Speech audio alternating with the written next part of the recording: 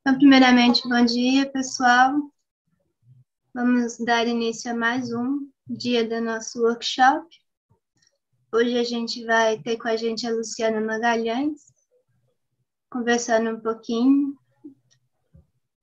É, lembrando que os ouvintes que quiserem ter o certificado precisam assinar a presença na descrição e, professora, bem-vinda, bom dia. Bom dia. O título da apresentação vai ser Biomechanics, the Importance of Regulating Nanomechanical Properties in Biological Systems. A Luciana é professora do Departamento de Física na Universidade Federal do Maranhão, coordenadora do Laboratório de Biofísica e Nanosistemas também no Maranhão, coordenadora do Grupo de Biofísica do Maranhão, na Universidade Federal de lá, membro da Sociedade Brasileira de Biofísica, Sociedade Brasileira de Física, e atualmente trabalha com síntese e caracterização de sistemas biológicos e nanoestruturados e as suas interações. Tudo certinho? Tudo certo. Então, pode ficar à vontade. Obrigada. Obrigada. Eu gostaria de agradecer o convite para participar com vocês do, do quinto workshop da pós-graduação de Física da Universidade Federal de Minas Gerais. É um prazer conversar um pouco com vocês sobre é, essa área tão bacana que é a física biológica, né? Essa área de fronteira, essa interface tão bacana com, com as ciências da vida. E hoje eu vou falar um, é, um pouquinho sobre um braço dessa área, que é a biomecânica, né? A importância de, é, de se analisar as propriedades é, biomecânicas em nanoescala de sistemas biológicos, né? E é, como essa contribuição que nós físicos podemos é, fornecer, né, no estudo de, é, de ciências da vida, é importante para por exemplo, diagnóstico ou proposição de novas terapias, tá? Então, é, deixa eu ver se eu consigo passar aqui direitinho. É, por que, que é tão interessante o estudo das propriedades biomecânicas em nanoescala, tá? É, se você parar é, é, para pensar um pouco, por exemplo, no diagnóstico de câncer de mama, tá? Eu vou procurar ser bem suave na, na linguagem biológica, mesmo porque essa não é a nossa área, nós não precisamos nos aprofundar tanto nisso, afinal de contas, somos físicos, né? Mas, é, se você se perguntar um pouco é, sobre o diagnóstico, por exemplo, de alguns tipos de câncer, como o câncer de mama, como que ocorre, né? Geralmente se dá por meio do exame do toque, em que com suas mãos, com seus dedos, você sente os nódulos mais rígidos, né? Então, é, uma característica marcante são esses nódulos com densidade, né, com rigidez, né, com, é, é, com, com um toque diferente do restante do tecido mamário. Mas quando você vai para a escala celular, né, em nível celular, o que se observa é que as células tumorigênicas, elas são células que são mais maleáveis, né? E se você for é, para uma escala menor ainda, né, é, olhando componentes individuais, como as fibras de actina, as fibras que compõem o citoesqueleto celular, essas fibras possuem é, módulo de Young da ordem de gigapascal. Então, é, olhar para as propriedades físicas desses sistemas em diferentes escalas é extremamente importante para entender é, a patogênese, né, o início é, e o desenvolvimento dessa, dessa, desse, dessa doença, que é o câncer, por exemplo, né, em níveis cada vez mais precoces, né? Muito bem. Se é, a gente utilizou o câncer como um exemplo, mas inúmeras doenças estão associadas a alterações nas propriedades físicas a nível celular. A diabetes, e a diabetes é, é, um sistema muito interessante do ponto de vista de física, né, uma doença muito, muito interessante do ponto de vista de física, de, de investigação de propriedades físicas, porque as alterações provocadas pela diabetes é, está, é, é, ocorre em diversas partes do nosso corpo, como é, nos, nas fibrilas de colágeno de tendões, paredes é, de vasos, é, eritrócitos, cérebro. Existe é, uma, uma, uma, corrente de pesquisa que acredita que o Alzheimer, por exemplo, é um tipo de diabetes tipo 3, né? o próprio câncer que altera as propriedades nanomecânicas de células, né, tornando-as mais é, maleáveis, né, e me menos viscosas, a gente vai conversar sobre isso um pouquinho. Fibrose cística, anemias hemolíticas como anemia falciforme, talassemias, é, doenças cardiovasculares, doenças associadas à córnea. Então, todas essas, essas doenças, elas têm algo em comum, que são as alterações das propriedades biomecânicas em nível celular. E a investigação dessas propriedades é, são muito, muito importantes para a proposição de marcadores é, é, é, mecânicos, de diagnóstico precoce ou de proposição de novas terapias. Se nós pensarmos além de células, existem diversos outros sistemas interessantes que, é, é, que associados a, estão associados a algumas doenças e que suas propriedades nanomecânicas são de interesse, né, é, tanto para a comunidade é, de física, né, como para as ciências da vida. Como, por exemplo, as próprias fibras de colágeno, como eu, como eu é, comentei com vocês agora há pouco. É, por exemplo, em diabetes, as fibras de colágeno, elas se tornam mais frágeis, as suas ligações, elas, elas são mais fracas, né, suas ligações iônicas, de tal forma que há um rompimento mais frequente nos portadores de diabetes mellitus de tendão, né? É, por exemplo, outra doença também, as doenças de córnea, como é, ceratopatia bolhosa, ceratocone, distrofia de Fuchs, muitas estão associadas com alterações nas fibras de colágeno da camada de Bowman, né? É, propriedades mecânicas a nível de proteína, de vírus, de fungos, de bactérias, né? Também são extremamente importantes tá? Então, é, o estudo das, das, das é, propriedades biomecânicas, né, em nanoescala, é, são fundamentais para a compreensão de diversos sistemas biológicos. É, para a gente acessar essas propriedades, necessário é, o uso de algumas ferramentas interessantes, né? Hoje a gente vai focar em uma delas, tá? Mas a gente pode fazer é, uso de, por exemplo, pinças óticas, é, aspiração por micropipeta, microscopia de é, varredura acústica, e microscopia de força atômica. Né? Eu sei que aí é, na UFMG vocês têm laboratórios com microscópio de força atômica, né? E é possível, inclusive, que vocês desenvolvam, né? Já, já devem estar desenvolvendo pesquisas nessa direção. Então, hoje, a gente vai focar um pouquinho no força atômica, né? É, muitos de vocês na pós-graduação já devem é, utilizar ferramentas como o MEV e o AFM, né, em suas pesquisas. E o que é mais interessante é que são ferramentas que são utilizadas em diversos ramos da, da, da, da ciência, né?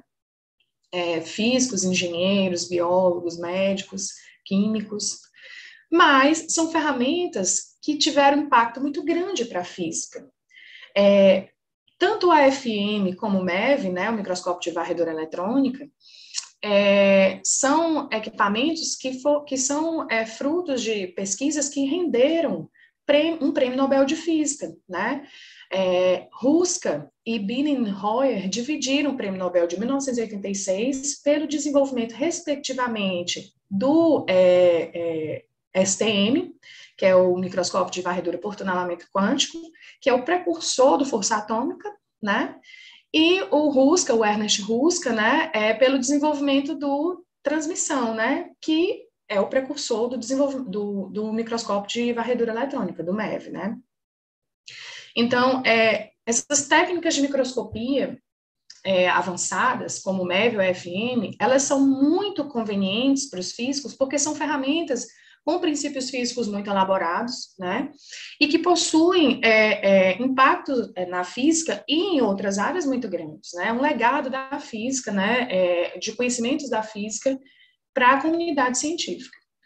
Então, é, para vocês terem noção de como essas técnicas embora tenham aplicações gerais, elas são importantes para nós, é, é, é muito importante para a comunidade dos físicos, tá? E para a gente falar um pouquinho do força atômica, eu sei que a esmagadora maioria de vocês conhece, né? Mas eu vou comentar brevemente aqui é, sobre é, o microscópio de força atômica, mesmo porque quem trabalha com a FM sabe que ele é um laboratório completo de física, né? Eu gosto muito de fazer analogias quando eu estou estudando física, né? Eu gosto de personificar as coisas ou, ou fazer analogias com, com, com é, situações do cotidiano.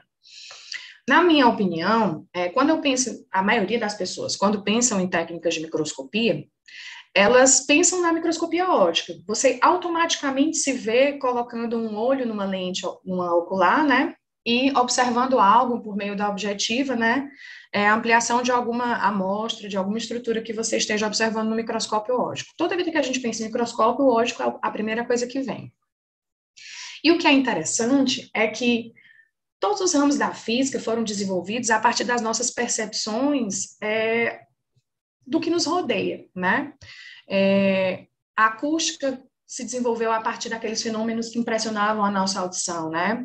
A ótica a partir daqueles fenômenos que impressionavam a nossa visão. E é, a gente tem, sempre está associando aquilo, né, que a gente vê, que a gente sente, que a gente escuta, com os ramos da física. E quando eu tento pensar na microscopia de força atômica, para mim, é, é, eu penso no tato, porque efetivamente, a gente, é, o, que, o princípio de funcionamento desse, dessa técnica de microscopia é, aspas, sentir né, as interações entre os átomos de uma ponta né, e os átomos da superfície de uma amostra. E é, essa analogia, muitos de vocês sabem o que é isso, viu, crianças? Mas eu vou explicar, se preocupe não. Uma analogia muito interessante também, que muitos é, físicos, muitos pesquisadores que trabalham em força atômica fazem, é a vitrola. Para quem não conhece, essa é uma vitrola, tá? É, ela, você observa aqui um braço, né? E nesse braço, na extremidade aqui livre desse braço, você tem uma agulha que toca aqui a superfície de um disco e o resultado é uma música, né? Muito bem, microscopia de força atômica, de uma forma bem lúdica, né? Pode ser, pode, a gente pode fazer esse, esse tipo de comparação, né? Então, basicamente, os átomos da ponta é, os átomos da agulha da vitrola são os átomos da sua ponta, né? É, é, o disco é a sua amostra e é, o, a chave, né, para a obtenção dos resultados é o controle da força e ou da distância entre essa ponta e essa amostra. E diferentes é, informações podem ser obtidas a partir dessa, dessa, dessa dupla, né? Controle de força ou da distância. A cada vez que uma, som, que uma ponta de AFM se aproxima e se afasta, especialmente da superfície da amostra, a partir da superfície da amostra, especialmente nos modos de espectroscopia de força, né? A gente tem é, um gráfico semelhante àquele potencial de Leonard Jones que a gente estudou em Física 1, em, em que a gente tem uma região atrativa e uma região repulsiva, né? Na microscopia de força atômica, essas curvas né, são chamadas de curvas de força. Força por separação.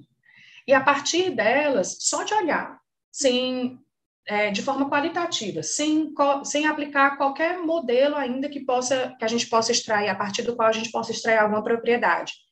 Diversas observações interessantes são feitas. Por exemplo, é, no momento que a sonda ela se aproxima da superfície da amostra e toca a superfície dessa amostra, né? A gente tem é, uma, uma região da curva de força, veja que aqui eu tenho a separação, ó, essa parte em azul. Se você caminhar nessa direção aqui, essa curva em azul é a aproximação. Nesse momento, a gente toca a superfície da amostra, o cantilever se deflexiona até um ponto máximo que a gente chama de pico de força. Então, ele inicia a sua retração, que seria essa parte pontilhada aqui, tá? Veja que há uma dificuldade dessa sonda de liberar a superfície da amostra, né? Então, a gente tem aqui forças adesivas atuando nessa superfície, até o momento em que. Deixa eu ver aqui que eu acho que saiu. Até o momento em que é, essa sonda. Deixa eu colocar de novo minha mesinha aqui, porque eu acho que ela soltou aqui da, Até o momento, ó, veja que aqui eu tenho uma dificuldade de soltar, né, da, da superfície da amostra, efetivamente solta até o momento que eu retorno aqui, ó, com deflexão é, aproximadamente nula, é, a, a, minha sonda é, se afasta da superfície da amostra. Só observando essas curvas, algumas coisas interessantes podem ser é, é, observadas. Veja que as curvas de aproximação e retração, elas têm uma separação. Então, você tem uma dissipação de energia, que pode estar associada, por exemplo, à viscosidade, né, é, é, da super, a viscosidade desse material que a gente está analisando. Por exemplo, no caso aí da imagem, né, de uma célula. Essa região aqui, né, em que o cantilever, ao invés de simplesmente soltar a superfície e vir nessa direção aqui, ele tem uma dificuldade de, retração a partir da superfície, toda essa região aqui corresponde às forças de adesão entre a sonda e a amostra. Essas forças de adesão, elas são uma combinação de forças de Van der Waals, é, de forças de capilaridade, de forças eletrostáticas, certo? E se você integra essa região aqui, você tem o trabalho das forças adesivas. Se nessa curva de aproximação, é, nessa região de contato, escolhendo determinado intervalo de deflexão, você aplica um modelo de Hertz com geometria cônica ou esférica, depende da, da sua sonda, você obtém um módulo de Young daquela, da, daquela local, daquela superfície. Então, diversas propriedades são obtidas, né? E é por isso que eu tô, eu tô falando de algo extremamente de, de, uma forma extremamente simplista, de algo é, é, é, de uma forma bem simples, mas, gente, inúmeras propriedades podem ser obtidas em inúmeros modos de varredura. É por isso que, é, para a gente, né, o microscópio de força atômica, ele é tão interessante na obtenção de propriedades biofísicas, né, ou biomecânicas, é, em nanoescala de sistemas biológicos. Porque, diferente do MEV, por exemplo, o AFM, eu não preciso metalizar a amostra, eu posso é, varrer uma célula ou uma amostra biológica qualquer, é, sem qualquer preparação de amostra, sem qualquer preparação, sem é, desidratar essa amostra, sem fixar, né, sem metalizar. Então, eu consigo ver células individuais, né, aspas vivas, é, e observar é, propriedades desse sistema é, em líquido, por exemplo, tá? E de tantos outros sistemas, como bactérias, vírus e tudo mais. Então, é, a física por trás é, é, é, um pouco mais complexa, né? Mas você utiliza é, é, conhecimentos desde física 1, gente, para você compreender é, a constante de mola de um cantilever, você utiliza a lei de Hooke até princípios da mecânica quântica, tá? Eu adoro essa imagem, é, ela é desse artigo da Nature aqui, de maio de 2008, né? É, em que ele coloca a, microscopia de força atômica no centro é, e mostra as possibilidades da microscopia de força atômica em física biológica, né? Dentre elas, é, imagens de alta resolução, é, é propriedades mecânicas de células, é, propriedades mecânicas de células, imagens de alta resolução, espectroscopia de uma única molécula, né? É, diagnóstico, é, elasticidade, flexibilidade, atrito, enfim, é, é, interação droga-alvo, inúmeras possibilidades utilizando uma única ferramenta, isso só em ciências da vida. Em nanotecnologia em ciência dos materiais em muitas outras áreas, as possibilidades são inúmeras, tá? E Agora eu vou mostrar um pouquinho para vocês, né? E aí fiquem à vontade para tirar todas as dúvidas e o que vocês quiserem perguntar, tá? Vou mostrar um pouquinho para vocês de algumas aplicações interessantes que fizemos lá no laboratório utilizando a microscopia de força atômica em física biológica, tá? É, uma delas, né, uma das aplicações que nós já fizemos é exatamente as propriedades biomecânicas de células tumorais.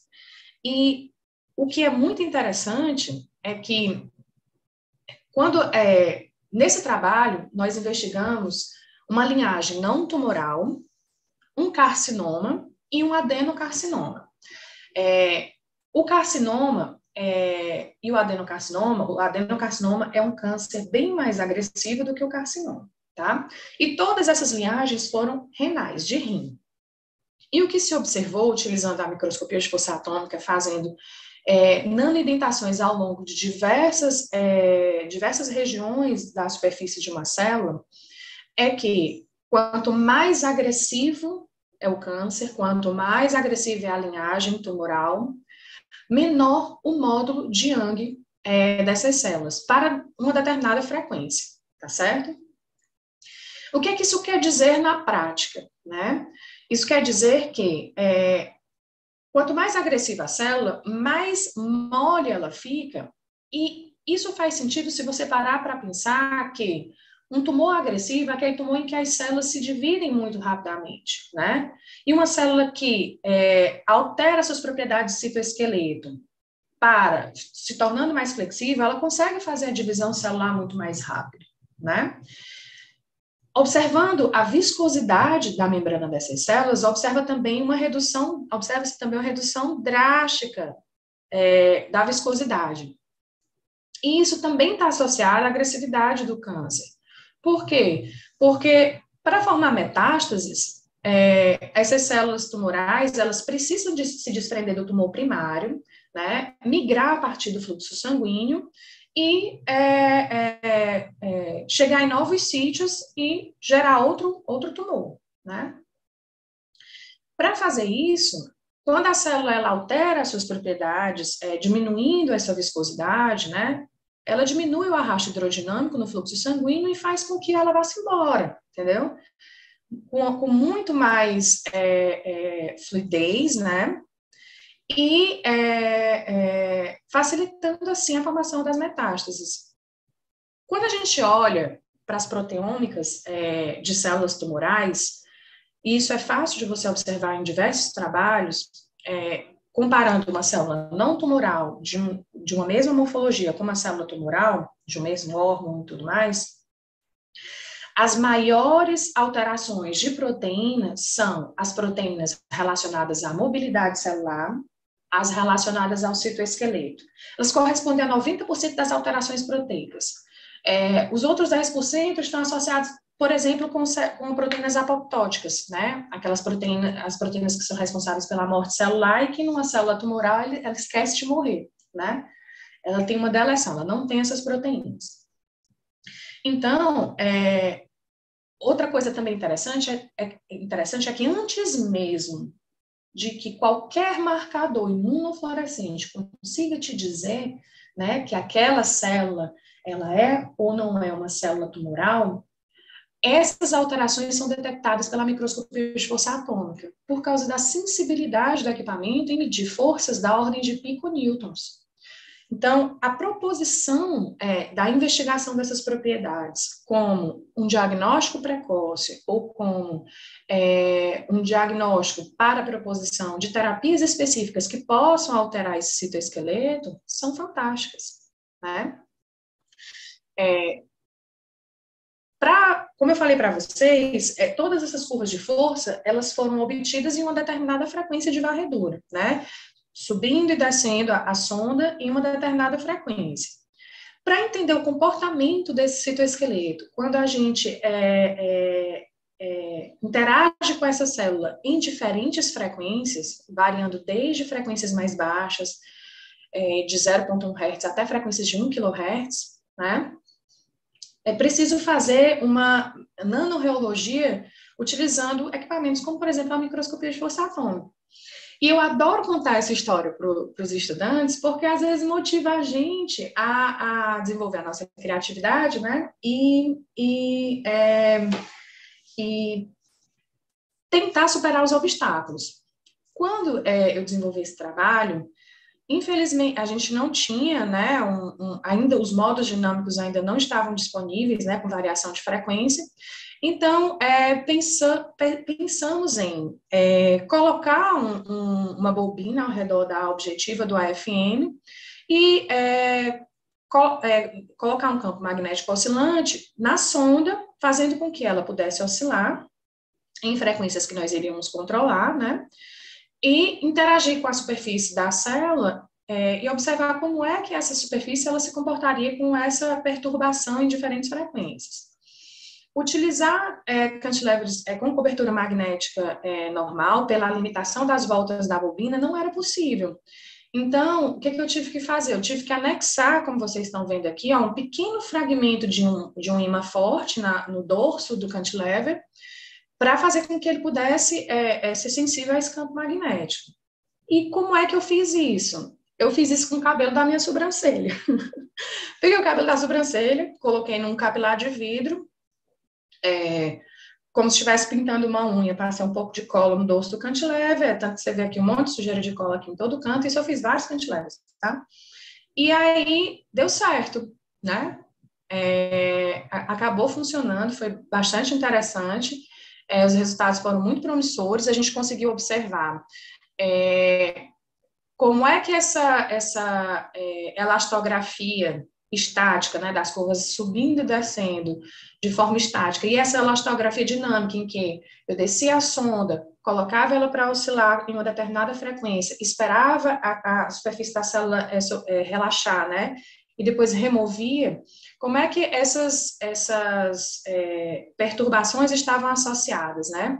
E a gente acaba encontrando é, uma lei de potência, né? Uma relação entre elas, que mostra o comportamento desse citoesqueleto para baixas e altas frequências, é, é, nos revelando que, à medida que a perturbação, que a frequência aumenta, esse citoesqueleto, ele, ele tende a se tornar mais, mais fluido, né? Mais fluid-like. E isso é um artifício diferente das células não tumorais, tá? Isso é um artifício da célula tumoral para se adaptar às condições adversas, né? Aos fluxos mais turbulentos. E uma coisa interessante é que um trabalho é, como esse, que bem interessante, né, em que a gente desenvolve é, é, uma técnica com coisas tão, tão é, estilo MacGyver, vocês vão nem saber que é o MacGyver, mas depois vocês pesquisam aí se vocês tiverem interesse, né? É, inspirou a Bruker, por exemplo, a desenvolver um, um modo de operação, que é o, é o modo hold, né? É baseado nesse trabalho. Então, é, é, é importante a gente, a gente buscar, né? Não estou falando para a gente se sacrificar e fazer coisas impossíveis, mas é, uma característica da gente é saber, dos brasileiros especificamente, é saber é, contornar as adversidades, né? E é, isso nos trouxe uma, uma compreensão bastante interessante dessas células tumorais, né? Além disso, isso para nível celular ou a nível de é, é, é, é, estruturas individuais de célula, como citoesqueleto. Quando você vai para o nível tecidual, outras observações mecânicas são interessantes. Se você fizer uma análise utilizando força atômica de é, fragmentos do tumor, você já vê outras propriedades é, biomecânicas, né? E outras características estruturais que, que são interessantes do ponto de vista de física como as fenestrações tumorais, que são é, câmaras, né, é, é, uma, uma, rede assim de, de, interconectada de câmeras que o tumor tem, né, que está associada à vascularização dele, e que é muito é, interessante estudar com redes neurais e, e a própria propriedade é, é, biomecânica, porque essas fenestrações é que impedem que muitos medicamentos consigam atuar no tumor, né? Outro é, tópico muito interessante do ponto de vista de, é, de física é a, a, virologia física, é o physical virology, né? E esse não é um termo que eu inventei não, tá, crianças? É, é uma, uma linha de, de estudo, né, bastante é, é, estudada, bastante é, explorada atualmente, né, nos últimos cinco anos, dez anos, menos, cinco anos, tem sido amplamente empregada no estudo de diversas partículas virais. É, me chamou a atenção, esse, já, já há alguns anos, me chamou a atenção essa, essa área né, da física, de, de estudos de propriedades físicas de partículas virais. E quando é, nós nos deparamos com essa pandemia, é, muitas, muitos físicos tentaram de alguma forma ajudar, né? E eu não fui diferente. É, uma coisa muito interessante que eu comento demais com os meus alunos lá no laboratório é que a física não está desacoplada do, dos momentos históricos, né? É, diversos momentos é, históricos e políticos estão associados com pesquisa, como, por exemplo, a Revolução Industrial e o desenvolvimento da termodinâmica, né? E é, é, é, é interessante é, quando o físico quer e pode né, aplicar um pouco dos seus conhecimentos para tentar solucionar problemas é, atuais. Né? E isso foi o que a gente tentou fazer no laboratório, é, utilizando os nossos conhecimentos. Nós investigamos as propriedades nanomecânicas de partículas de SARS-CoV-2. É, basicamente, nós, a Fiocruz, a gente contactou a Fiocruz, né, é, inicialmente, perguntou a possibilidade de conseguir essas partículas virais inativas, né, ou seja, sem que essas, essas, esses vírus eles pudessem se replicar em células. É, a Fiocruz gentilmente nos forneceu é, é o vírus SARS-CoV, é, extremamente íntegro. E o que foi que a gente fez? Primeiro, a gente fez é um estudo de absorção das partículas virais, né, é, observando como é que esse, esse, esse, vírus ele se comportava em diferentes superfícies, né, é, qual era o objetivo, né, desse estudo? Era basicamente compreender a estrutura do nucleocapsídeo, porque se a gente entende como é que esse nucleocapsídeo está estruturado, é, a gente entende muito das propriedades mecânicas do vírus como um todo. E é, essa estrutura é, de, de, de é, a forma com a, com a qual esse núcleo capsídeo ele se ele se monta, né? É importante, assim como é importante para um grão de pólen.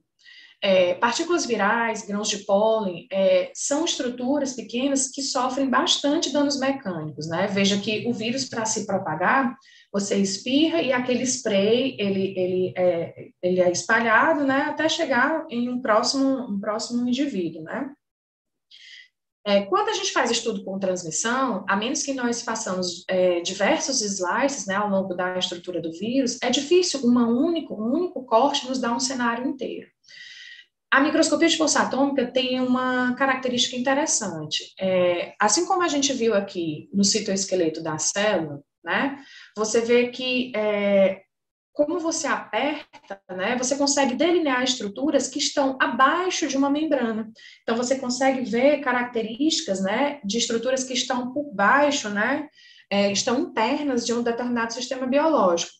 E no caso do SARS-CoV, foi a mesma coisa.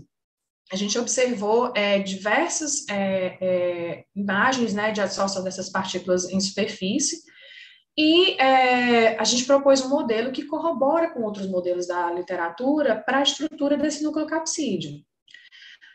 Além disso, outro fato muito interessante é que, é, promovendo perturbações, né, indentações na superfície é, dessa partícula viral, com é, diferentes é, velocidades de aquisição das curvas de força, né, a gente observou que para velocidades de aproximadamente 50 nanômetros por segundo, é, fazendo mais de 100 indentações em uma única região da partícula viral, nós conseguimos obter é, em deter, um determinado ciclo, né? Veja que aqui no décimo ciclo, né? Depois de descer dez vezes no mesmo lugar, a gente começa a observar platores, né? Que correspondem nas curvas de força, né? Platores de força constante que correspondem a eventos de ruptura de membrana. E o que, é que de informação isso nos trouxe?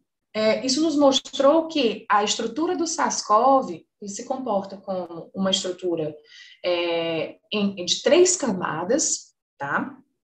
E que para você atingir o núcleo capsídeo, né, aquele interior onde tem o material genético, você precisa romper essas três camadas que juntas têm aproximadamente 10 nanômetros, tá?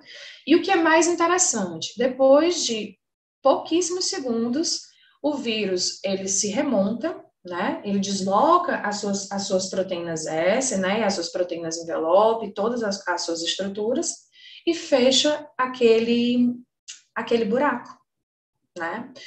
Então, esse tipo de informação é, consegue nos mostrar. A gente, a gente, esse artigo é bem interessante, ele está na Langmuir, tá?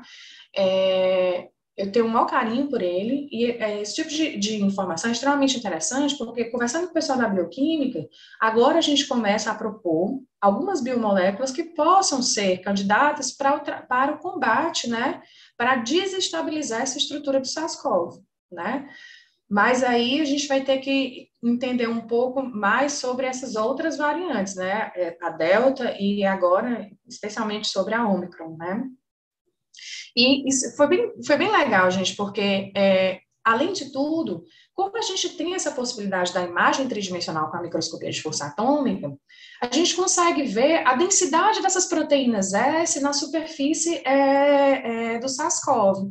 E o que observou, a gente observou também é que existiam muito mais é, unidades de proteína S do que a literatura estava é, supondo, né?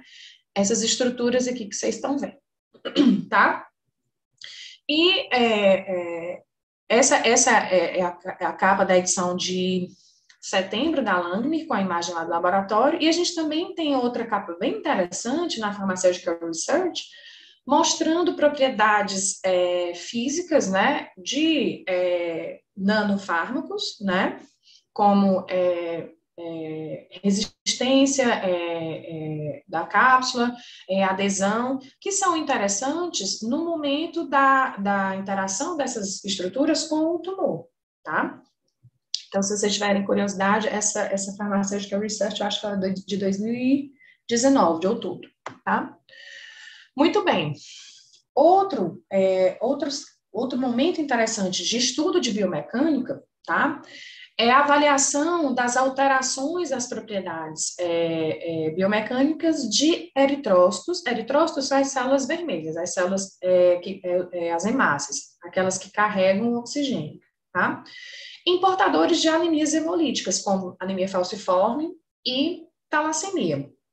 Gente, aqui no Maranhão, é, a, a, o Maranhão é proporcionalmente o estado mais preto do Brasil. Então, a quantidade de, de é, afrodescendentes aqui, é, para o número da população, é muito grande. Essas anemias hemolíticas, elas estão associadas a, a, a, ao seu histórico étnico. Então, é, o número de portadores de é, anemias hemolíticas, especialmente de anemia falciforme, é muito grande. Na verdade, a anemia falciforme é a doença genética com mais incidência no mundo e ainda não tem cura poucas pessoas trabalham é, buscando entendimento ou, ou, qualquer informação que possa trazer algo que é, é, é, possa mudar esse cenário de, de não cura, né, do, do, da, das anemias hemolíticas, em especial da anemia falciforme. Então, é, nós pensamos em trazer um pouco da nossa contribuição também. Existe também um ramo, vocês podem pesquisar, chamado Physical Hematology, né? Que, é a propriedade, as, que são as propriedades físicas do tecido sanguíneo. É, aqui a gente trabalha muito com, com tecido sanguíneo, tanto em leucemias, como em anemias hemolíticas, como em outras doenças que alteram propriedades é, é, é, biomecânicas do tecido sanguíneo, tá? Não só com a microscopia de força atômica, também com a espectroscopia Raman. Eu sei que muitos de vocês utilizam o Raman, né? É, a gente sempre faz uma associação entre as duas técnicas para o estudo de sistemas biológicos. E, nesse caso, nós estudamos diversas mutações da anemia falciforme, como a, o traço falcêmico, que a pessoa é considerada saudável, ela só é considerada portadora do gene. No entanto, é, diversas ocorrências de morte súbita estão associadas a esses indivíduos considerados saudáveis né? E o que nós observamos nas nossas investigações é que essas células, né, é, com estatística muito grande desses indivíduos que possuem o traço falcêmico, elas são muito mais alteradas e próximas das células é, é, associadas às anemias em si, e suas mutações, do que ao indivíduo saudável. É, e talvez isso possa explicar é, e trazer, talvez não, que nós observamos é que isso, de fato, pode pode estar associado a esses eventos de morte súbita, por conta das alterações, não só no módulo de Young, né? Se as células são mais rígidas, elas não conseguem é, é, passar em todos os capilares. Veja, os eritrócitos, é, são células de aproximadamente 8 micrômetros, né? Ao contrário aqui. E que tem que passar em capilares de 2 micrômetros. Então, as propriedades mecânicas de um eritrócito são uma coisa fantástica, né? É, mas nem, nem, nem, é só o módulo de Young ou a dureza que a gente está falando, né? É, alterações das, das, é, é, da distribuição de carga na superfície, é, que nós também observamos com a microscopia de força atômica, que está relacionada com as alterações na hemoglobina e, consequentemente, na, difer na diferença de potencial de membrana, né? É, adesão, viscosidade. Então, tu, e tudo isso quando nós estudamos, a gente nunca pega a célula completamente alterada, no caso da, das células falcênicas, né? Porque à medida que o tempo é, que a célula vai é, é, fazendo o seu percurso é, no fluxo sanguíneo, ela vai sofrendo os processos de oxigenação e desoxigenação, e por conta da mutação, a célula ela fica com a forma de foice. Quando a gente faz essas investigações, nós avaliamos as células perfeitamente redondas. São células que, que acabaram de sair da hemato, acabaram de sair da hematopoese, acabaram de sair da medula, e a gente avalia todas essas, essas alterações em nível precoce, para tentar entender exatamente o desenvolvimento, o desenrolar dessa, dessas doenças. E muitas informações interessantes são observadas, que, e que podem estar associadas a, a diversas ocorrências, e trazer né, novos, novos conhecimentos para a proposição de terapias que possam auxiliar esses portadores de anemias hemolíticas, tá? É, como eu falei para vocês, a mesma coisa em leucemia. Nós observamos diversas alterações da leucemia, leucemia é, mieloide aguda, LMA, LMMA, né?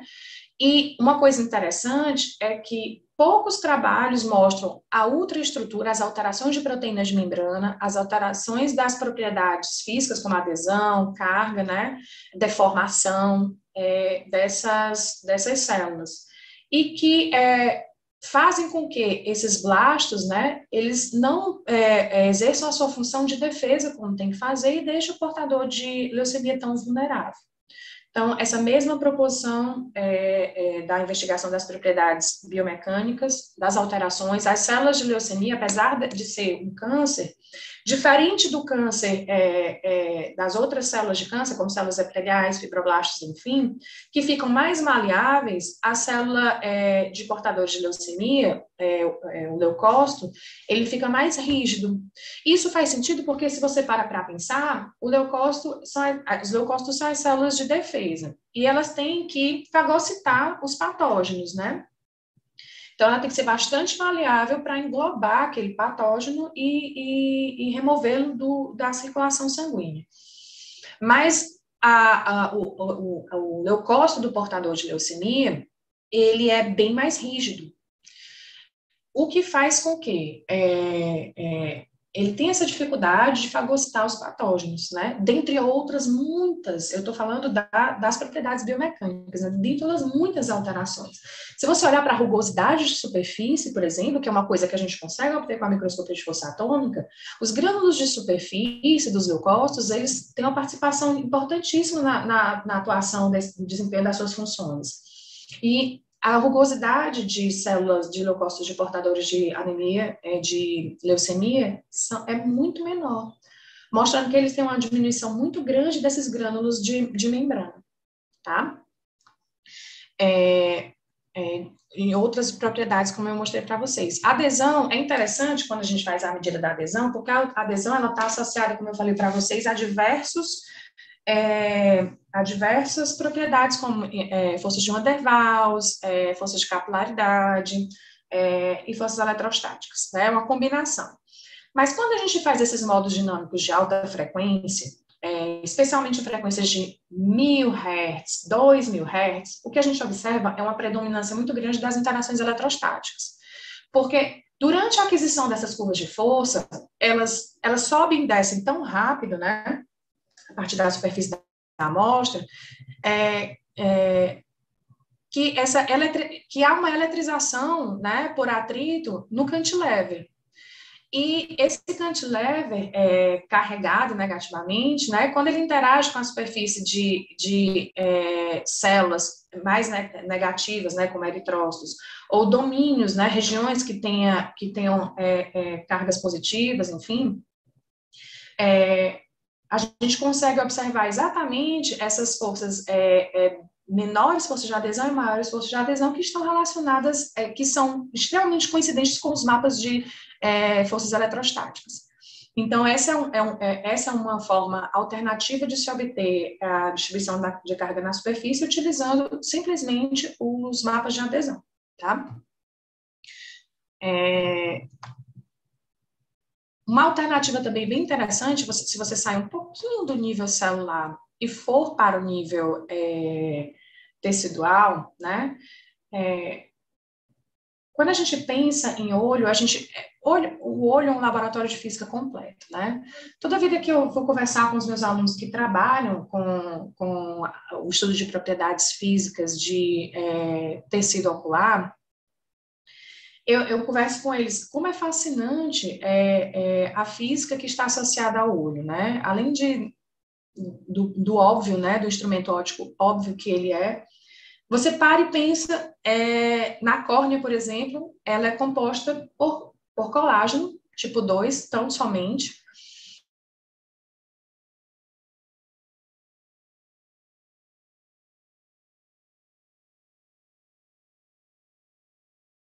Anjo a organização dessas fibrilas de colágeno, né? É, e qualquer alteração na. Vocês estão me escutando? Porque está falando aqui que a internet está instável. Se cai qualquer coisa, vocês me avisam aí ou não. Deu uma travadinha, mas voltou tranquilo. Tá. E aí, é, qualquer alteração na organização e nas propriedades é, nanomecânicas dessas fibras de colágeno, e eu digo nano porque essas fibrilas individualmente têm poucos nanômetros de diâmetro, e a deperiodicidade delas, né, ou seja, elas, elas são fibras individuais com ondulações na superfície, bem característica, tem um espaçamento da ordem de 60 nanômetros. Então, é, investigar essas propriedades em nanoescala é fundamental. E, assim, não só do ponto de vista é, é, biomecânico, como ultraestrutural também. Se você olhar é, para as células endoteliais, que, células epiteliais, que são as células da parte da frente da córnea, elas são células que têm é, um monte de microvilosidade que é, é, retém o filme lacrimal. Quando vocês olham para essas microvelocidades, vocês observam que elas são estruturadas por nanovelocidades, né? E como tudo na natureza tem essa, essa repetição, né? essa estrutura fractal.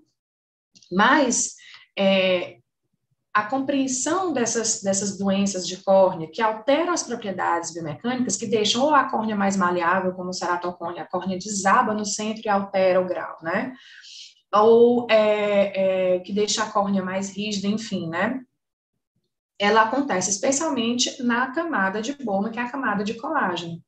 Então, a gente fez um estudo bem completo de diversas doenças, como ceratocone, ceratopatia bolhosa, distrofia de Fuchs e leucoma, olhando para todas as camadas da córnea, como endotélio, membrana de DCME, estroma, camada de Bowman e o epitélio, mostrando todas as alterações biomecânicas de cada uma das camadas. A gente fez um dossiê completo para o pessoal da, da oftalmologia, porque essas também são doenças que não têm cura, né?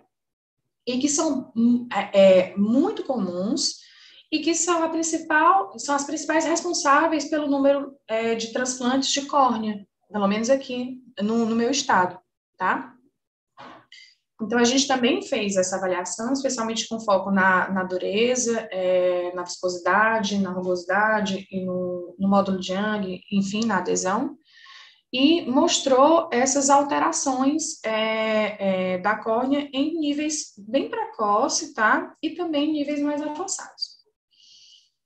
Bom, é, muitos de vocês devem trabalhar com. Eu já vou terminar, tá, gente? Juro. Muitos de vocês de, devem trabalhar com, com sistemas nanoestruturados, né? Sistemas nanoestruturados de interesse biológico são, são, é, são um foco muito, muito grande de pesquisa, né? E no nosso laboratório também, a gente trabalha muito com a síntese e caracterização de sistemas nanoestruturados, nanopartículas, é, é, poliméricas, carbonosas, é, e outros tipos de material. Então, o que, que a gente está interessado? Na caracterização tão, da, da, estrutural tão somente? Não. Né? A gente está interessado, na verdade, nas propriedades viscoelásticas de nanomicelas, de nanopartículas.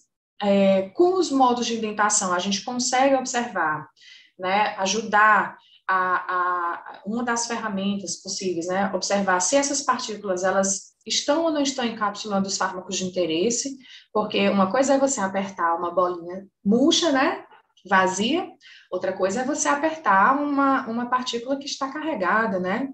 Então, essa, essa diferença entre as nanopartículas vazias, né, e as nanopartículas é, carregadas com fármaco, é, nos ajuda também a compreender é, é, é o potencial de encapsulamento daquela técnica. Tá?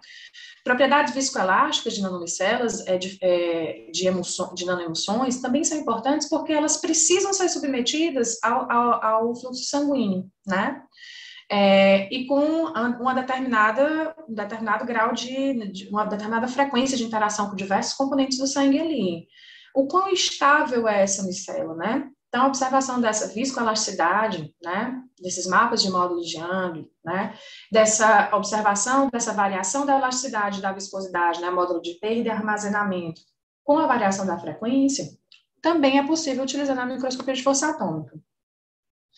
E é, é, também da interação de fármacos com células, como vocês estão vendo aqui, isso aqui é um osteoblasto, tá?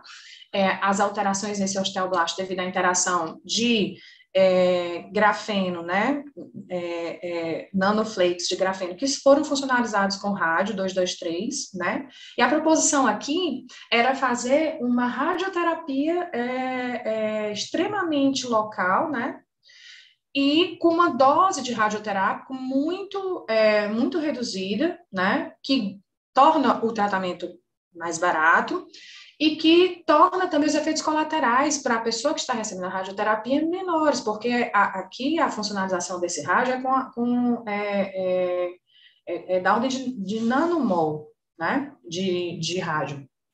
E como o grafeno é, é uma estrutura carbonosa, né, é, e o rádio, ele, tem, ele mimetiza a química do cálcio, tem interação muito grande com essas células ósseas, né, é, bastante localizadas e que detonam elas completamente, né? Porque todo esse decaimento da, de, das partículas alfa, essas colisões dessas partículas vão acontecer lá na célula e você consegue ver que ela está toda lascada, né? Então, esse, esse, resultado foi um trabalho em parceria com o IEM é, e que rendeu é, é bastante fruto, né? E que agora a gente já está fazendo parceria com os hospitais para é, observar isso já é, com é, tratamentos em, em pessoas mesmo, tá? Deixa de ser in vitro ou nos ratinhos e passa a ser nas pessoas, tá? E essa caracterização, né, isso aí vocês estão super, ultra, mega acostumados, a caracterização é, da nanoestrutura desses flakes, é, de, de, de, desse, desse grafeno, né, nanotube, grafeno, eu sei que vocês são é, os feras, eu não vou nem, eu não vou nem tentar discutir isso com vocês.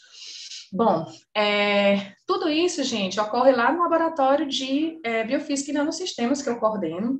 Eu quero deixar esse laboratório de portas abertas para vocês. Eu sei que vocês aí são top das galáxias, vocês têm tudo e mais um pouco. Mas o que vocês precisarem, né? É, vocês podem contar comigo. Eu ficaria muito feliz em colaborar com o pessoal da Federal de Minas Gerais. É, só queria finalizar dizendo que eu não consigo nada sem a ajuda dos meus amigos. E aqui, gente, os meus amigos são os meus alunos, eles são pessoas maravilhosas. Eu nada faço sem os meus alunos. Eu tenho certeza que os orientadores de vocês também não. Vocês são peça fundamental, né? Fico muito feliz de vocês participarem dos workshops e, e é, dessas iniciativas, né? Porque vocês, é, estudantes, é que movimentam é, é a ciência hoje do nosso país, né? Porque sem, sem vocês a, a, o rolê não anda, tá? É, e convidar vocês a conhecer um pouquinho das nossas redes sociais, galera muito blogueira, né? Mas é porque tem um monte de coisa legal lá no YouTube Biofísica UFMA, tem uma, uns, umas aulas bem legais de MATJ, de MATLAB, enfim. E algumas coisinhas que a gente anda fazendo também. E o Instagram, que é o arroba biofísica, underline UFMA, que também tem umas imagens e umas coisas legais. Tá bom, gente? Muito obrigada pela atenção de vocês. E assim que isso tudo passar, Se vocês estiverem afim, venham conhecer São Luís, a Ilha do Amor. A gente está de portas abertas para recebê-los. E é isso. Luciana, muito obrigada. Adorei demais. Tem duas perguntinhas aqui para você. A primeira é do João Vitor Nunes, que perguntou como deve ser o ambiente para fazer as varreduras. Digo, não pode haver oscilações durante a varredura, certo? E todos os objetos precisam ser desnaturados? Perfeito. É, é, para fazer as varreduras de microscopia de força atômica, é, as, as, as vibrações mecânicas elas devem ser evitadas, né? Então, é, todos os laboratórios que têm o AFM, eles, eles se preparam para isso. Eles têm um, um, uma, uma, caixa de areia no chão, né, que a gente chama de piscina, que evita as vibrações. A gente tem todo um sistema para amortecimento dessas vibrações mecânicas, ou para filtros para é, conter também as oscilações da rede elétrica. Mas quando a gente vai fazer a medida do AFM, especialmente essas medidas que têm é, é, escala tão né, de alta resolução, a gente toma esses cuidados. É, no entanto, as oscilações que nós estamos falando aqui são oscilações que nós provocamos, né? Essas oscilações que causam, né, é, essas reologias em células, por exemplo. Então, a gente controla para que o cantilever, ele realmente, ele, ele faça oscilações sobre a superfície da célula para a gente observar o comportamento dessa célula quando perturbada dessa forma. O, o, as medidas em células, em, é, na maioria esmagadora das vezes, elas ocorrem em meio líquido. Então, nós submergimos a sonda de AFM em é, solução ou solução tamponada, como PBS, ou meio de cultura celular, tá? E a gente mantém a célula feliz lá é, no meio de cultura é, pelo, pelo máximo de tempo possível, que a gente puder fazer a medida. Até que a gente observe que ela começa a, soltar do substrato, é que ela já não está tão feliz, aí ela começa a, a, a, boiar lá no líquido e a gente perde aquela amostra. Mas é porque são muitas perturbações, a sonda tocando ela muitas vezes. E não precisa fixar, secar, fazer nada, tá? Você pega a célula do meio de cultura, Depende do seu porta-amostra, se ele for maior ou menor. Se for um porta-amostra menor, a gente faz a, a cultura em laminulas de 13 milímetros dentro de poços de cultura. Se fosse é, um porta-amostra maior, é, nós utilizamos pequenas placas de Petri. Mas o força atômica ele, tem, ele é interessante para aplicações em ciências da vida, exatamente por essa possibilidade em trabalhar em meios líquidos, né? E que o controle de temperatura controle de atmosfera. Você pode, por exemplo, eu tenho um controle de temperatura, eu posso colocar 36, 36 graus é, em meio líquido. Infelizmente, eu não tenho controle de atmosfera, mas algumas pessoas podem colocar lá 5% de CO2. Eu acho perigoso, dá até para fazer uma gambiarra, mas eu acho perigoso porque o CO2, dependendo, é, é, se tiver qualquer acidente, ele, você, os estudantes podem inalar e podem né, é, é, ter alguma consequência. Então, é isso. Você, você, é, a preparação de amostra de FM para essas técnicas avançadas é a mais barata que tem. Ela só perde para a microscopia ótica, que não é uma técnica tão avançada. Né? É isso. É, só mais uma perguntinha antes da gente finalizar. É do Renan Cunha. É, ele perguntou, professora Luciana, existem assinaturas espectrais Raman que discriminam as hemácias saudáveis das hemácias falciformes? Só tem, Renan, só tem. Cara, eu sou apaixonada pela espectroscopia Raman. Eu utilizo ela para tudo aqui. É, eu não coloquei imagem, deixa eu ver se eu coloquei. Assim, ó, a gente tem. É, na nossa central analítica aqui na UFMA, a gente tem um T64000 com quatro linhas, né? E a gente tem um que a gente chama de raminha, que é um rama só no, no, no, no infravermelho. E aí, é, é, existem diferenças muito grandes, é, não só na, nos, nos, espectros, como também na, na, banda de luminescência, né, por conta da alteração do ferro, né, e não só nas células de portadores de anemia falciforme, como nas células de câncer. Gente, a espectroscopia Raman, ela está no nível que hoje a gente tem empresas no Brasil que atuam dentro de centros cirúrgicos que, por exemplo, durante uma operação, abrem um tumor de tireoide, utilizam uma sonda, é, que é um espectrômetro portátil, Ali já obtém o espectro na hora, observa se é ou se não é câncer e tira ou não a tireoide. Isso é fantástico, porque muitos, é, é, muitos casos, eu conheço, eu tenho muitas amigas que retiraram a tireoide por câncer, por suspeita de câncer da tireoide, mas a, a, a, o tumor era tão pequeno que não dava para fazer uma biópsia, então, por precaução, retira tudo. E com o uso da espectroscopia Raman em centros cirúrgicos, já é possível para você ver a sensibilidade né, do Raman. Mas você tem, eu tenho diferenças é, de partículas funcionalizadas, não funcionalizadas, com anticorpo sem anticorpo. Eu tenho diferença de células tumorais e não tumorais. Eu tenho diferença de anemia falciforme de cada uma das mutações. Existem assinaturas espectrais diferentes. A gente faz um monte de medida, depois a gente aplica um, um é, uma análise de primeiros princípios, de, de primeiros de componentes principais, né, PCA, e diferenciar aqueles grupos perfeitamente. Então, assim, o Raman, para a gente, é uma ferramenta muito interessante, muito importante para essa interface de física em ciências da vida. Muito legal. Luciana, depois passa no YouTube para você ver os comentários. O pessoal adorou. Ah, ah e... gente, obrigada, viu? Eu concordo com você que o diferencial do cientista brasileiro é o espírito MacGyver, assim.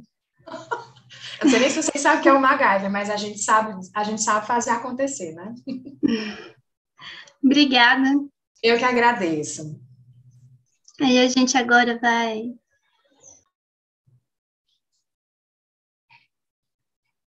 Você colocou no mudo, Clara. É, agora a gente vai dar continuidade né, na apresentação dos alunos. Luciana, mais uma vez, muito obrigada. Ai, gente, eu esqueci de falar para vocês, ó. Antes de, antes de eu sair aqui, próximo ano a gente vai soltar um livro, tá? De graça. É, fazendo um compiladozão das nossas ideias, né, em técnicas de microscopia de força atômica em sistemas biológicos nanoestruturados. Assim que tiver disponível, eu coloco lá, no, nos, eu dou um jeito de avisar para vocês e vocês, se quiserem, podem acessar, tá bom? Tchau, gente, obrigada. Obrigada. A gente quer.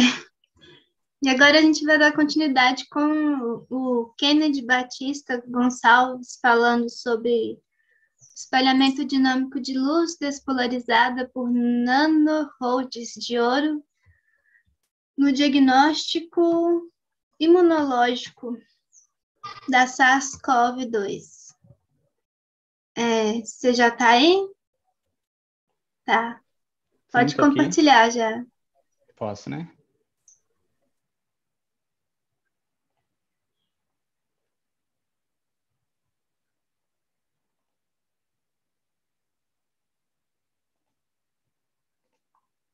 Consegue ver minha tela, né? Sim, tá, tá tranquilo. Bom, bom dia, pessoal. É, meu nome é Kennedy, eu sou aluno de mestrando da professora Lívia. Eu já vou falar um pouco do nosso equipamento, que a gente faz medidas óticas para é, ajudar na, no diagnóstico do diagnóstico imunológico do, da COVID uma estratégia que a gente adotou durante a pandemia para poder contribuir um pouco aí com a sociedade. Bom, é, eu vou começar apresentando nossos sensores, que é o nosso sistema de medida, que são os nanobastões de ouro, e posterior o leitor ótico, que é quem faz as medidas e acumula os dados. É, sumarizando assim, o que eu vou apresentar para vocês é o meu sistema de medida mesmo, o meu biosensor, é, o instrumento óptico que, que eu utilizo para tirar essas informações de, a partir de mostras clínicas e o diagnóstico que é feito a partir dessas medidas. Bom, primeiramente dizendo, os, os RODs, a, a, o fenômeno físico que a gente explora para fazer medidas, principalmente em ótica, utilizando espalhamento de luz, é o efeito da ressonância plasmônica que essas nanoestruturas metálicas possuem. Tanto ouro como a prata, elas são capazes de espalhar luz devido a essa interação luz-plasmons, principalmente os plasmos superficiais, que são bem localizados, que potencializam o espalhamento de luz. Então, os rods, por ele ter esse, essa forma alongada, ser um bastão, é, ele possui dois modos normais de, de oscilação ali dos elétrons. Então, a gente, a gente explora essa assimetria para estudar o espalhamento devido ao modo longitudinal do rod. Então, a gente, o rod ele é extremamente é, modificável é, pela síntese, você altera o meio de síntese, você consegue sintonizar a sua ressonância plasmônica com o laser que você estiver utilizando. No nosso caso, a gente produz esse rod é, com uma sintonia de 630, 650. Isso é importante porque a, a gente consegue otimizar o efeito de espalhamento é, desse rod. Se a gente aumenta o volume dele e diminui o, o, o, a razão de aspecto, a gente consegue uma melhor eficiência no espalhamento de luz e, assim, conseguindo uma melhor sensibilidade no nosso teste. Assim, brevemente, só explicando aqui a nossa síntese. É uma síntese adaptada do, de um artigo de 2016. Ela é uma rota úmida que é feita sem semente, utilizando um composto orgânico, resveratrol, que vem é proveniente da, da, da, uva. Ele é um antioxidante, a gente utiliza ele como redutor fraco, que é justamente o que dá essa anisotropia do nosso ROD. Então, o nosso sistema, o nosso ROD, ele tem aproximadamente 45 nanômetros de comprimento e 20 nanômetros de diâmetro. Então, a, só voltando explicando, a razão de aspecto é justamente L, L sobre D. Que isso aqui é o que seleciona a nossa frequência de ressonância plasmônica. Então, esse, esse ROD está sintonizado para 650 nanômetros. Bom, a construção do sensor é a base do nanotubo de é, nanorod. Primeiramente, a gente precisa li, é, linkar criar uma ponte para que a gente possa é, é, adicionar as proteínas ou, ou, qualquer biomolécula que vai interagir com, com o soro humano.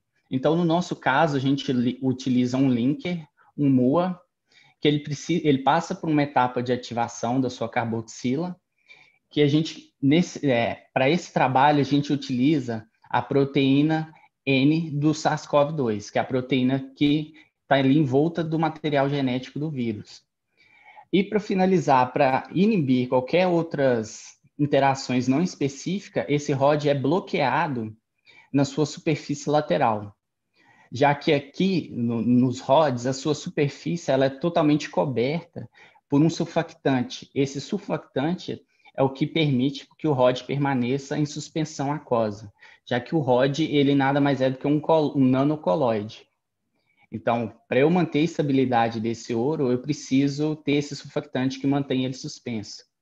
Então, a gente é necessário passivar essa superfície que está ativa ali de CTAB. Então, a gente usa um blocker, que é o BCA, é, que é justamente para eliminar as ligações não específicas.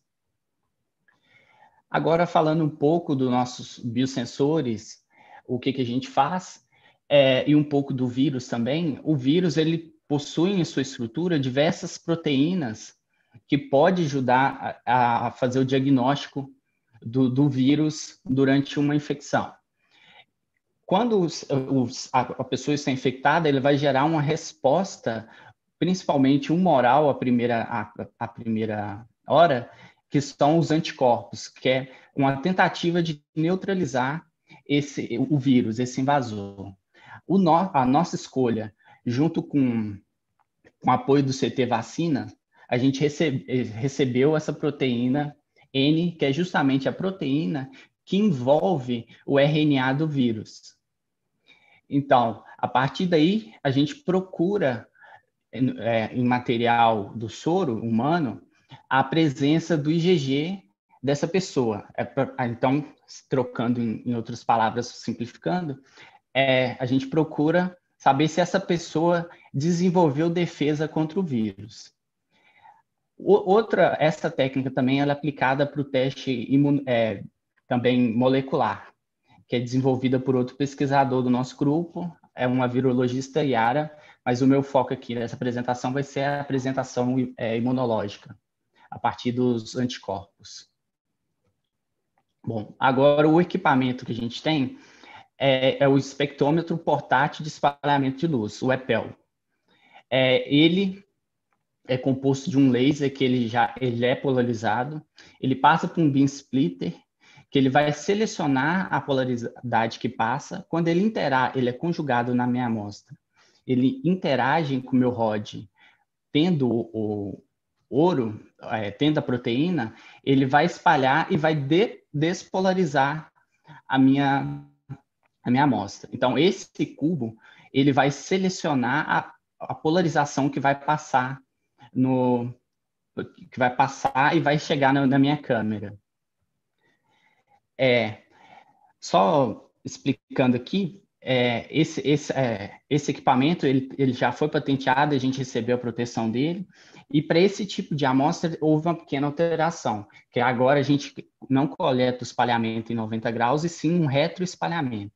Então, essa terceira figura é uma exemplificação melhor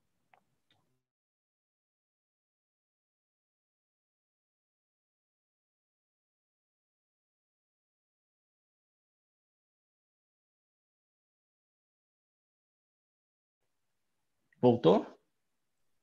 É, caiu sua tela. Voltou? Sim. Perdeu muito tempo? Não, você estava só, estava aí mesmo, falando sobre. Então, desculpa, pessoal. Então, a nossa técnica aqui, ela vai coletar essa luz retroespalhada, que ela vai sofrer uma, uma despolarização devido à interação com o rod. Então, aqui, esse é o sinal que a gente analisa no equipamento. Então, a partir do vetor de espalhamento agora, num, num ângulo de aproximadamente 170 graus, o nosso sensor, o, o, a câmera, ele vai acumular esse dado que a posterior a gente trata devido a, faz, a trata com uma função de autocorrelação. Então, o que é o nosso sinal então? O nosso sinal ele é proveniente do movimento browniano da nossas, do ROD. O ROD ali em movimento aleatório e devido à sua baixa concentração, ele vai gerar flutuação na intensidade do sinal captado na câmera, que quando a gente faz essa autocorrelação, é possível retirar o parâmetro de, o, o, coeficiente de difusão dessas nanopartículas nesse meio. Então, essa flutuação de intensidade é o que a gente consegue medir, o, o, a velocidade com que o nosso rod está nesse meio aquoso. Aqui é só demonstrando o nosso equipamento, que ele já, já passou por todas as fases de desenvolvimento, ele está numa fase TRL6, a passo de ir para a indústria. É, esse, o, o protótipo, que é justamente o, a, a, patente é o, esse correlacionador. Então, a análise do, sinal é toda feita por ele. Ele, ele consiste em um correlacionador de fótons e ele já libera os resultados das medidas. Bom, então, o que o nosso, o que o nosso sensor diz? O que a gente obtém desse sensor? A partir da, da luz despolarizada que a gente coletou retroespalhadamente, tirando o coeficiente de Einstein-Stokes devido a esse movimento browniano, fazendo apenas uma correção, que o parâmetro de Einstein-Stokes, ele, ele, ele é modelado para uma esfera, essa correção aqui ela é só feita para um cilindro reto. Então, esse modelo, ele é, ele é feito para um,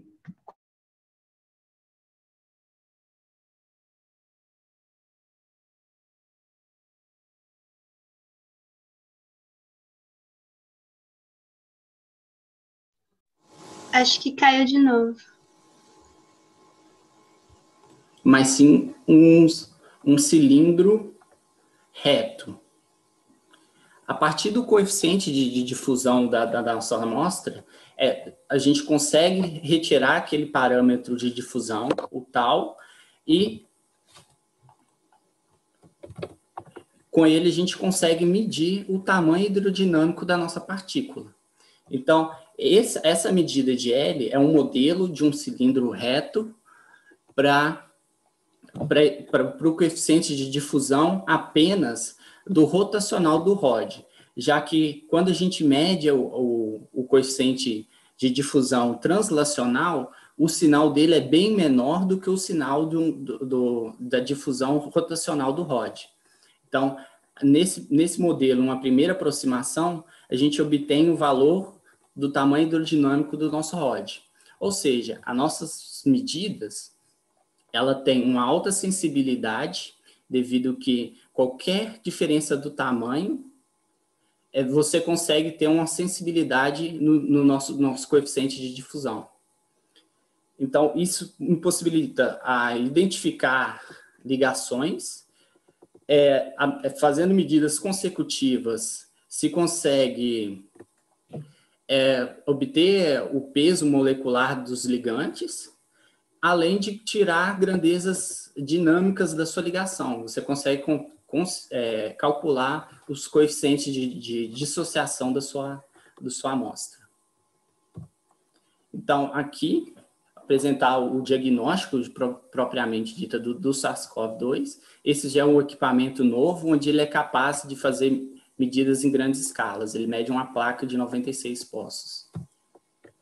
Então, a metodologia para fazer as medidas em, em ambiente clínico é, primeiramente, extrair o soro, alicotar ele, é, precisa fazer uma quantificação da proteína, é, igualar a proteína de acordo com o padrão escrito na literatura.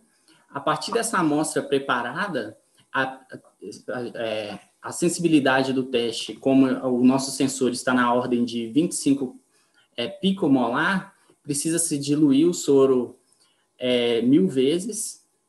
E o procedimento de medida é pingar alíquotas de 5 em 5 microlitros e medir. As nossas medidas, cada ponto é a, a medida de 64 correlações que o, o próprio equipamento faz. O nosso equipamento, como ele é um sensor ótico, é a, a acumulação de dados dele, a gente faz é, em duas fileiras de, de 32 bits, e cada ponto desse aqui é uma, é uma média da correlação de 64 medidas. Então, cada ponto é. desse já tem uma significância estatística.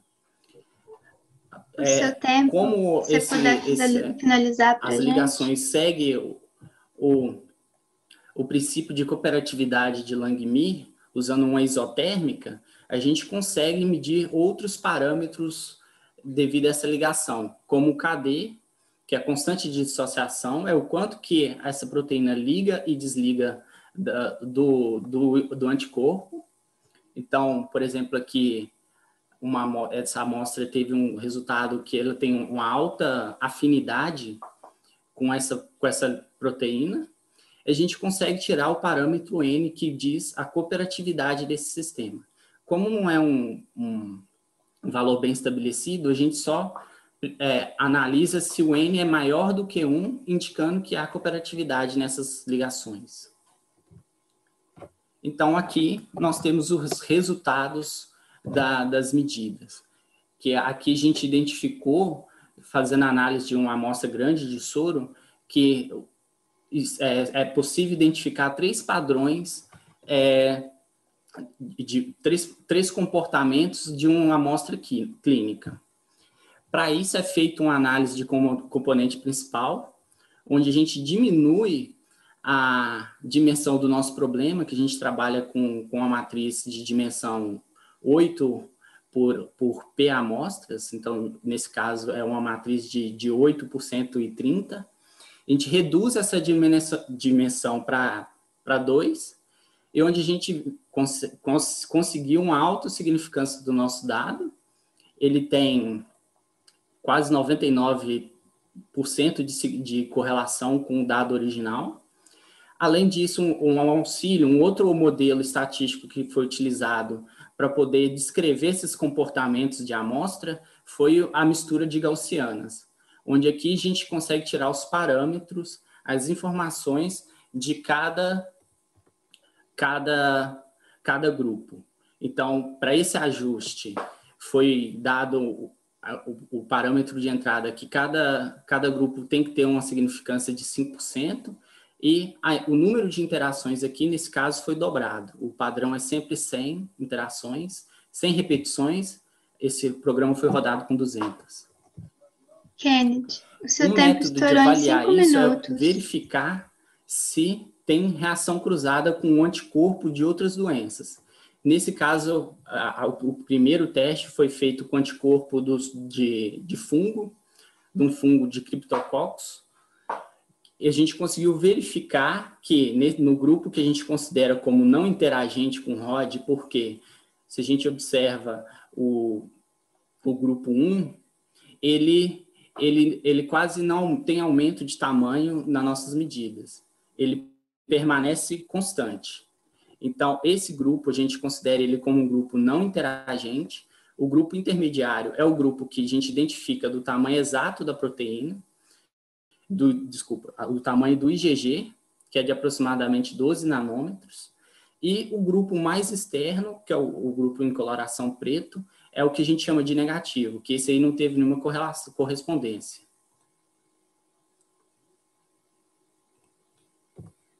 É, só finalizando. É, então, um teste de alta sensibilidade, é um teste rápido, e o próximo passo é analisar a acurácia e a sensibilidade de acordo com, com, com, com amostras clínicas previamente testadas. Obrigado.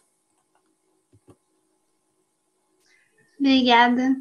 É, você está com o áudio do computador ligado? Não, não está. Então tá, gente, a gente vai passar pro, pro próximo aluno, que é o Davi, que já está aqui. Vai falar dos gelos e do spin artificiais de Kagomé a triangular, uma análise estatística. Com você, Davi. E aí, pessoal, bom dia. É, então, no meu trabalho eu é, desenvolvendo desde o ano passado, tive alguns probleminhas, estão me escutando, né? É, é, mas eu estou mexendo aqui com gelos de spins artificiais, é, com umas é, configurações que são intermediárias à rede Kagomé e a triangular. Eu tenho duas linhas de pesquisa atualmente, que é uma parte mais estática e a outra que é a dinâmica. Eu vou apresentar só a estática hoje. Bom, eu dividi aqui mais ou menos aqui uma introdução, uma metodologia, resultado e fazer uma discussão e a conclusão do, do trabalho. Bom, okay, primeiramente, o que é um gelo de spin? Né? É, ele é um. A gente vê ele na natureza como sendo um cristal, é, geralmente cristais de terra rara, que vem em estrutura piro, pirocloro. É, e quando a gente observa esses, esses, essas estruturas, elas se parecem muito com o gelo da água. No gelo da água, a gente tem aqui, por exemplo, se a gente pegar um, um, oxi, um uma molécula de água como foco, a gente vê que vai ter aqui dois é, hidrogênios próximos a, mais próximos a essa molécula e dois mais afastados. Do lado de baixo aqui a gente não tem é, é, esses hidrogênios apontados para é, essa molécula central. A gente pode fazer, então, uma mudança aqui nos vértices e colocar é, setas. Né? Eu vou, a partir de agora, vou chamar essas setas de spins. É, então, quando a gente vê essas estruturas, essas estruturas são magnéticas, é, é, elas, elas apresentam características bem parecidas com o gelo da água, porque é, no, no seu estado lá fundamental, de gelo mesmo, é, sempre, é, a maioria das vezes a gente vai ver, é, seriam dois spins entrando para dentro de um vértice e dois saindo. Então, a gente chama isso de, de uma configuração é, dois in, dois out. É, no meu trabalho, eu trabalho com gelos de spins artificiais. É, eles são estruturas criadas em laboratórios bidimensionais, é, formadas por, é, por nanoilhas de permalói, geralmente, que é uma liga de níquel e ferro magnético, é, que a gente pode ter diferentes geometrias, é, tanto na rede dessa, de, desse sistema, quanto também na forma dessas nanoilhas. Aqui eu deixei dois exemplos, que é a, uma rede quadrada, que tem 16 diferentes tipos de, de configuração de vértices aqui. E a nossa rede Kilomé, que é aqui que eu tenho estudado as variações dela, que tem oito tipos diferentes de, de, de vértices. É, como essas, essas nanoilhas elas é, apresentam um alongamento sobre um determinado eixo, e, e elas são bem, a espessura dela é, é bem pequenininha, é, ela possui uma grande anisotropia de forma ao longo desse eixo, digamos, é, dessa direção mais alongada dela. E devido também a, essas nanoilhas serem muito pequenas, em ordem ali de centenas de nanômetros, é, elas possuem apenas um, um domínio magnético, geralmente. Então, a gente pode passar a representar ela como seta também, ou seja, a gente pode tratar ela como spins tipo Ising. Tá? São macro, macro spins do tipo Ising. É, a interação dessas, desses spins ela é por, é por, por meio de interação dipolar. Aqui eu escrevi é, uma interação entre dois spins qualquer, aqui. Por exemplo, aqui eu peguei uma configuração aleatória que de alguma das que, que, que, eu, que eu tenho mexido. É, esse que eu, seria a interação entre um spin com o outro. É, dentro aqui do nosso da, essa parte aqui que a gente tem aqui, ela, ela contém toda a informação geométrica do nosso sistema. É, esses versores M, esses versores M, eles são a, a direção aqui do, do, do da nanoilha, né, do spin, e o RJ é a distância entre um spin e outro. Como ele do tipo Ising, é, eu tenho aqui esse SI SJ, que eles, é, eles podem ter apenas dois valores, que é mais ou menos um, no caso. E aqui, essa constante D, ela é uma constante de proporcionalidade ali, que vai definir a unidade do, do, da energia do meu sistema. Então, se sabendo que isso aqui é uma, uma coisa totalmente de informação geométrica, eu posso substituir isso aqui por um, por um só por um, uma matriz, por exemplo. E se eu quero, por exemplo, a energia de um spin, digamos o I, eu posso só fazer um somatório sobre todos os vizinhos ali do desse spin I. É, pode ter ali um raio de corte, por exemplo. É, então, a gente tem uns determinados vizinhos ali para esse spin.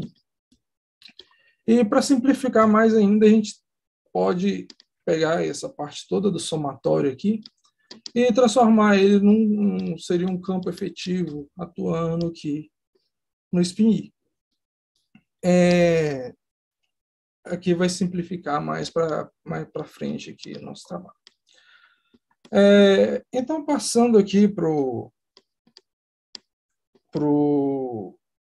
nosso estudo, aqui eu tenho é, os dois extremos da, da do, do, dessas configurações. É, aqui em azul eu tenho a, a rede na, na configuração Kagomé, em vermelho e triangular. Aqui em cima a gente tem os gráficos de calor específico deles. É, se, se a gente se puderem notar aí, a célula, célula unitária, que seriam três spins aqui, ó, elas, dos dois sistemas, elas são iguais. A única diferença é que os spins da Kagomé, elas são girados de 90 graus dos spins da a, a rede triangular, a configuração triangular, ela é girada de 90 graus aqui da, da Kagomé. Então, a diferença, mesmo sendo a célula unitária igual, a diferença entre o calor específico dos dois é, é, é muito grande. Então, a gente quer saber o que, que acontece ali nessa região intermediária ali, né? Que que para outros ângulos.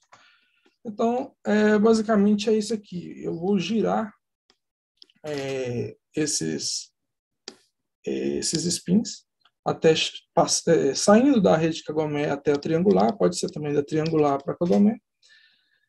E eu quero saber quais são as propriedades que, que, que como que as propriedades vão mudar com o tempo. Bom, a metodologia que eu tenho usado são simulações computacionais é, por métodos de Monte Carlo. É, eu tenho um, método bem difundido aqui na, na estatística. E eu tenho usado para observar algumas características desse, desses sistemas é o fator de estrutura de spin magnético, que ele é um análogo ao espalhamento de nêutrons. Bom, é, o algoritmo do método de Monte Carlo que eu tenho usado é o algoritmo de Metrópolis. Eu vou descrever ele aqui rapidinho. É, digamos que eu tenho aqui um estado atual alfa do sistema, seja um estado aleatório ou um estado depois de um certo tempo de simulação alfa. É, eu vou tentar, por algum meio, algum método de amostragem, gerar um estado beta. Tá? É, com, essa, com esse novo estado é, beta, eu vou olhar para a diferença de energia entre eles e, então, gerar um número aleatório é, ômega ali é, entre 0 e 1. Um. E vou fazer a seguinte pergunta. Se esse número aleatório ele for menor do que a, aqui a, o, o fator de Boltzmann ali, né, da diferença das energias, se ele for menor ali, eu estou trabalhando com uma determinada temperatura nesse, nesse sistema. É, então, esse estado beta é aceito, ele passa a ser o meu, o meu estado atual. Se ele não for aceito, se o, o número aleatório for maior, então a gente continua com a configuração atual, atual do sistema e a gente passa a repetir todo esse processo é, por um determinado passo, é, número de vezes. Geralmente é um passo de Monte Carlo, que a gente chama, é quando a gente consegue percorrer a, a pelo menos todos os spins da rede, ou seja, eu vou fazer um faria um loop ali é, com de entre 1 até o número total de spins do sistema. É, um, o, o, método de amostragem é, diferenciado que, que, que tem, tem usado é criar um, um loop no sistema, que é quando a gente consegue gerar uma, uma cadeia aqui, por exemplo, é, aqui eu coloquei na rede quadrada, que ficou mais fácil de mostrar. mas é um, uma cadeia que todos os spins apontam para uma determinada direção e eles vão se interligando nos vértices desse sistema até chegar num ponto em comum é, da cadeia. Pode ser do ponto inicial ou então no ponto é, central, algum outro ponto aqui no, no, meio dessa cadeia. Nesse caso aqui, no primeiro, eu aceito, eu, eu poderia aceitar toda essa configuração, tá?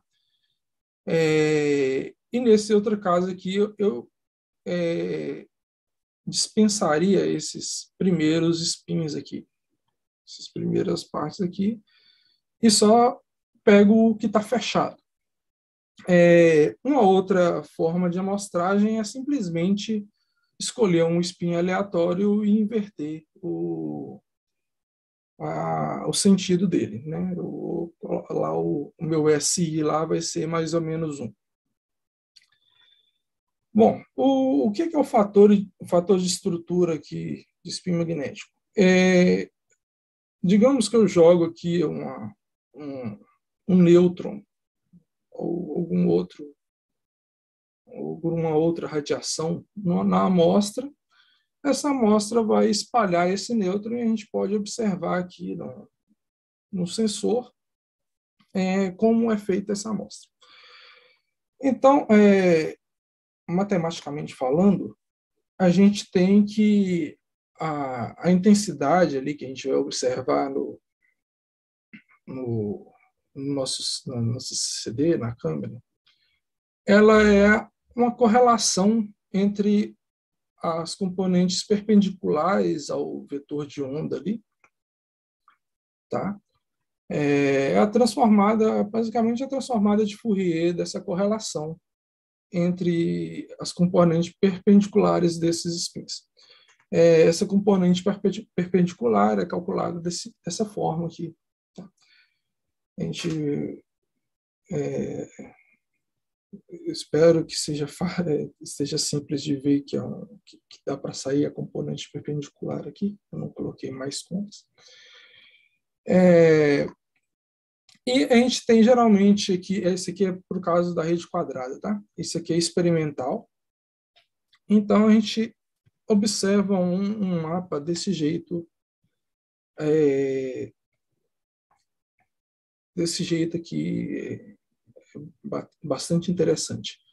Aqui é para uma temperatura mais alta, aqui é uma, é uma temperatura um pouco mais baixa e aqui é para uma temperatura já na configuração de gelo do sistema. É, bom, vou passar aqui para alguns resultados que eu, que eu tenho. É, primeiro aqui do calor específico.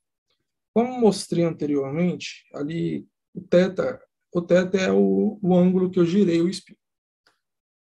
Então, para θ igual a zero, a gente tem ainda a configuração Kagomé. A gente vê que tem uma, eu vou colocar mais para frente aqui, mas a gente tem uma fase mais paramagnética aqui. Aqui na região central a gente tem uma, um gelo de spin 1, eu vou chamar de é, fase spin 1.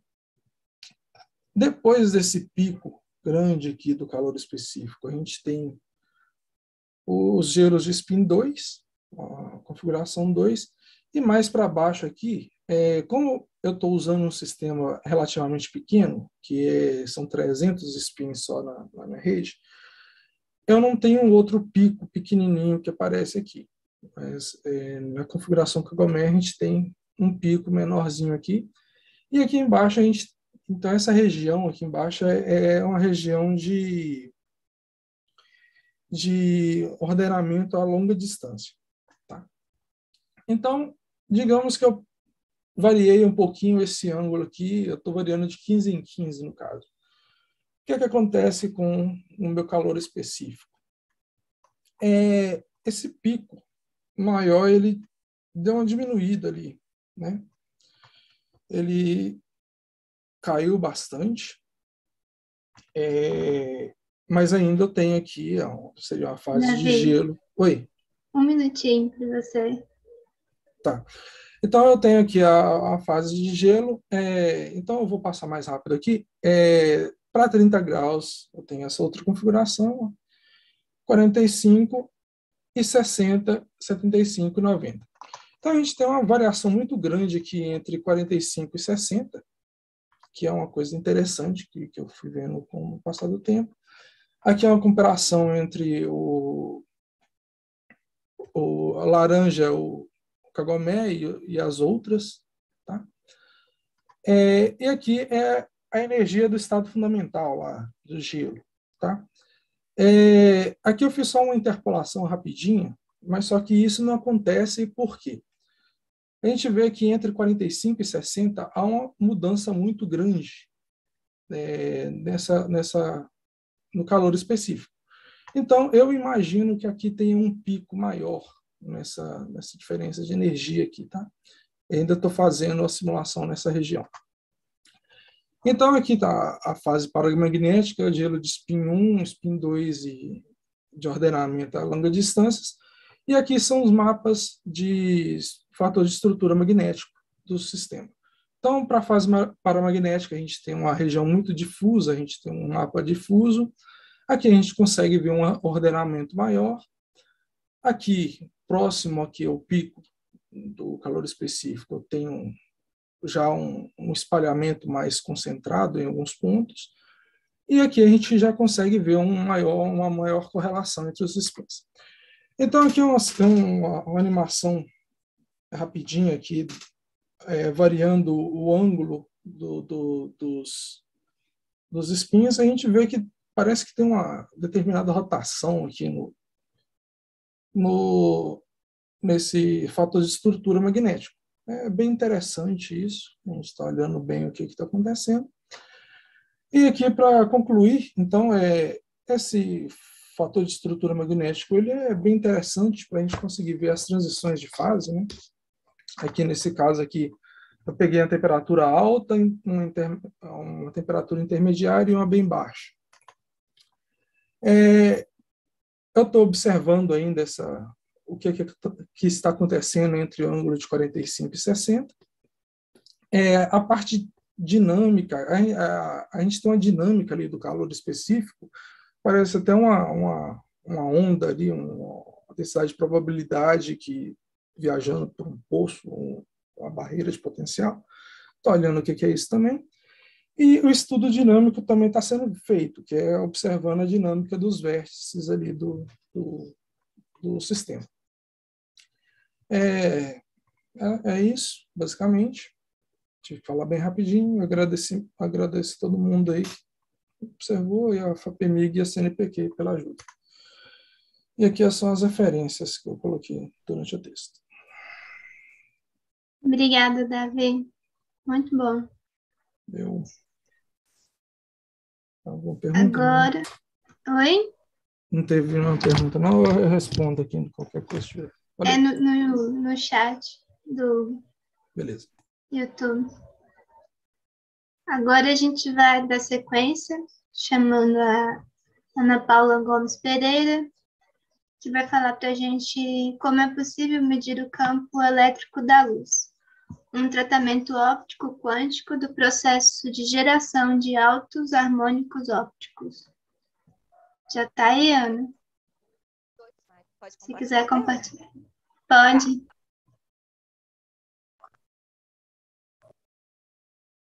Eu colocar em modo de apresentação. Ai, meu Deus, que. Peraí, peraí, rapidinho. Como é que eu tiro esse troço? Começo. Tá em tela cheia? Alô? Não. Ainda não. Ainda não? Não, eu tive o mesmo problema. Ai, gente, aqui para mim tá em tela cheia já. O que, que vocês estão vendo que eu não tô vendo? Peraí. O seu PowerPoint tá, tipo... Ana, tenta é, fechar, tipo, descompartilha, aí coloque em modo cheio e depois tenta compartilhar de novo. Entendi, só um minutinho. Jesus, como é que eu faço? Peraí. É... Como é que como é que eu descompartilho, galera? Não sei. Stop share, peraí. Pronto. Mas aí eu não consigo Ah, acessar tá o Zoom, né? só, né? Oi? É porque você tá numa tela só, né? É, eu só tenho uma tela só. Não, tenta compartilhar, é, ao invés de compartilhar uma tela, compartilhar tudo. Vamos ver se vai dar agora. Deu? Deu. Tá, foi mal. Estão vendo só o PowerPoint, né? Só. Tá, obrigada. Porque tem um trem do Zoom aqui me enchendo o saco. Minutinho. Como é que eu tiro esse troço? Deixa. Então, vamos lá. É, bom dia a todos. A gente vai falar hoje sobre o nosso trabalho, né? Eu sou Ana Paula, sou orientada pelo professor Pablo, é, sobre como é possível, como é possível medir o campo elétrico da luz. A gente vai fazer um tratamento óptico-quântico do processo de geração de altos harmônicos ópticos. Então, ai, gente, não tá passando. Por que, não tá passando? Agora sim. Então, todo mundo sabe que a luz é uma onda eletromagnética, né? É, com frequências ali na região do visível. Essas frequências são da ordem de 10 elevado a 15 Hz, o que nos fornece um período de, ah, da ordem de 10 a menos 15 segundos, tá? 10 a menos 15 é fento. Então, a gente, se a gente quiser resolver temporalmente é, as oscilações do campo, dos campos elétricos ou magnéticos à luz, a gente tem que ter uma resolução é, de subfemtosegundos. Os detectores de luz comerciais que a gente tem é, disponíveis, tipo as APDs, fotomultiplicadoras, elas medem, eles medem apenas intensidade e as, o tempo de resposta desses instrumentos é da ordem de nanosegundos, tá? Então, a gente não consegue nem medir o campo diretamente, nem resolução temporal suficiente para acompanhar as oscilações dos campos com esses detectores. Então, será que é possível a gente medir essas oscilações? A resposta é sim.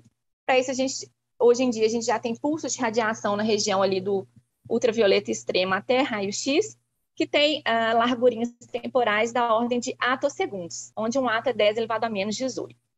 Então, esse pessoal aqui é o grupo do professor Ferenc Krauss, do, do Instituto Max Planck de Ótica Quântica, lá da Alemanha. Eles mediram, em 2004, pela primeira vez, é, eles fizeram uma medição direta das oscilações do campo elétrico da luz. Tá? É um trabalho muito bonito que foi publicado é, sites. Então, basicamente, o esquema deles foi o seguinte, eles geraram, eles incidiram um pulso é, na região do infravermelho, que é esse é, representado em rosa aqui, que é o pulso é, do, do, qual eles querem extrair o campo elétrico como função do tempo, juntamente com um pulso no XUV muito curtinho ali, incidiram isso no meio atômico, e esses pulsos no XUV são muito energéticos, eles conseguem ionizar os átomos, então elétrons serão liberados desses átomos, tá? E aí, se a gente coloca um detectorzinho de elétrons que mede alguma propriedade dos elétrons, né? nesse caso vai medir energia cinética, é, ao longo da direção de polarização do campo elétrico, a gente consegue inferir esse campo. Como que a gente faz isso? Então, a gente sabe, segundo a lei de Newton, força resultante é igual à variação do momento linear no tempo. Então, a variação do momento linear desses elétrons ao longo dessa direção aqui de polarização do campo elétrico vai ser proporcional à integral do campo no tempo. Então, se a gente medir, se, ele, é, se a gente medir o campo elétrico como função do tempo, de alguma maneira aqui, é, desculpa, se a gente conseguir medir a, o momento linear, né, a variação do momento linear, ou equivalentemente a energia cinética desses elétrons em função do tempo, a gente consegue inferir é, esse perfil temporal do campo elétrico, e foi isso que esse pessoal fez, tá? Eles mediram, então, o espectro eletrônico, então, cada linha vertical aqui é um espectro, a gente tem intensidade em função da energia cinética dos elétrons, como função do atraso entre esses dois pulsinhos aqui. Eles controlam experimentalmente lá é, esse delay, tá? E através dessa, desses, dessa série de espectros, eles conseguiram reconstruir realmente o perfil do campo elétrico do laser do infravermelho incidente ali naquele, naquele meio atômico, tá bom?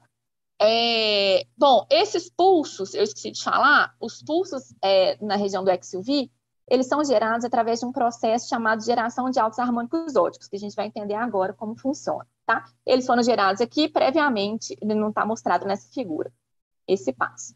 Então, essa geração de, de altos harmônicos óticos, do inglês é, High Harmonic Generation, a gente usa toda hora essa sigla HHG, ele pode ser entendido pelo seguinte, se a gente lembrar a gente, é, quando a gente tem um campo elétrico externo incidindo num átomo, esse campo vai deformar o potencial atômico é, de maneira linear ali com a distância, com uma distancinha é, ao longo da direção do campo elétrico externo, tá? E se esse campo oscila no tempo, ah, bom, a gente vai ter uma deformação oscilante periódica, né? Se o campo, é, essa deformação, então essa inclinação do potencial que é na letra A, essa inclinação é proporcional à intensidade do campo elétrico externo. Então, quanto mais intenso o campo, mais inclinado eu tenho essa, essa deformação. Em particular, se for intenso, se o campo elétrico for intenso demais, de modo que essa inclinação seja suficiente para fazer com que elétrons é, escapem do, da ação do potencial atômico, a gente tem um fenômeno que a gente chama de ionização por tunelamento. Os eletrinhos de valência ali podem tunelar é, através dessa barreira de potencial aqui, tá bom? Então, se o campo elétrico é o campo elétrico de um laser, por exemplo, ele vai oscilar no tempo, a gente tem essa sequência de figurinhas aqui. Então, esses elétrons ionizados liberados da ação do, dos átomos, eles são acelerados pelo campo elétrico, tá? E, eventualmente, quando o sentido do campo inverte, eles são acelerados em direção a, aos íons de origem e alguns desses elétrons podem recombinar com esses íons. E nesse processo de recombinação são emitidos fótons muito energéticos ali na região do XUV até raio-x, com larguras temporais muito curtinhas, da ordem de átomos segundos, tá? E se a gente, se esse laser ele tem muitas oscilações, se é um laser contínuo ou muito largo é, no tempo, o espectro desses fótons no, no XUV, ele, ele vai conter harmônicos de, altas, alta frequ... É, harmônicos de altas ordens da frequência fundamental do laser, tá? Então, daí o nome desse processo, geração de altos harmônicos óticos.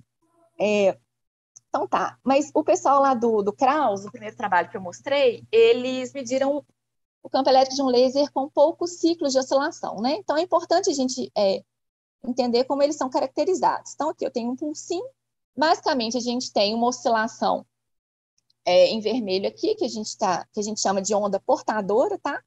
É, é, e tem esse envoltório aqui que a gente chama de envelope. Então, o, a função campo elétrico como função do tempo ela é dada por uma amplitude, entre aspas, um, um envelope, uma função envelope que depende do tempo, pela, ela é caracterizada né, pela frequência central do pulso, e por essa fase aqui, que é chamada, uh, fa, que é a fase, a diferente fase entre a onda portadora e o envelope.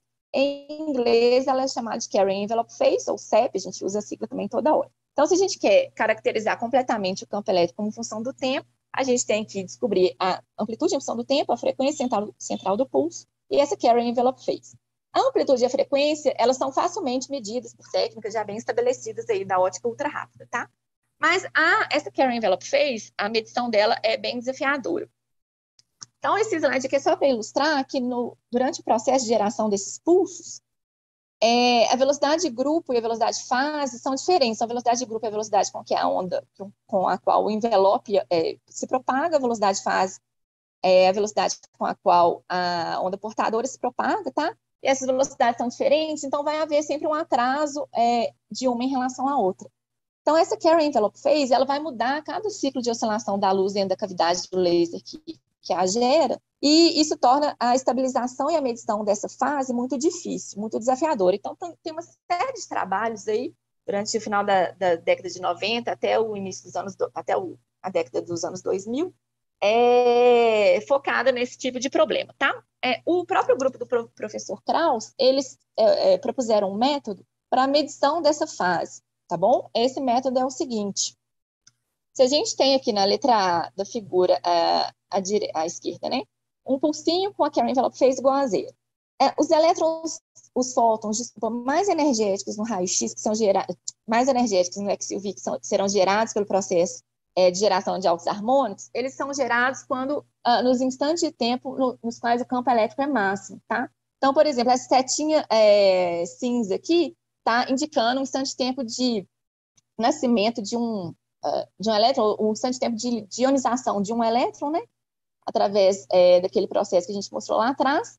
Uh, esse elétron, então, é acelerado pelo campo elétrico do laser, que está em azulzinho aqui, eventualmente recombina com o seu íon de origem, emitindo um fotinho no, no, no XUV, tá? Esse fóton, ele é gerado quando o campo elétrico do laser incidente é, é igual a zero depois de pouco mais de meio ciclo de oscilação? Ah, na figura à direita, ainda na letra A, a gente tem um pulsinho é, em vermelho com uma carry envelope phase diferente, é igual a π sobre 2. Nesse caso, a gente consegue gerar dois, a gente consegue ionizar dois elétrons, são ionizados muitos, né? Mas aqui, só para a gente focar, entender esse processo, a gente ioniza elétrons em dois instantes de tempo diferentes, é, mostrados pela, indicados pelas setinhas é, em cinza. E aí, quando esses elétrons, alguns desses elétrons eventualmente recombinam com seus íons de origem, e são emitidos, então, é, esses fótons no, no XUV em dois instantes de tempo diferentes aqui. São essas duas setinhas vermelhas na figura da direita, tá? Então, se a gente tem uma função é, dois picos, por exemplo, no tempo, né, ao longo do tempo, separados por um ΔT pequenininho, a gente vai, se a gente tira a transformada de Fourier, a gente vai ter um batimento em frequência, tá? Então, esse, esse fenômeno aqui, é, que acontece no tempo, a emissão dos fótons no XUV, que depende é, da carry envelope phase, no tempo, é, é, no, isso vai se refletir no espectro, tá? Se a gente tira a transformada de Fourier, a gente vê, então, se a gente tem um pulso só, no caso de φ igual a zero, um pulso no tempo, o espectro vai ter uma coisa, vai ser uma, uma função suave. Se a gente tem dois pulsinhos, como na Carey Envelope fez é, de π sobre 2, a gente vai ter uma modulação aqui no espectro, tá? Então, esse trabalho foi muito importante. Eles conseguiram, então, é, um método para inferir a, o valor da CEP a partir do espectro. E medir espectro é muito fácil, tá, galera? Então, esse trabalho foi bastante importante. Mas se a gente vai do ponto. É, então, se a gente se pergunta agora do ponto de vista fundamental, né, através da ótica quântica, é, será que é possível medir o campo elétrico da, da luz gerado por um laser? Então, a gente tem que se perguntar qual é o estado quântico da luz gerada por um laser. O estado é esse estado aqui, é um estado misto, descrito pelo, representado por esse operador densidade aqui, tá? Não se preocupem muito com essa expressão aqui. Basicamente, a gente tem é, um operador aqui dentro que depende, esse parâmetro alfa depende da amplitude do, do, do campo, o φzinho depende da fase, a gente não tem informação a priori sobre qual é a, com qual fase o laser é gerado, então a gente tem que somar ou integrar sobre todas as possíveis fases, tá? Então a gente vai acabar com um estado misto ali. E a gente pode escrever esse estado em outra base. Em particular, a gente pode escrever escrevê-lo é, na base dos estados de Fock, que são é, autoestados do operador número de fótons, né? esse cat nzinho aqui, é, e esse, é, esse ρ é escrito dessa maneira aqui, tá bom?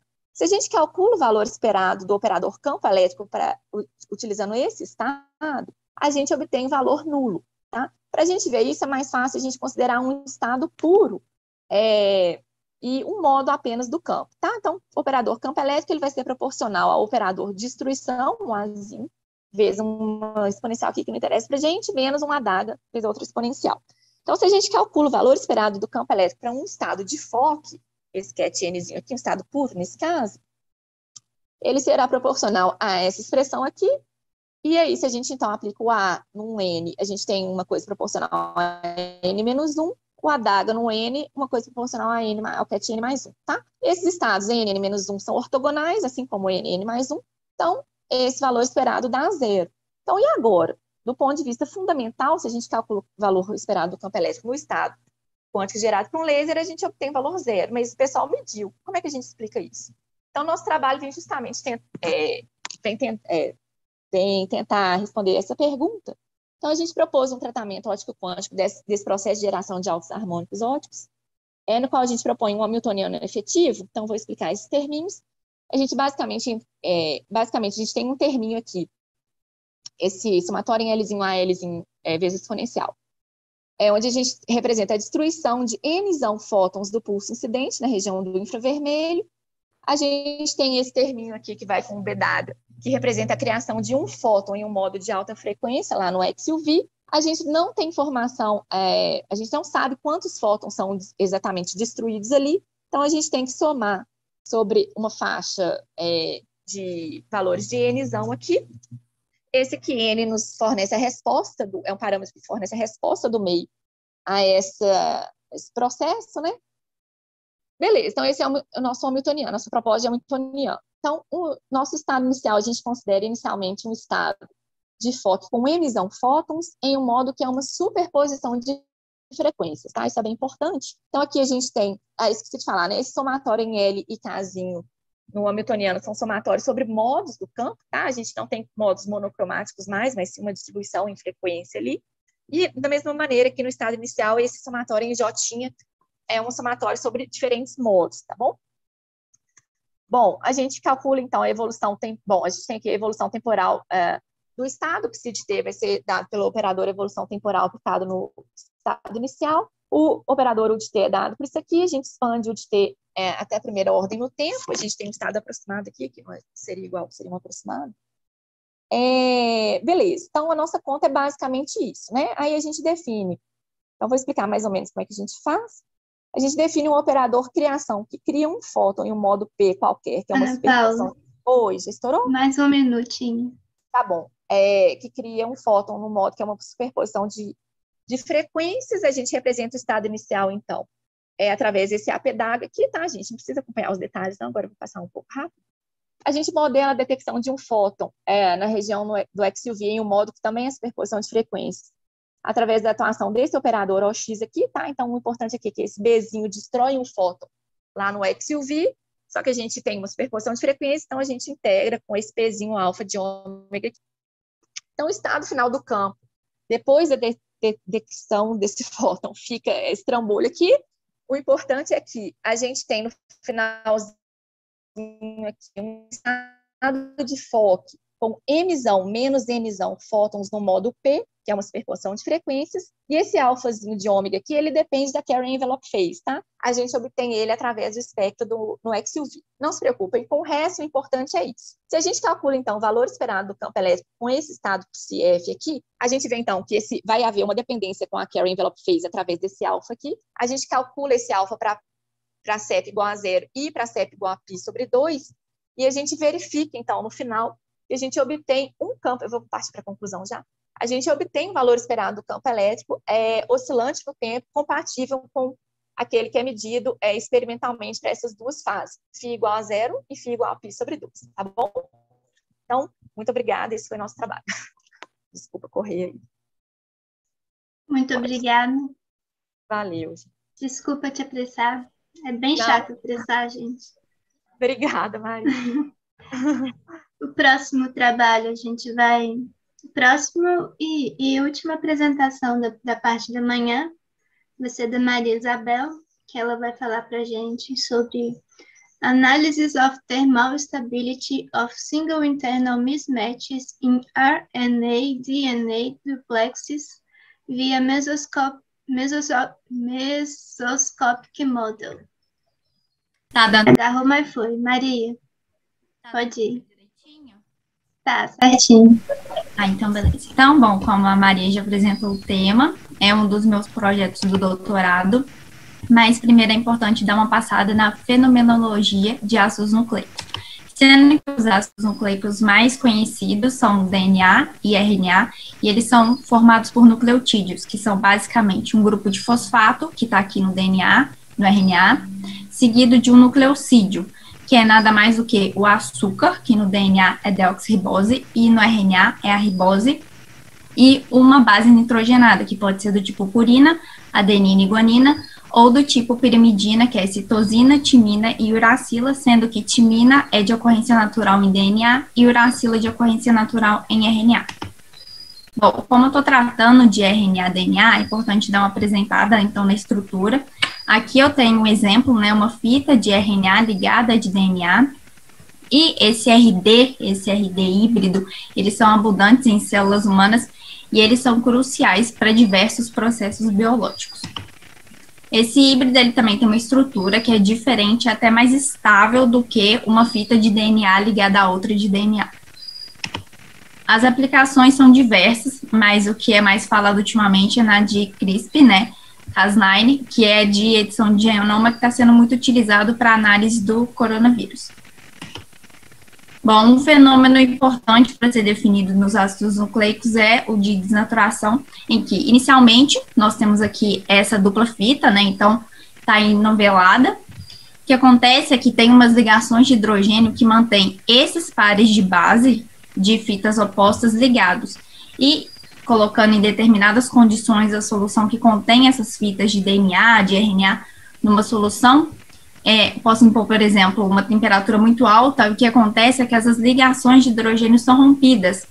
Então, ao invés de ter esse duplexo, eu passo a ter duas fitas simples separadas. O modelo que é utilizado nos cálculos aqui é um modelo físico-estatístico que descreve justamente aquela desnaturação via os potenciais de interação.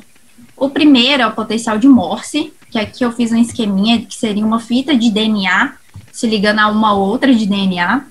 E, como eu disse, os pares de base de fitas opostas, eles são ligados por ligações de hidrogênio. Então, um dos responsáveis por manter essa ligação é justamente o potencial de Morse. Nesse caso, é, aqui ele está indicado né, o parâmetro por DAT, um DGC e um DTA. O outro potencial é o potencial harmônico, que é analisando cada fita separadamente, eu tenho um empilhamento entre esses pares de base. Então, isso é descrito por esse potencial, que aqui nós estamos interessados nesse K, que seria aqui um KAT-GC e um KGC-TA. Nesse modelo, tem uma descrição hamiltoniana, que depende dos momentos lineares, das energias ali de destaque, né, do potencial harmônico e do potencial de Morse. Além disso, esse hamiltoniano também é utilizado dentro da função partição. Agora, um parâmetro que é muito importante na desnaturação é o estiramento médio relativo das ligações de hidrogênio. É que é esse Y de M, que uh, o valor dele nos fala se o ácido nucleico foi desnaturado ou não e qual foi a intensidade dessa desnaturação. Que a gente já sabe que para DNA, por exemplo, eu conheço ali as distâncias entre as ligações de hidrogênio, que variam de 2,8 angstrom até 3. Tá, então vou entrar agora no projeto em si. Então, é importante definir primeiro os mismats. Agora, para chegar nos mismats, a gente tem que lembrar o que, que é um, um par, um par de base do tipo Watson-Crick. No caso do DNA, é um par do tipo AT e CG. E no caso do RNA, AU, GC. No caso desse RD, os pares passam a ser um RADT, em que esse R minúsculo indica RNA, e o D minúsculo DNA. Então, RADT, RUDA, RGDC, RCDG. Então, os mismats, basicamente, é uma definição de pares do tipo não Watson-Crick. Então, aqui eu coloquei alguns exemplos. Por exemplo, um A ligado com A, CT, UC e GG.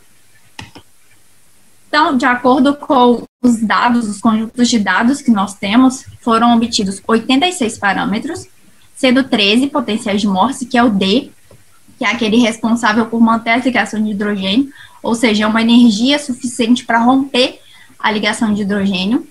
Tem 73 destaques, que é aquele do empilhamento, que são os potenciais harmônicos. E aqui na tabela 1 eu coloquei os morses. Esses dois coloridos são os de maior valor, o G e TG. E os menores são CC e 1AA. E aqui tem uma curiosidade extra, é que eles conseguiram sintetizar uma uracila dentro de um DNA, que é de uma ocorrência natural apenas em RNA. E isso ainda conferiu para esse tipo de par de base uma estabilidade muito alta, ou seja, eu preciso desse valor de energia no mínimo para romper a ligação de hidrogênio para esse caso. Em contrapartida a isso, tem esses dois que são bem menos estáveis. Agora, no caso de um canônico, DR, eles vão ter valores de parâmetro variando de 28 a 74, ou seja, para o caso do Morse, eles têm parâmetros de Morse, ó, no caso do DR, eles têm os valores de Morse menores ainda do que os canônicos. Apesar de serem 73, né, Ks, aqui eu separei só alguns, e eu também destaquei coloridos que são maiores. Então, aqui eu tenho, por exemplo, o AUTG, tendo 23,35. Isso aqui, entre parênteses, é o erro, né? E aqui o menor seria esse TAAA, que é 0,005. Então, tem uma extremidade de valores muito grande. E uma outra curiosidade é a posição do par de base vizinho ao MISMAT. Que aqui, por exemplo, eu tenho um AU-TG. Só que o TG-AU tem um valor de cerca de 10 vezes menor a esse par aqui, a esse tipo de combinação. E aqui, para comparação também, no caso do canônico, os valores já são menores, estão variando de 0,9 até 4,3 eletronvolts por nanômetro quadrado. Bom, então, como eu disse, aquele Y, que é o estiramento médio relativo das ligações de hidrogênio, é uma maneira de visualizar como foi a desnaturação. Então, é uma maneira visual da gente observar isso através de gráficos. Então, pegando algumas sequências desse DR, de uma referência aqui de 2019, ele tem um canônico, o par normal natural, que a fita de cima é um DNA, a de baixo um RNA, Aqui, esse primeiro é uma modificação na posição 5 do RNA, que ele trocou um U por um A, então formou um mismatch do tipo AA. Aqui modificou a 12 e trocou um G por um C, então formou um CC. E aqui a última modificação na posição 18. Trocou um C por um A, então virou um par do tipo GA. Então aqui eu tenho aquele Y, né, que é a média do deslocamento aqui, em função da sequência que aqui são as combinações. Então, o par TA, CG e assim sucessivamente, até o da outra extremidade. Esses valores são como se fossem o valor inicial após o rompimento da ligação de hidrogênio. Então, a gente percebe até uma estabilidade, eles não são, é, essa ligação de hidrogênio ela não se rompe de maneira tão brusca aqui no começo, né? Então, aqui já chegam os valores mais elevados, e quando chega perto das pontas, a gente tem um valor muito alto. Isso tem a ver também da, do contato da ponta com o solvente que está ali. Então, causa mais alterações. Aqui no segundo, é, aqui é o canônico ainda, e esse aqui em rosa destacado é o mismatch com a modificação na posição 5, né? Então, ao invés de ser um AU, a gente tem um AA. Então, a gente já percebe uma maior né, o rompimento foi maior aqui para esse caso do Misnet, e ele também influencia no que era o valor do canônico, né, na proximidade. Aqui foi a modificação que fez um, virou um CC, né? Então aqui é muito instável, lembrando que o CC é de uns valores de Morse mais baixos, então o mínimo de energia que é colocado ali já faz romper, e a distância entre os pares é muito alta. E aqui também tem menos influência do que outros aí na vizinhança. Por fim, o desses três casos, o mais estável é o do caso do GA, que não teve uma, um rompimento, um distanciamento entre as bases muito grande, né? Ele também não instabilizou muito os próximos vizinhos ali. E aqui é uma comparação entre os três casos, né? Lembrando mais uma vez que esse par aqui, que é do tipo CC, que é o de menor valor de Morse, é o que mais teve um afastamento entre os pares de base, e seguido desse, que é o AA, que é realmente o segundo valor, menor valor de Morse. Então, as conclusões até o momento são que o par do tipo UG, o potencial de Morse, é o mais estável desses, contrastando com o CC, como a gente pôde ver nos gráficos. Os valores dos parâmetros de destaque do empilhamento, então, eles estão variando de 0.0005 até 23.35, sendo menor DAAA e o maior a UTG. Além disso, tem aquela questão da posição do par de base vizinho, né? Que para o AUTG, ele sendo maior, o TGAU é 10 vezes menor. Então, todos esses, resultados, eles comprovam que é super discutido nos artigos científicos da questão da influência dos pares de base vizinho na estabilidade do mismatch. E aqui é um agradecimento ao suporte financeiro e assim feliz. Obrigada. Muito obrigada, Maria. Ótima apresentação. Depois você dá uma passadinha lá no chat para poder dar uma olhada nas perguntas. Agora a gente vai entrar no intervalo é, e a gente volta à tarde, às duas horas, com mais apresentação dos alunos. Obrigada, gente. Vou compartilhar aqui o intervalo.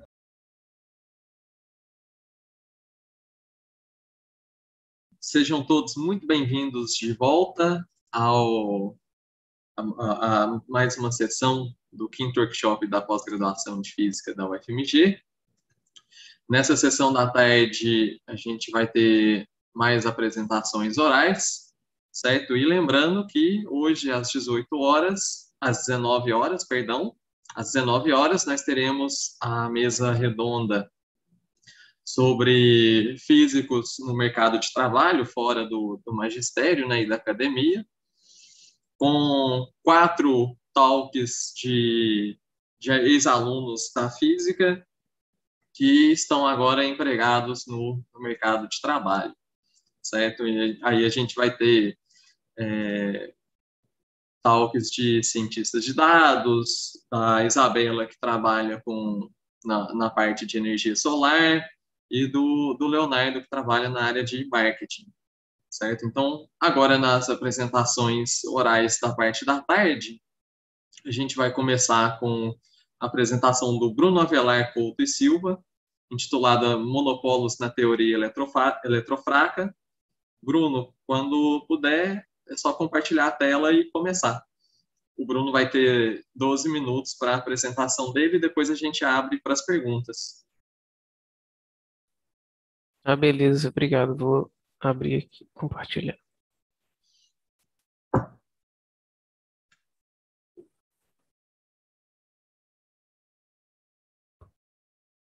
Estão conseguindo me ouvir bem? Estamos sim. Tá, ótimo. É, posso começar? Pode sim, Bruno. Ah, tá, beleza. A tela tá, tá boa também para enxergar, né? Tá sim. Tá, beleza. Então vou começar. É, bom, gente, boa tarde. Eu- meu nome é Bruno. Eu sou orientado pelo professor Bruce na UFMG, né? E o tema da apresentação são monopolos magnéticos na teoria eletrofraca. É, o- a, ideia da apresentação não foi muito focar em monopolos eletrofracos especificamente, né? Eu acho que seria mais legal mostrar um pouco do background da história até chegar aos monopolos eletrofracos. Acho que seria mais proveitoso. E, e a meta da apresentação, então, vai ser mais é, é apresentar as ideias né, e, e, e o cenário do, do, do, monopólio magnético atual. Né? Então, partindo da introdução, a gente sabe né, que, que o divergente de B é igual a zero na eletrodinâmica clássica, e isso significa que as linhas do campo magnético teriam que ser fechadas e não existiria monopólio magnético se a gente considerar isso, a minha apresentação acaba agora, né? Mas é, o, o Dirac ele conseguiu mostrar que o divergente de B ser igual a zero não necessariamente significa que não poderiam existir monopolos magnéticos.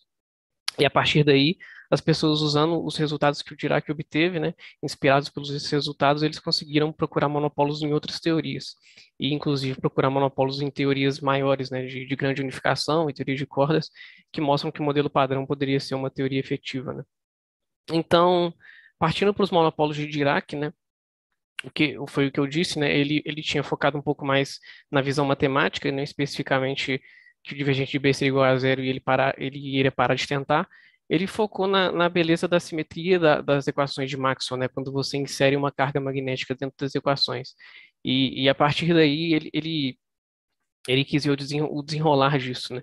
Então, para ele cancelar esse argumento de que o divergente B é igual a zero e não existiria monopólio, o que ele fez é que ele começou, ele quis definir o potencial vetor, né, calcular o rotacional do potencial vetor, é, de não definir ele globalmente, mas começar a definir ele de uma forma local.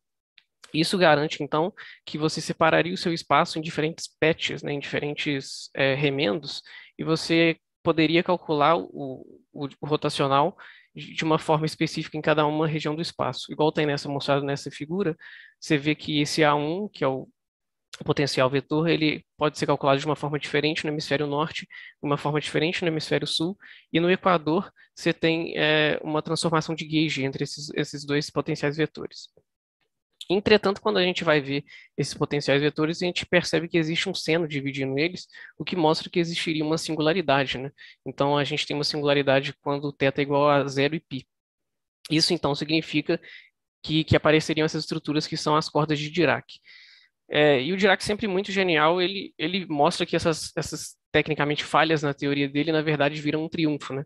Igual quando ele, ele acha a energia negativa e a partir daí ele, ele, ele encontra as antipartículas. Nesse caso, ele mostra que essas cordas de Dirac, que ele supõe que são é, solenoides muito extensos, finos e, e, e ideais, ele, ele, supõe que o monopolo fica na, na, nas pontas desses, desses, desse solenoide e que ele precisa, ele não pode ser detectado, porque a partir de qualquer transformação de gauge eu consigo mover essa, essa corda, né? E, e a partir daí, quando ele fala que esse, essa, essa, essa corda não pode ser detectada, isso implica na quantização da carga elétrica, o que é fantástico, né? Porque o que acontece é que, se você imaginar a corda e uma partícula que, que se move ao redor dessa corda, é, acontece um efeito de Aharonov-Bohm, né? E aí a função de onda da partícula, ela ganha um fator de fase. Para você garantir que você não possa observar essa corda, você precisa que essa fase seja a identidade, né? E a partir daí você chega nessa equação do que mostra que que que a carga elétrica vezes a carga magnética tem que ser igual a um número inteiro.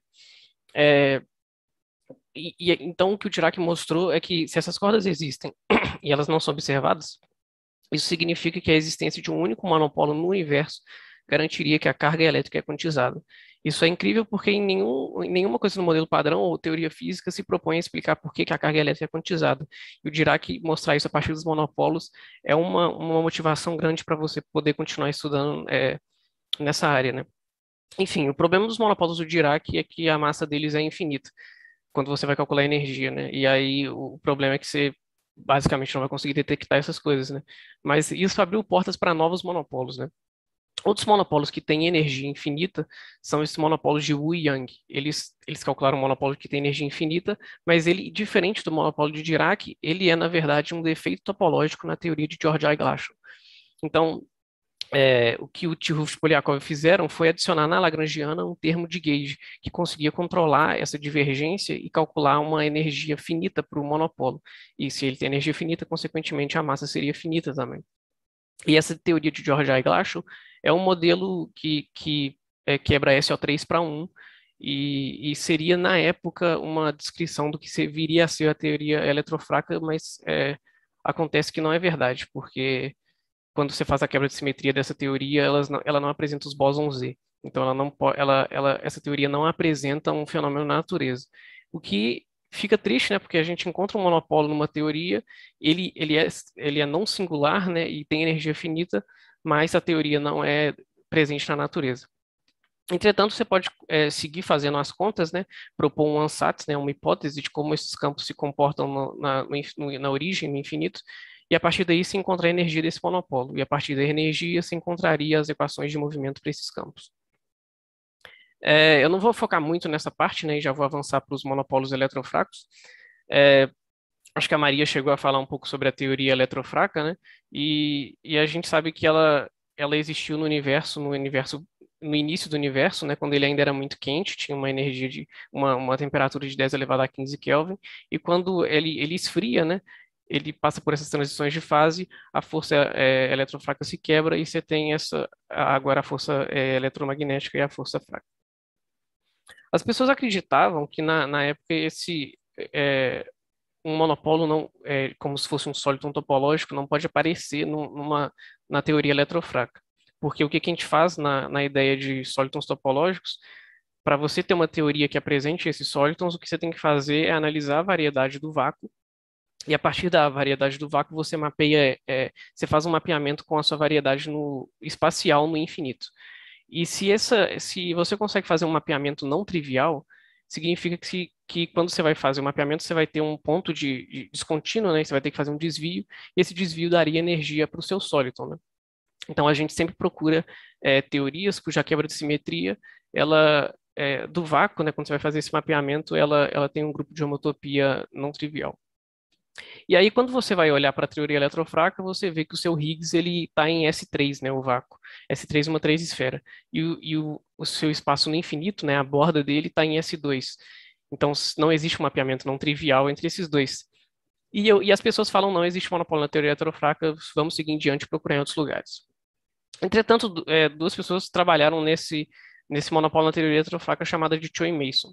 Eles mostraram que se você fizer uma, uma uma, de, definir o Higgs de uma certa forma, você consegue mostrar que você consegue surgir com monopólio dentro dessa teoria. Na verdade, eles não surgiam com monopólio, eles surgiam com o Dion, mas o Dion ele é uma partícula que tem tanto carga elétrica quanto carga magnética, né? E o monopólio seria basicamente um Dion que não tem carga elétrica. E, e, e esse Dion também já foi previsto pelo Schwinger e por um físico indiano Sarra. Eles conseguiram mostrar também a, a mesma ideia do Dirac, né? Que se você tivesse esse Dion, a, a, a carga elétrica deveria ser quantizada. Eles generalizaram isso.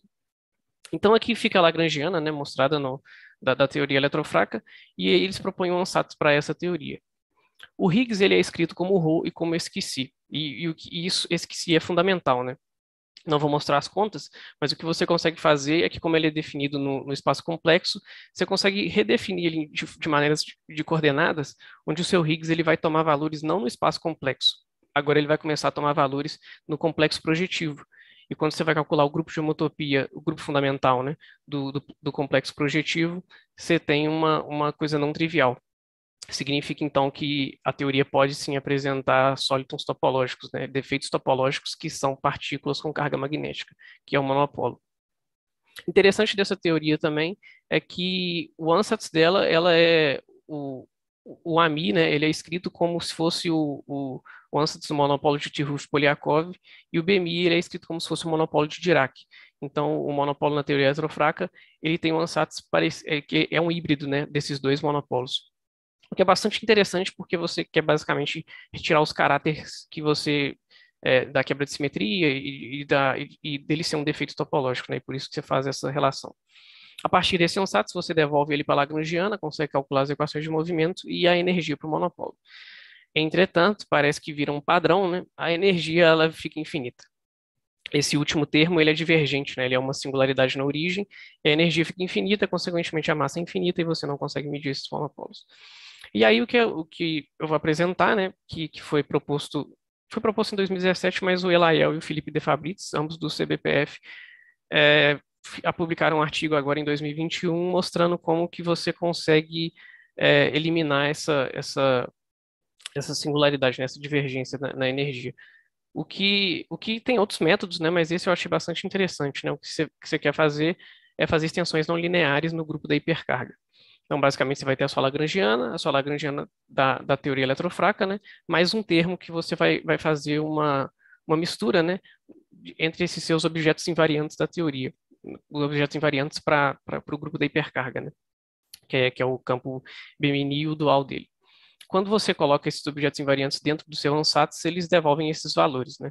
E aí a gente repara que o F, o Fzão, ele é literalmente escrito como a parte da energia que a gente quer tirar, né? Que é a parte que diverge. E aí, quando a gente vai calcular a energia no final, ela fica o E1, que são todos esses outros termos que são é, finitos, mais uma parte que é que, que diverge. E aí o que a gente escreve, a gente vai subtrair ela por esse F, por essa função. A gente pode tentar pensar em como fazer essa função, mas é quase, quase que óbvio, né? Claro, você vai querer escrever essa função como um f mais um φ. Você vai escrever o f, obviamente, porque você vai querer subtrair essa parte, né, que, que diverge. E, e, esse φ, então, ele vai ser uma, uma, uma extensão, é, você vai querer escrever ele, ele eles foram motivados é, a escrever como é, termos de, de, da eletrodinâmica não linear. Isso aconteceu porque é, eles viram um experimento em 2019 pelo Atlas do espalhamento luz-luz, que é uma coisa que não é explicada pela eletrodinâmica clássica, acho que também não é explicada pelo, pela, pela QED a nível de árvore, né? só começa a ser explicada a nível de loop, mas também é explicada pela eletrodinâmica não linear. Então você tem agora essas extensões para o caso logarítmico, exponencial e de Bornfeld. E eles conseguem achar então essa energia para o monopolo a menos desse parâmetro beta, né, que é um parâmetro de massa. É, no artigo deles, eu não cheguei a colocar aqui quanto que eles acham, mas eles chegam a achar coisas próximas a 10 e 15 TeV, que ainda assim é muito maior do que o. Não é muito maior assim, mas é maior do que o LHC consegue medir, então é, não pode ir lá fazer o experimento. E porque acho que o LHC chega a, a chegar no máximo 15 TeV, mas aí esses monopólios são produzidos em pares, né, entre o monopólio e o antimonopólio. Então você precisaria basicamente do dobro da energia.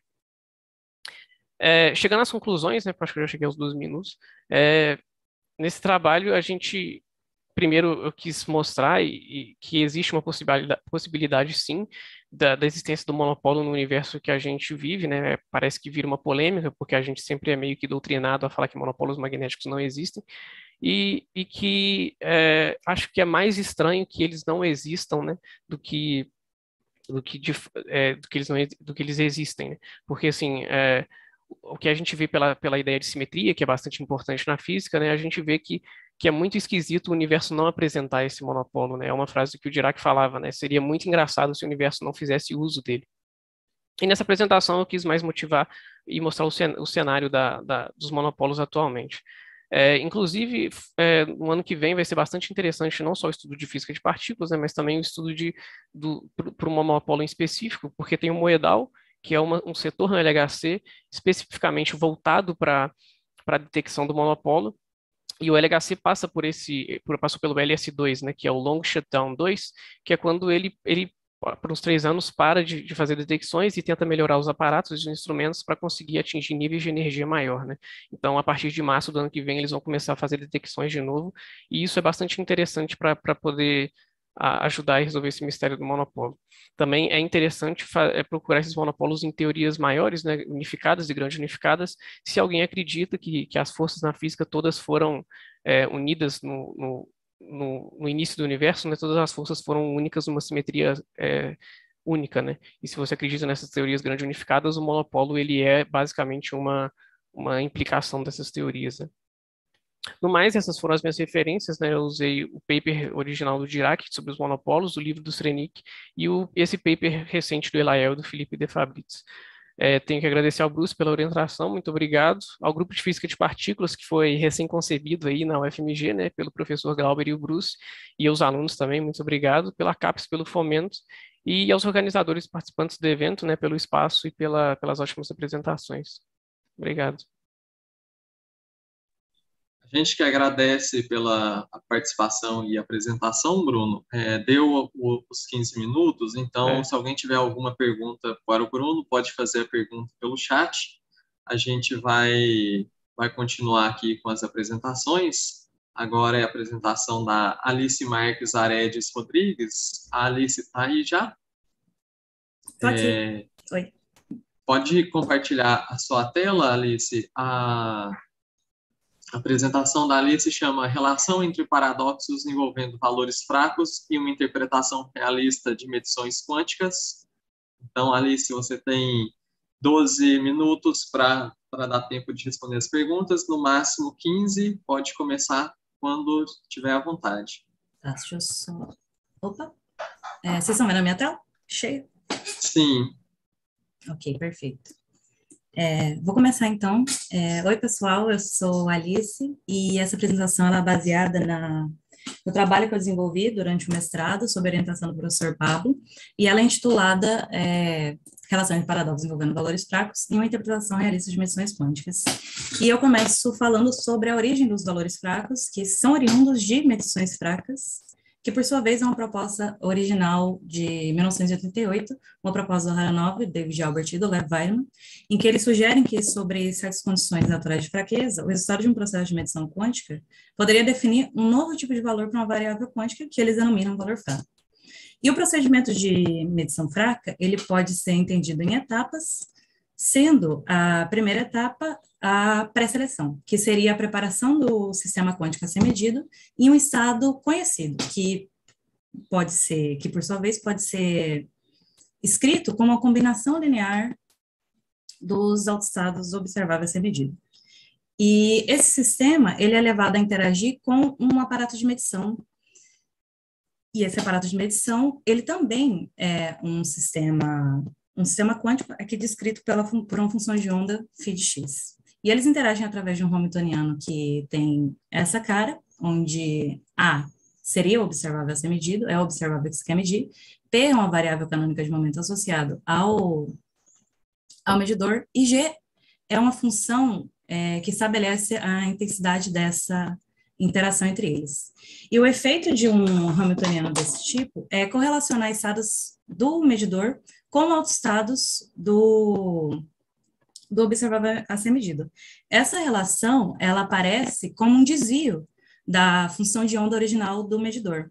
Por exemplo, se você, se você seleciona um estado do medidor após essa interação, é, você vai perceber que a função de onda ela está deslocada por um certo por uma certa quantidade que é proporcional a um alto valor do, do observável, e aí você pode inferir que esse seria o resultado da sua, da sua medição.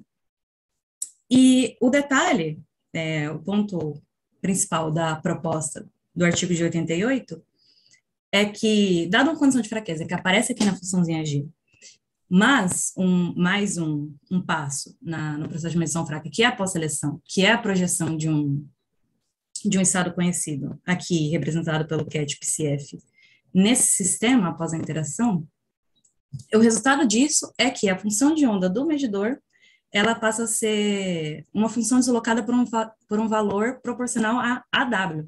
E esse valor AW, ele é denominado valor fraco, e ele é definido dessa forma. Ele é inversamente proporcional aos estados de pós-seleção e de pré-seleção. Ele, é ele é inversamente proporcional ao produto interno entre eles, né? Então, dependendo da maneira em que eles são escolhidos, esse produto interno pode ser, por exemplo, muito pequeno ou muito grande, enfim. A, a grande curiosidade e a origem de, de muitos dos paradoxos é que esse valor fraco ele pode estar fora do espectro de autovalores do observável que se quer medir. E por, é, por ser um valor que, apa que aparece no desvio dessa função de onda do medidor, os autores do artigo original é, consideram que isso seria, então, um resultado da sua medida. Mas, é, vamos seguir para entender melhor como, como aparece esse resultado, né?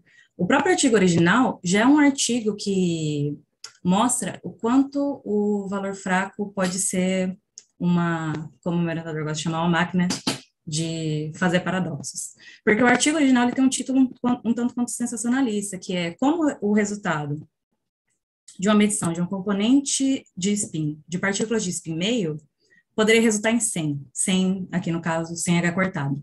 Enquanto a gente sabe que os altos valores de, de, de um observável que mede a componente de spin de partículas de spin meio, só tem dois resultados, que é H cortado sobre 2 e menos H cortado sobre 2, que é muito menor que 100 H cortado. Então, a proposta do o esquema experimental proposto nesse artigo original, em que eles introduzem o conceito de medição fraca e valor fraco, está é, tá ilustrado aqui, e a ideia é a seguinte: você prepara um feixe de partículas de spin meio, com esse spin orientado na direção alfa, em uma direção alfa, com relação a isso x, e esse feixe de partículas, ele é levado, é, ele é levado para passar por um, por um experimento de Stern-Gerlach, orientado na direção z, onde uma medição fraca vai ser realizada. A condição de fraqueza aqui, por exemplo, ela pode ser cumprida fazendo com que esse, com que o gradiente desse desse campo magnético do Stern Galaxy seja muito fraco, então não, não há um desvio significativo da, da, do feixe em que você consiga identificar os valores observáveis. E aí esse feixe, após passar pelo primeiro CERN Galaxy, onde a medição fraca é realizada, ele é orientado para um segundo CERN Galaxy, agora orientado em outra direção aqui, a direção X, é, onde uma medição tradicional é feita. E, bom, para partículas spin meio, feixe separado em dois, e aquele feixe correspondente a partículas com spin para cima na direção x, ou seja, com o valor correspondente H cortado sobre 2, são selecionados e analisados. Então, para esse procedimento, é, o estado de pré-seleção seria o spin para cima na direção alfa, aqui preparado, e o estado de pós-seleção seria o spin para cima na direção x. Para o observável que se quer medir fracamente, que é proposto que se meça fracamente nesse, nesse esquema, que é a componente do spin na direção z, o resultado do valor fraco é H cortado sobre 2, tangente de alfa sobre 2. Ou seja, é, o desvio de, da função de onda verificado lá no final, ele é proporcional ele é proporcional à, à maneira que se escolhe o estado de pré-seleção. Quanto mais próximo de π, maior vai ser a tangente, que tangente π sobre 2, ela diverge no infinito, ela tende a infinito para π sobre 2. E é assim que o, se propõe que o valor fraco da, da componente Z de, do spin, de partículas de spin meio, seja muito maior que o maior alto valor desse observável. É, vale, vale ressaltar uma coisa, todos os paradoxos, que os paradoxos envolvendo os valores fracos, eles só existem porque os, os autores, eles, eles atribuem uma realidade objetiva a esse desvio da função de onda do, do medidor após todos aqueles procedimentos da medição fraca. E o que a gente quer fazer aqui é relacionar essa interpretação com uma interpretação realista do próprio processo de medição quântica, que é um tanto quanto inconsistente. e a interpretação realista do próprio processo de medição quântica, qualquer que seja, que a gente toma aqui, é a ideia de que, se uma medição de um observável x, aqui representado pela letra x, resulta em uma quantidade x, então essa quantidade então x é uma quantidade que a gente se atribui ao observável x, que já existia antes da medição e que permanece a mesma após a medição. Essa é a interpretação realista que a gente está tomando aqui. E durante todo o resto da apresentação, é, tudo que está relacionado a essa interpretação realista é representado com um tiozinho acima do observável que, que se menciona. E de que forma isso entra na... De que forma a gente pretende relacionar isso com o valor fraco? Bom, primeiro, é, uma coisa que vale de nota aqui. Uma forma, por exemplo, de preparar o estado de pré-seleção seria, por exemplo, fazer a medida de um observável Bzão, que tem o, o estado de pré-seleção como alto estado. Quando essa medida resulta em Bzinho, que é um alto valor de o alto valor correspondente, então temos o estado de pré-seleção. A mesma coisa é, é válida para estado, a seleção do estado de pós-seleção, fazendo uma medida de cesão, é, que tem o estado de pós-seleção como autoestado com alto valor correspondente Czinho. É, é, essa é uma forma de selecionar. Para interpretação realista do procedimento mencionado anteriormente, essa, essa seleção e essa, essa preparação do estágio de pré-seleção, essa seleção do estágio de pós-seleção, ela implica que no intervalo entre, entre essas medidas, tem um valor atribuído às grandezas Bzão e Czão, que são iguais a Bzinho e Czinho, os autovalores correspondentes. Então, a gente elabora uma hipótese. Se o observável que eu quero medir, que é azão, se eu puder reescrever ele como uma combinação de Bzão mais Czão, então, para a interpretação realista do procedimento de medição, é, há então também é, associado a uma quantidade, é, uma quantidade que é, vai ser proporcional às quantidades associadas a Bzão e Czão, que aqui no caso é Bzinho mais Czinho. Ok, guardamos essa informação. Ótimo. Então, se for possível escrever o observável dessa forma, temos um, uma quantidade associada à previsão realizada do procedimento de medição, e reescrito dessa forma, se voltando lá para a relação de valor fraco, se substituímos a reescrito dessa forma na relação de valor fraco, Fica claro aqui, né? Substituímos a relação de valor fraco. Fica claro que aqui, por exemplo, B pode atuar no estado de pré-seleção, já que ele tem o estado de pré-seleção como alto estado. Atua aqui, resulta em Bzinho. Temos um numerador, no numerador e denominador, o produto interno entre pós-seleção e pré-seleção. Então, ficamos só com Bzinho, e a mesma coisa válida para o segundo termo dessa soma. Então, é, encontramos que, mais uma vez, se a hipótese for verificada que é possível escrever A dessa forma. Então, a gente encontra aqui a W é igual a Bzinho mais Czinho, que é igual ao, ao valor associado a A para interpretação realista do próprio processo de medição. Então, é aqui que a gente verifica que existe uma equivalência entre as duas coisas. Mas, é, precisamos verificar se é possível reescrever o observável dessa forma. Voltando para o por exemplo, da, da medição de uma componente do, de spin, onde o estado de pré-seleção seria o spin para cima na direção alfa e o pós-seleção spin para cima na direção x, foi possível reescrever o observável medido fracamente, que é a componente de spin na direção z, como uma combinação de S-alfa, que tem o estado de pré-seleção como alto estado, quanto o valor correspondente a apertado sobre 2, e SX, que tem o estado de pós-seleção como alto estado, com alto valor correspondente a apertado sobre 2, ou seja, para a interpretação realista do procedimento de medida, é, teria associado a, a S-alfa, um valor S-alfa til, que seria igual a H cortado sobre 2. A mesma coisa seria verdade para SX til, e, portanto, existe um valor associado para, existiria, então, um valor associado para SZ til, que, é, fazendo as contas que não temos tempo, eu vou poupar vocês disso, resulta em SZ igual a H cortado sobre 2, tangente de alfa sobre 2. Verificamos né, a igualdade, uma vez que foi possível reescrever o operador dessa forma. Recuperamos o valor fraco. É, conclusão.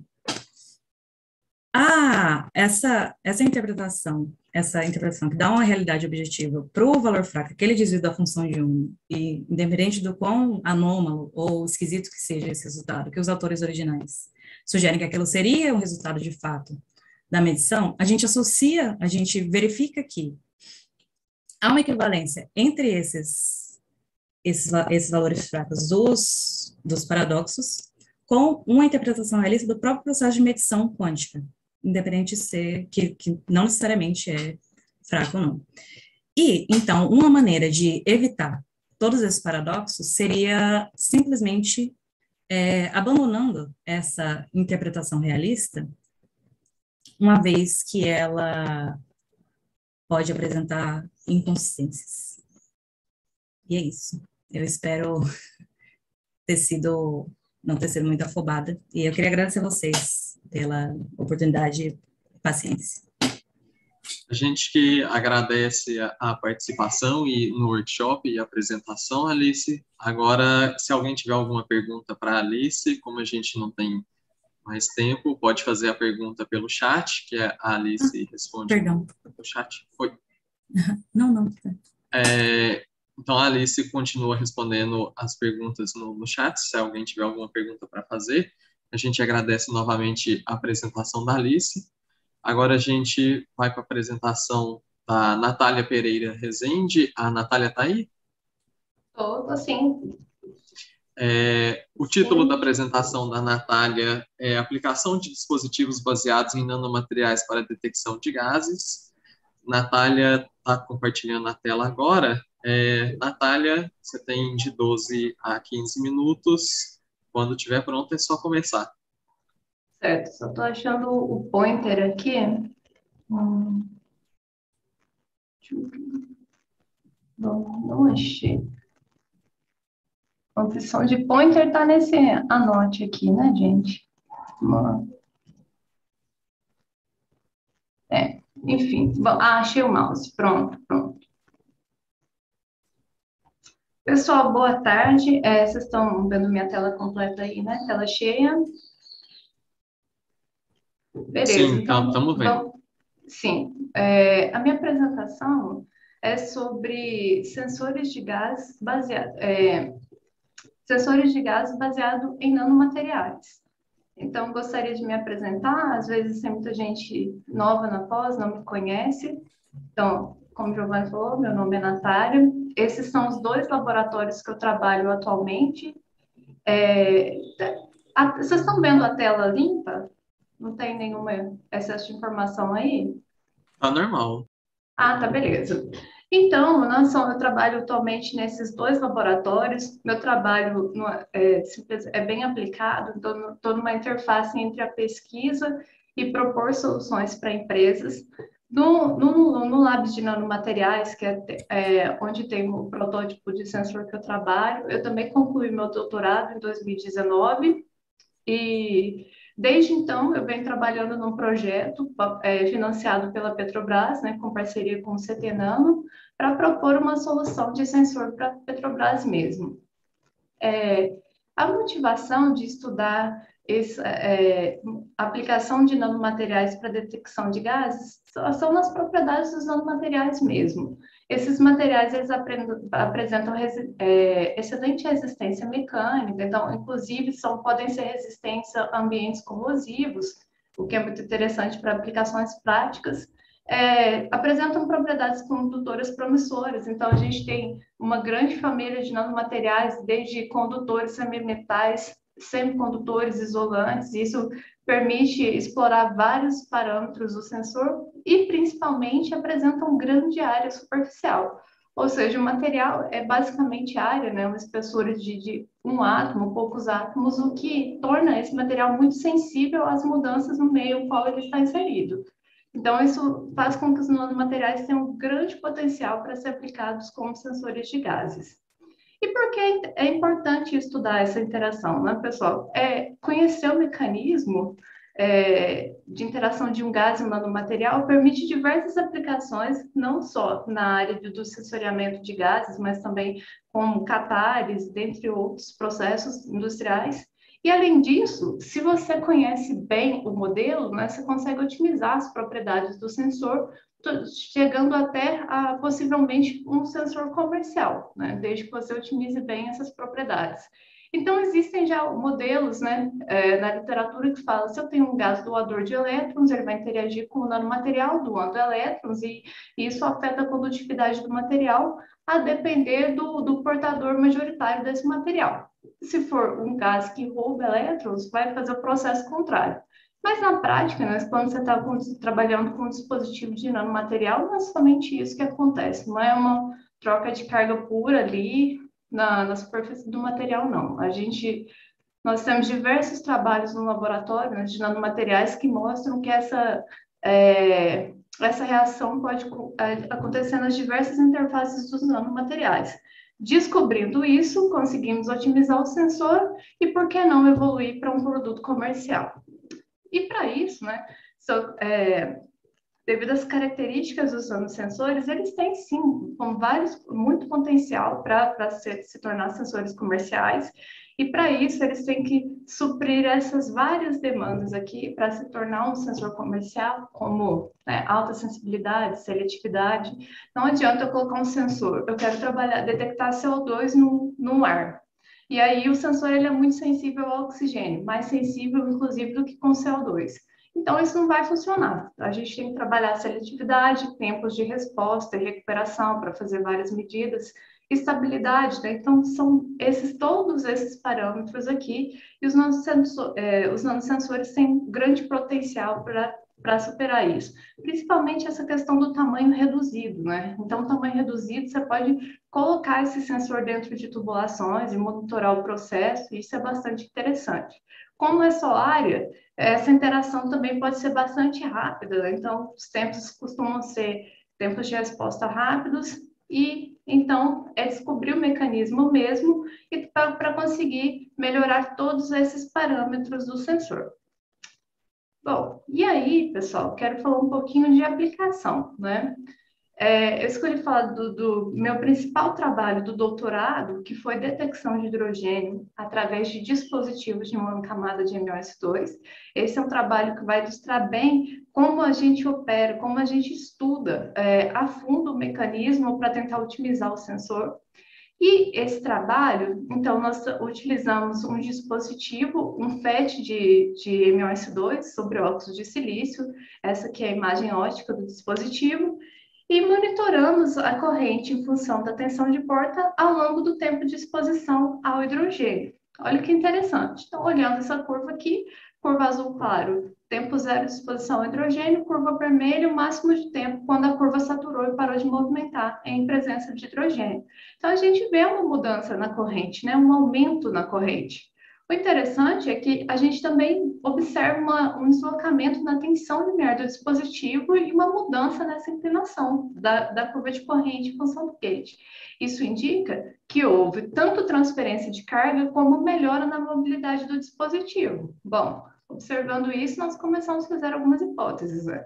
Então, temos várias interfaces aqui do sensor, Aqui, a primeira interface que a gente pensou foi a interface contato MOS2, né? Existem vários trabalhos com outros gases que não o hidrogênio, que mostram né, que pode acontecer uma modulação, uma redução ou um aumento na barreira Schottky entre o contato MOS2, né, diante da exposição ao gás, também tinha a, a, hipótese de ser passivação dos defeitos do óxido de silício. O óxido de silício é muito defeituoso e pode roubar cargas do MOS2 de forma que a mobilidade do dispositivo diminua. Então, a interação com o hidrogênio é, poderia haver a passivação desses defeitos e o retorno dos elétrons para o canal do MOS2.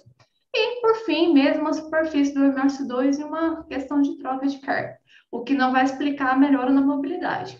Bom, então, nós fizemos um experimento, uma medida quatro pontas, que exclui a influência dos contatos e a sensibilidade permaneceu a mesma, portanto, a gente eliminou essa interface. Bom, colocamos um BN, um substrato de BN, que é um substrato de alta qualidade, né? por isso que os japoneses estão aí com milhões de artigos, os japoneses que nos forneceram esse BN, que é de alta qualidade. E aí a gente viu que a sensibilidade permaneceu a mesma. Bom, então aqui também não é na interface. Bom, só resta transferência de carga para o MS2. Bom, mas aí chega, não vai ter mais nenhum bom, mas aqui é interessante que a gente começou a pensar qual o mecanismo. Então, tem doação de elétrons para o MS2, como está acontecendo? Então, a gente foi na literatura, encontramos alguns trabalhos teóricos que propõem a, a dissociativa do hidrogênio na superfície do MS2, facilitada pela presença de vacâncias. A gente pensou, bom, é um MS2 esfoliado, e vai ter vacância, né? Por definição, quando você esfolia, você pode criar vacâncias ali, e então pode acontecer isso de fato, né? A quebra do hidrogênio facilitada pela presença de vacâncias no MS2, que corroboram com os trabalhos aí teóricos. Mas, bom, é, propor isso é meio complicado, né, gente? Sem, sem nenhum experimento, porque quebrar hidrogênio é difícil. E aí, né, com a infraestrutura do laboratório e sugestão do, do, do professor Ângelo, é, nós passivamos os defeitos da superfície do MS2 com óxido de alumínio, e vi, crescimento via LD. O crescimento ALD, ele, ele pressupõe né, que a nucleação vai ser num sítio de defeito da superfície do substrato utilizado para o crescimento. Então, a gente considerou que houve passivação dos defeitos com óxido de alumínio e aí a sensibilidade diminuiu. Então, a gente fala, olha, Pode ser alguma questão de vacância, sim, é interessante. E aí, escrevemos o trabalho feliz, bom, é agora, é taça na mão, né? Vem, vem título de doutorado, o artigo está pronto. Bom, aí os referis falaram, não, vamos lá, se vocês, se vocês propõem que é vacância, eu quero que vocês aumentem, aumentem as vacâncias e mostrem que a acessibilidade também aumenta. Só que produzir vacância de forma controlada no MS2, vacância de enxofre, né? Eu não quero vacância de molibdênio, não quero defeito na rede, eu quero vacância de enxofre. É um processo difícil, mas a gente tentou simular o proposto pelos referis e aí conseguimos finalmente né, o, o aceite desse trabalho na Advanced Electronic Materials. É um trabalho né, que eu tenho bastante orgulho, porque é, uma trajetória toda de experimentos para definir onde ocorre a reação. É lógico que para assim, bater o martelo 100% falar, é isso, é vacância, precisava de uma caracterização estrutural do MS2, que a gente não tinha no departamento, e mas a gente tem um forte indício aí que a questão é vacância. É, então, isso ilustra né, a, como importante é estudar o mecanismo a fundo. Ah, Natália, e aí, esse sensor evolui para um sensor comercial? Esse, no caso, não, gente. Nosso trabalho aqui, mais interessante foi mostrar essa reação mesmo, porque não tinha trabalho explicando essa questão da interação do dispositivo de monocamada de MS2 com hidrogênio. Então, a gente explorou bastante isso. Só que os tempos de resposta desse sensor eram longos, né? Então ele não evoluiu para um comercial. E para otimizar o sensor, a gente precisava criar vacâncias, e isso é um processo difícil, né? Bom, e aí terminei o doutorado, né? O meu doutorado não foi somente o estudo de sensores, eu também estudei algumas propriedades do dispositivo, né?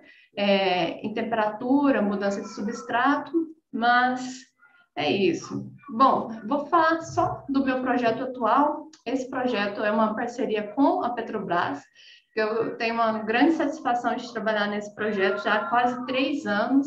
É, não posso dar grandes detalhes, né? Porque, infelizmente, o carro do picolé está passando, gente. Vou ter que continuar. Bom, é, é uma parceria com a Petrobras e a gente tem que entregar um protótipo, né? A proposta é entregar um protótipo de sensor de CO2 em gás natural. A gente, para fazer aqui nesse, é, nesse trabalho, já não é questão mais, já, já as preocupações já mudam, né? Então, não é conseguir os resultados para fazer um bom artigo, uma boa publicação. A gente tem prazos, né? A gente precisa entregar um produto dentro do cronograma proposto pela empresa. E muitas vezes a empresa quer isso para já, muito rápido, e o nosso tempo né, de pesquisa é, ele é um tempo longo. Então é difícil conciliar isso, bastante desafiador e ao mesmo tempo né, muito interessante é, entender como se dá essa interface pesquisa e solução para a empresa e aí, para isso, né, para desenvolver um produto, um produto não, um protótipo ainda. O produto a gente visa em, em próximos termos de colaboração. Esse é entregar um protótipo. A gente tem uma grande equipe aqui, né, onde o professor Rodrigo, né, ele foi quem idealizou esse projeto, quem teve né, a, vamos dizer assim, a coragem né, de propor essas alternativas, essa solução para a Petrobras. Eu acho que talvez a gente consiga dar uma boa contribuição para esse problema que vocês têm. Os professores, né, é, eu atuo como supervisora nesse projeto, aos demais membros da equipe.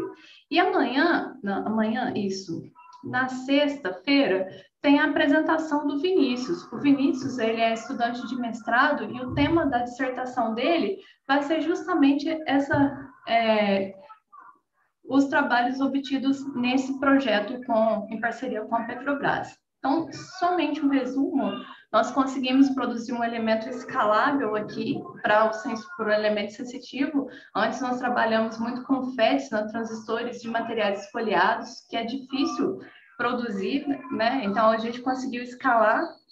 Aqui a gente tem uma foto do protótipo e aqui medidas de diferentes concentrações de CO2. Então o projeto tem tem evoluído muito bem, com resultados muito otimistas.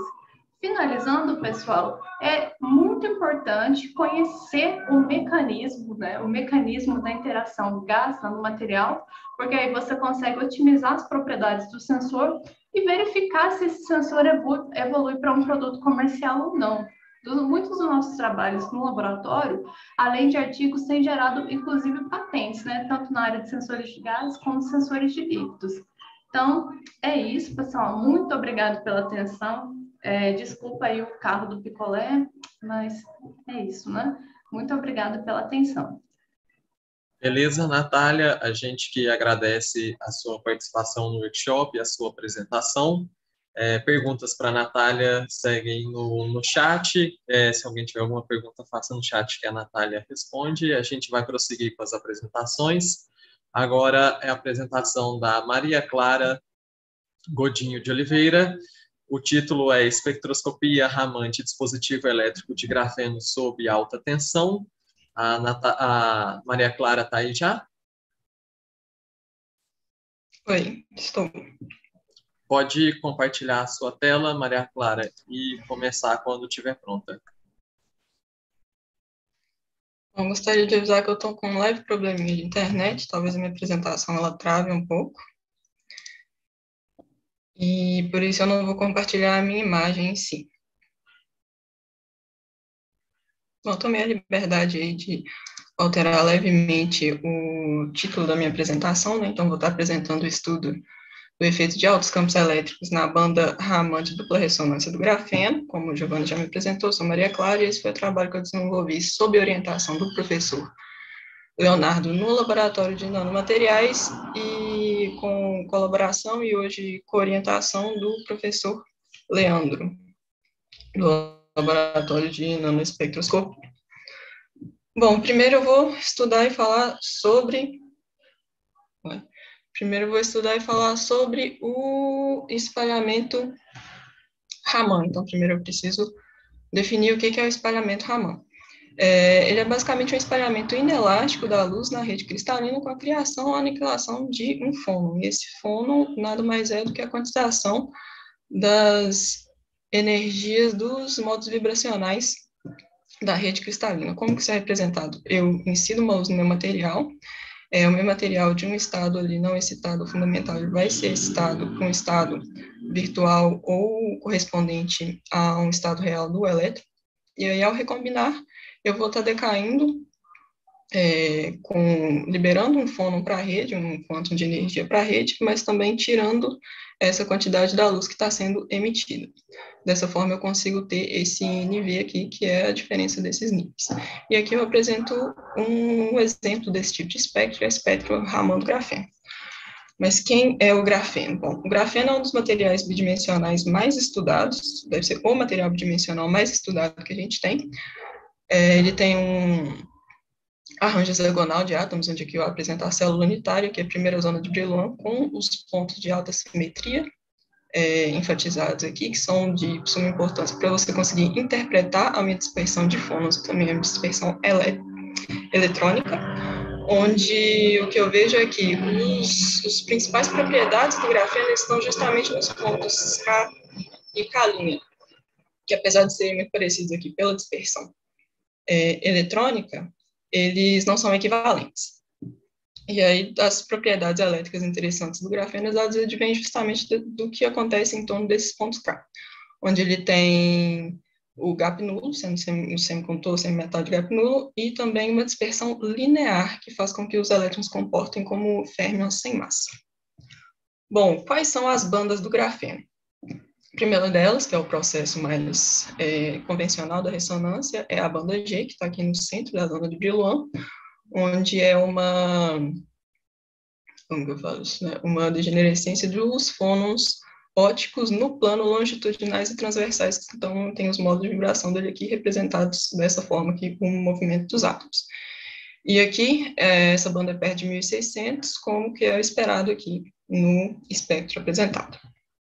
Bom, as outras bandas, que aí eu vou estar apresentando qual é a banda, banda de dupla ressonância, que é importante para esse trabalho, é, elas representam esse movimento de respiração da, das, dos meus hexágonos, e é um, um, um, processo bem diferente do que o, o convencional da banda G, né? Então, o meu, o meu paraelétron buraco, ele é criado, e aqui no caso da banda D, por exemplo, ele é espalhado por um defeito para um, um, a proximidade de um cone de Dirac com um K inequivalente, e, de novo, ele é espalhado por um fônon transversal ótico aqui nas proximidades de K, porque esse fônon ele troca momento com o elétron, então ele também tem que ter momento. E ele está representado aqui, ó, é nessa proximidade que acontece a transferência. No caso da dupla ressonância, o que acontece é que o meu elétron ele é espalhado pelo fônon para o K inequivalente e novamente espalhado para o seu K anterior antes de recombinar. De forma que a minha banda de dupla ressonância ela é exatamente o dobro dessa banda D. E aí aqui vale lembrar que a, a banda G' ou 2D, como essa que também é conhecida, ela é proporcional à energia da luz incidente. Por que, que isso acontece? Porque aqui, quanto maior a energia que eu incido no material, mais alta vai ser essa excitação aqui. O meu elétron vai estar numa região mais alta do cone de Dirac, que vai precisar logo de um fônon com um momento maior para ser espalhado entre os Ks. É, e quando você vai observar aqui no fônon ITO, nas proximidades de K também tem esse comportamento linear, de forma que quanto maior o momento, maior vai ser a minha energia relativa a esse fônon. Bom, então, a partir do espectro Raman-grafeno, como várias apresentações de ontem foram vistas, né, a gente pode estudar várias propriedades físicas dele. E uma delas, aqui estão as três que eu vou focar, a primeira delas é a tensão mecânica. Então, esse experimento aqui, ele reproduz é, uma tensão uniaxial, mas esse fenômeno também é observado para tensão, tensões mecânicas isotrópicas, onde eu sempre vou observar, no caso onde eu tento forçar essa expansão no volume do material, eu sempre vou ver um desvio é, diminuindo as energias da banda, tanto da 2D quanto da G. E aí, para casos extremos, eu chego a ver, no caso da tensão uniaxial, né, eu chego a ver a duplicação, tanto da banda G quanto da banda 2D, apesar de que esse experimento aqui, é, a duplicação da banda 2D ainda não foi vista. E aí vale notar que a correlação entre o desvio dessa banda e da banda G, ela é bem característica. Aqui a gente pode observar que é da ordem de 40 centímetros a menos 1, enquanto aqui ela é da ordem de 20. E isso é algo muito característico. Para a tensão isotrópica, por exemplo, a relação é de 2,2 vezes a banda G, da 2D para a banda G.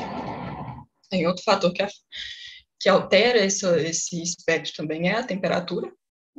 E aqui está um trabalho onde eu reproduzi em colaboração com o laboratório de espectroscopia da UFMG, onde a gente encontrou os mesmos coeficientes e a temperatura foi variada de 80 Kelvin até 510. E aí eu fiz essa correlação da tensão mecânica nesse tipo de gráfico, onde eu observo que ela segue ali razoavelmente bem a tensão mecânica a fim de, de determinar qual é o tipo de processo que está acontecendo no meu material. E aqui vale fazer algumas ressalvas, porque é, eu tenho o, o mismatch, que seria é, o descasamento da, dos fatores de expansão, dos coeficientes de expansão do substrato e do grafeno, que vão estar interferindo nisso, e também ah, os fatores intrínsecos à temperatura em si. Então, aqui é válido você, você comparar comportamento do sistema, mas também é, a informação ela não é tão direta assim. Bom, aqui eu realço o fato do, da banda ser de dois, duas vezes dois vezes a da desvio da banda 2, da banda G. Bom, o outro fator que altera o espectro, que pode ser, ser correlacionado e obtido essa informação, é a redução da velocidade de Fermi através da formação da superrede. Então, quando eu tenho grafeno sobre o silício, é, são materiais muito diferentes e que estão muito pouco aderidos, principalmente por causa da superfície do dióxido de silício não ser regular. Quando eu tenho um material que ele é muito mais plano, então o grafeno ele já vai se conformar melhor e a interação dele vai ser mais fácil. Para o caso extremo, que eu tenho duas camadas de grafeno tiradas no ângulo mágico, essas bandas elas chegam a ficar planas. Mas, por exemplo, para o HBN ou para outros substratos como TMD, talco, essas coisas, eu também tenho interação. Só que ela é de ordem muito menor, tanto, é, tanto por causa do descasamento das, dos parâmetros de rede, quanto também por causa das propriedades eletrônicas. Mas, basicamente, o que acontece é uma perturbação com essa pequena deformação aqui na, nos cones de Dirac, onde apenas o valor da banda 2D ele aumenta devido à característica dispersiva dessa banda. Bom, visando isso, eu fiz, através de métodos de nanofabricação, esses dois dispositivos de grafeno sobre HBN, onde eu tenho dois contatos elétricos e basicamente medi é, o espectro Raman enquanto aplicava tensão. Eu fiz o mesmo tipo de correlação feita para a amostra variando temperatura, onde, para começar, a gente observa que existe a formação de uma superrede, assim como é relatado nesse artigo, e também para o dispositivo 3, que até a tensão de 4,5, que ele segue muito bem esse comportamento de tensão mecânica. Enquanto para tensões acima disso é que eu já observo algo mais próximo a uma redução da dopagem por buracos. É, o dispositivo 2 ele foi medido depois e as medidas são mais inconclusivas, justamente pelo fato falta, falta de volume de medidas. É, bom, outra coisa é, interessante que a gente observou foi justamente o alargamento da banda 2D, ao qual a gente notou que a diferença de energia da largura inicial para a largura final era realmente da ordem do, da minha diferença de energia que existia dentro da célula unitária é, da mesma ordem de grandeza. Então, a gente relacionou isso aí a uma alteração do potencial químico dos cones de Dirac. Então, basicamente, o que acontece é que, ao acontecer a transição de um cone de Dirac, que está um potencial químico mais elevado para um menos elevado, o que eu vou ver é uma... Como que eu posso dizer isso aqui? Uma distância maior para o fônon espalhar, uma distância não, um momento maior que o, o fônon deve ter para espalhar esse elétron enquanto quando eu estou numa num cone de Dirac que está num potencial químico menor ao que vai ser espalhado, que é inequivalente, eu teria esse momento aqui um pouco menor necessário para esse espalhamento, que produziria esse alargamento. E aí, qual que é o análogo que eu tenho para estudar essa anisotropia? Seria justamente a tensão mecânica uniaxial, onde, através de um estudo com polarização da luz, onde eu uso tanto polarização incidente quanto analisada é, paralelas, eu consigo selecionar os tipos de transição que eu tenho aqui, ó, ou do meu S ou do meu M. É, esse ou em azul ou em vermelho aqui, estão representados com a correspondência é, corretinha. Então, a ideia foi estudar o Raman polarizado para tentar provar o, o ponto. Então, eu repeti as medidas que eu tinha feito no dispositivo 3, um tempo depois, no dispositivo 2, aqui eu observei é, um comportamento similar do, do, do aumento da largura da banda 2D, e eu fiz a minha medida de polarização. Então, eu varri a polarização incidente com relação à polarização do laser, e depois eu é, configurei essa polarização para ser ou paralela ao campo elétrico ou perpendicular ao campo elétrico e varri o meu analisador a fim de é, descobrir alguma diferença entre eles, tanto na posição da 2D quanto na largura dela.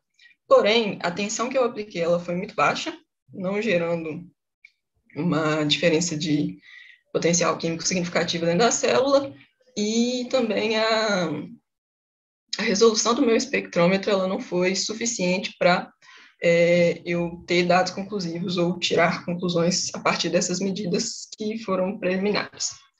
Bom, dentro das minhas perspectivas estão caracterizar a superrede para STM, realizar medidas de polarização de dispositivo de grafeno sobre o dióxido de silício, que é um dispositivo mais simples, é, refazer medida de polarização para tensões mais altas e em temperaturas mais baixas, para eliminar fatores térmicos também que podem estar influenciando, influenciando na medida, e, e explorar outras configurações de dispositivo usando uma maior redução dos, da velocidade férmica, então um ganho na qualidade do sinal, ou até mesmo uma drenagem menor da, do calor. E é isso. Agradeço a atenção, é, ao workshop, a organização, as agências de fomento e a todos que colaboraram em algum nível nesse trabalho. É, muito obrigado pela participação e pela apresentação do, do workshop, Maria Clara. É, a gente não apareceu, a gente tem mais um minutinho, dois para a pergunta, ninguém perguntou nada no chat, então eu vou fazer uma pergunta rapidinho. É, o seu grafeno em cima do, do HDN, a sua intenção é fazer dispositivos com quando o grafeno e o HBN, e o HBN estão alinhados ou pouco desalinhados para ter algum efeito do tipo próximo do, do ângulo mágico? Cara, é, eu não tenho intenção precisa de nenhum deles. Eu assumo que a probabilidade maior é de não estar próximo de um ângulo mágico sem fazer a, a reconstrução, o que para mim seria bom, justamente porque eu não teria essa interferência tão forte no trabalho, eu teria uma uniformidade das medidas da, das amostras que eu faria. É... Basicamente essa é a resposta, né? Eu não quero que isso afete tanto o problema e aí também que a preparação dessa amostra de ter que identificar é, qual é a orientação do HBN para depois identificar qual é a orientação do grafeno, ela também é bem complicada. Entendi. Então, muito obrigado novamente pela participação e apresentação, Maria Clara. Agora, agora vamos para a apresentação do João Pedro. O João Pedro está aí? Já estou aqui. Então, é, a gente vai para a apresentação do João Pedro Carvalho Correia, cujo título é Estudo de Matéria Escura Independente de Modelo. João Pedro, é, você tem de 12 a 15 minutos para a sua apresentação. Quando estiver pronto, pode começar. Tá aparecendo a tela certinha aí para vocês? Assim, tela cheia. Tá bom. Então vou, vou começar a minha apresentação aqui. É, boa tarde, meu nome é João Pedro, eu sou aluno do mestrado aqui do programa de pós-graduação da UFMG, sou aluno do professor Bruce, né, do grupo aí de partículas e cosmologia, e hoje eu vou falar um pouco sobre o estudo de matéria escura e dependente de modelo, né? É, a ideia né, do estudo da matéria escura que a gente está pensando aqui é envolvendo um modelo, mas aí eu trouxe essa abordagem é, com um modelo genérico de como que é feito os processos para a gente poder entender e estudar. É, no caso aqui, eu vou começar minha apresentação falando um pouco sobre o contexto histórico e dando um pouco de motivação sobre por que estudar matéria escura e a problemática dela. Aí vou falar um pouco da abordagem que vai envolver estudo de densidade relíquia, né? Vou fazer o uso da equação de Boltzmann, vou separar em dois casos, né? Vou considerar a minha partícula de matéria escura fermiônica e depois escalar, até chegar no, na abundância de relíquia e poder trabalhar um pouco sobre o que, que a gente tem na literatura, o que, que a gente tem de dados, né? E aí eu vou trazer um pouco de, alguns resultados envolvendo esses dois tipos e vou terminar falando um pouco sobre a detecção direta, que é uma forma de trazer algumas restrições experimentais, né, para o nosso modelo. Ela, eles através desses experimentos de detecção direta, a gente consegue pensar melhor ali em alguns pontos do nosso modelo. Então, é, é, é a minha ideia de abordagem. Então, assim, começar a falar de contexto histórico, eu preciso falar de duas evidências clássicas, né, que são bem bacanas quando se pensa, né, na matéria escura. Uma delas até foi a motivação do nome, matéria escura, e a outra também um pouco sobre a consolidação da matéria escura na, no estudo da física. E aí, primeiro, no caso, é na década de 30, o físico Fritz Zwick, e o outro, né, que ele fez o uso do teorema do virial, e o outro é a Vera Rubin, com a curva de rotação em galáxias.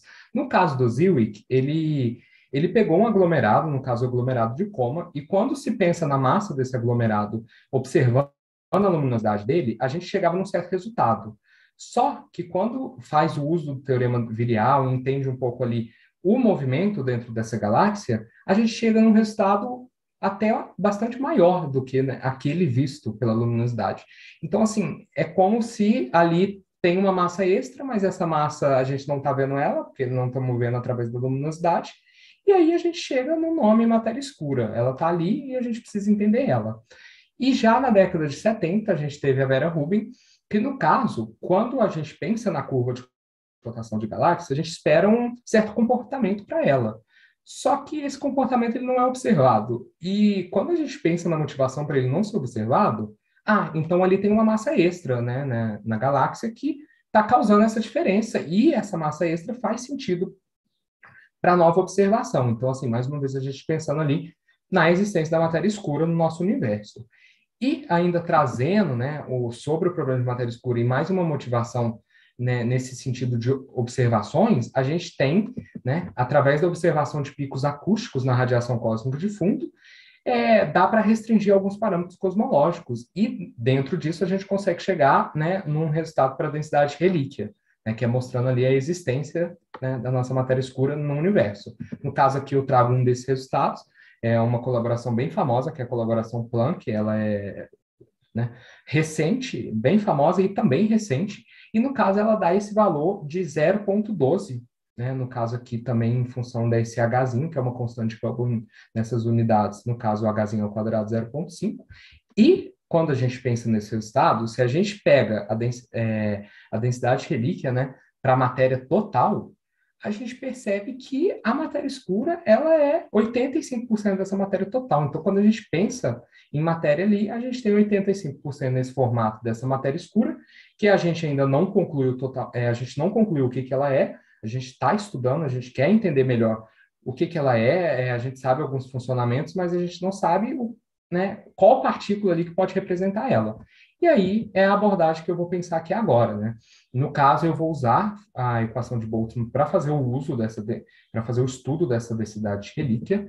É, no caso, essa equação de Boltzmann, ela, de um lado, ela tem o operador de Liouville, que vai falar um pouco sobre a evolução temporal ali né, da nossa partícula, e já do outro lado a gente tem um operador de colisões para a gente entender melhor as colisões que acontecem dela com outras partículas. E quando a gente faz, é, a gente simplifica nessa equação, a gente chega nessa segunda equação aqui, que é a mais famosa dentro da literatura de é, matéria escura, né, do, no, no ramo de matéria escura, que no caso ela vai relacionar a média térmica do produto em seção de choque e velocidade, a gente tem esse Hzão, que agora é a taxa de expansão de Hubble, e a gente também vai estar tá estudando inteiramente em função da densidade do número de partículas. No caso aqui, essa densidade do número de partículas em equilíbrio, ela é dada por essa última expressão, porque a gente está considerando um, um, limite não relativístico. E aí agora a gente pode passar né, para o nosso modelo. É, no caso, nesse nosso modelinho, a gente vai considerar é, dois casos. Primeiro, a gente vai considerar essa partícula como um férmio, e depois né, uma partícula escalar. E aí, primeiro, eu vou falar aqui do caso fermiônico. Quando a gente pensa no modelo, a gente vai pensar nos tipos de interação que essa nossa partícula ela pode ter com outras partículas do nosso modelo padrão. No caso aqui, eu vou representar a minha partícula de matéria escura pelo Ki, aí nós temos a partícula e antipartícula, e o F vai estar representando a partícula e antipartícula de partículas do modelo padrão. E esse G vai ser o nosso acoplamento, que vai ser num ponto aqui que a gente vai conseguir mexer bastante quando a gente vai pensar nas observações e nos experimentos. E aí, no caso, para o caso fermiônico, a gente vai ter diferentes tipos de interação, vamos ter interação escalar, interação pseudo-escalar, a vetorial, vetorial axial e tensorial. E por que, que é importante a gente pensar nessas interações? Porque é através delas que a gente vai conseguir pegar e mexer na seção de choque, que vai ser uma ferramenta importante para a gente poder resolver ali a equação de Boltzmann. Então, quando a gente pensa em seção de choque, a gente pega aquelas interações que eu mostrei ali, e quando a gente aplica regras de Feynman nela, a gente consegue chegar nas amplitudes de espalhamento, e assim a gente vai ter a seção de choque para cada caso. É, no caso, eu coloquei todas aqui, ela vai estar tá em função né, do nosso acoplamento, esse C vai depender se é um lepton ou um quark, e também vai ser em função das massas, e esse S vai ser energia na massa de repouso. E aí a gente vai fazer o mesmo para o caso escalar. No caso, a nossa partícula escalar vai estar representada pelo φ, e também vai estar interagindo com partículas do nosso modelo padrão, e mais uma vez nós vamos ter nosso acopla, é, nossos acoplamentos, no caso agora dado, dado por esse F. E aí a gente vai ter o caso escalar, vetorial, escalar, pseudo-escalar, vetorial, vetorial, axial. E aí, mais uma vez, a gente chega e pega cada interação, é, usa as regras de Feynman, chega na amplitude de espalhamento e nós temos as seções de choque igual ali, é, em função dos mesmos parâmetros que eu tinha mostrado do outro caso. E aí, a gente vai trabalhar com a abundância de relíquia, que a gente já tem um valor ali, né, do Planck. Então, assim, dá para a gente fazer uma relação com o que a gente vai ter na nossa teoria, com o que a gente observa no nosso universo. E aí, é, para isso, a gente resolve a equação de Boltzmann, no caso aqui analiticamente, e a gente chega nessa expressão para a nossa abundância relíquia, na né, nossa densidade de relíquia. No caso aqui, ela vai ser em função desse G estrela, que vai ser o número de graus de liberdade relativístico. Esse A, esse Azinho e esse Bzinho, no caso, eles são coeficientes que a gente vai tirar quando a gente vai fazer uma expansão parcial de onda da seção de choque, de aniquilação, no caso ali que a gente já mostrou as seções de choque. No caso aqui, também, eu estou considerando essa partícula como um IMP, uma, uma partícula massiva, mas que interage fracamente. Aí a gente fazendo essa expansão, a gente chega no Azinho e no Bzinho, MP é a massa reduzida de Planck, e a gente já vai ter esse XF, que vai ser um fator relacionado com massa e temperatura, mas aqui nesse, né, a gente vai ser dado por essa última expressão aqui, com esse C sendo um parâmetro de unidade de ordem e o G o número de grau de liberdade do WIN, né, da nossa partícula. E aí, quando a gente, né, é, a gente vê como que tá, como que funciona essa abundância, como que ela, ela, é, qual que é o funcionamento dela, a gente consegue fazer umas restrições aqui no nosso modelo. No caso, se a gente pegar o caso fermiônico, é, aqui eu estou usando um, uma referência um, que é um artigo de 2009 de uma galera de Chicago, que eles fazem esse estudo independente de modelo, que, que eu usei aqui de norte, né, adaptando um pouco para algum, é, alguns dados mais recentes. E aí, no caso, a gente tem para cada tipo né, de, de interação, escalar, pseudo-escalar e tal, é, vetorial e axial. No caso, não tem a tensorial aqui, porque ela é muito semelhante à vetorial. E aí a gente consegue ver é, como que funciona para cada acoplamento. E aqui, no caso, nessa linha azul, eu estou comparando com a, o número de, né, da abundância de relíquia que a gente tem, ali no caso no Planck, por exemplo, e aí a gente consegue ver mais ou menos, ah, tal acoplamento ele não funciona, porque ele não bate com essa abundância, mas tais acoplamentos funcionam, só que ele funciona em tal limite de massa. Então a gente consegue começar a fazer umas restrições ali, qual massa que é melhor, qual acoplamento, é, nesse tipo de interação funciona tal massa, e a gente pode fazer fazer a mesma coisa para o caso escalar, né? No caso escalar, por exemplo, aqui, no, no escalar, pseudo-escalar, a gente consegue ver que praticamente só o 10 menos 4 que funciona, e funciona até muito bem, se a gente olhar. Então, a gente já consegue pensar em umas restrições aqui para o nosso modelo, para a gente trazer uma conclusão bacana do que, que é o nosso modelo, né? E aí eu passo agora para, né, vou casar aqui um pouco a teoria com o experimental, é, trazendo um pouco aqui a existência de experimentos que podem ser interessantes para trazer restrições para o nosso modelo e a gente entender melhor ele. No caso aqui, eu escolhi a abordagem de detecção direta. Ela é feita observando o espalhamento entre a nossa partícula, o IMP, com o nucleon. No caso aqui, eu vou trabalhar com esse espalhamento independente de spin, porque ele, ele é mais existente na literatura, sabe? Existem mais dados envolvendo ele, então é mais bacana, vai trazer melhores resultados para a gente. E aí, no caso, a seção de choque ela vai dar, ela vai ser dada em função das massas, é, em função do número e da massa atômica do nosso nucleon, e a gente vai ter esse acoplamento efetivo com prótons e nêutrons, que eles são escritos em termos do acoplamento do IMP com quark. E aí, no caso, se a gente fizer algumas considerações e a gente chegar aqui nessa seção de choque, no caso aqui vai ser dado por seção de choque por nucleon, a gente chega nessa expressão que vai ser em função das massas e de um acoplamento, e esse acoplamento, ele é em função do acoplamento que a gente tem ali no nosso modelo. Então, assim, vai ser interessante para a gente fechar mais restrições ali dentro do, do, do, dos, dos acoplamentos, né? Quais que funcionam melhor. Aí, no caso aqui, eu trouxe uma gama de alguns experimentos, existem vários, eu escolhi esse aqui que eles são ah, mais famosos, mais recentes e tal. No caso aqui, eu trouxe cinco. Esse Xenon 1T, ele é na Itália, o Lux na, nos Estados Unidos e o Panda X2 na China. Os três, é, eles funcionam parecidos, assim, a abordagem deles é bem parecida.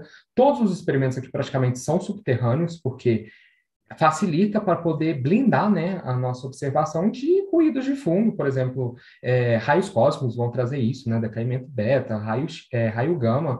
Então, assim, é uma maneira de poder blindar, né, melhorar um pouco os dados é fazer ele subterrâneo. Aí no caso desse Xenon T, do Lux e do Panda X, eles são todos dados, é, eles são, eles fazem uso do Xenônio e o uso de uma câmera de projeção de tempo, e aí, ao observar, né, a de detectar cintilações e ionizações no xenônio, eles conseguem fazer umas fotos, e com essas fotos eles conseguem recriar as posições do evento em 3D, então, assim, entender melhor como que aconteceu ali. Nós temos também esse Super CDMS, ele já faz o uso da detecção de fônons e de ionização, no caso gerado dentro de um cristal, através das colisões, e aqui ele ainda faz uso de um sistema criogênico para poder manter a temperatura baixa e facilitar a detecção, né, para poder diminuir um pouco a questão dos ruídos. E por último, esse pico 60, ele já faz o uso de uma câmara de bolhas e ao tirar foto dessas bolhas fazer a reconstru reconstrução das posições do evento. E aí, né, a gente tem todos esses, esses dados desses experimentos e a gente consegue é, pegar e colocar no nosso modelo. Se a gente fizer um gráfico aqui comparando aquela sessão de choque que eu mostrei e relacionando com os experimentos, a gente já consegue trabalhar melhor com os acoplamentos. Né? A gente já vê aqui que, por exemplo, o 10 a menos 4, ele não está tão dentro assim do, né, do, do intervalo dos nossos experimentos, então ele já não é tão interessante. Já os outros, eles vão funcionar em certas massas, e aí a gente consegue consegue, né, que nem eu falei, chegar a vários tipos diferentes de restrição para a gente entender melhor como que vai ser o nosso modelo.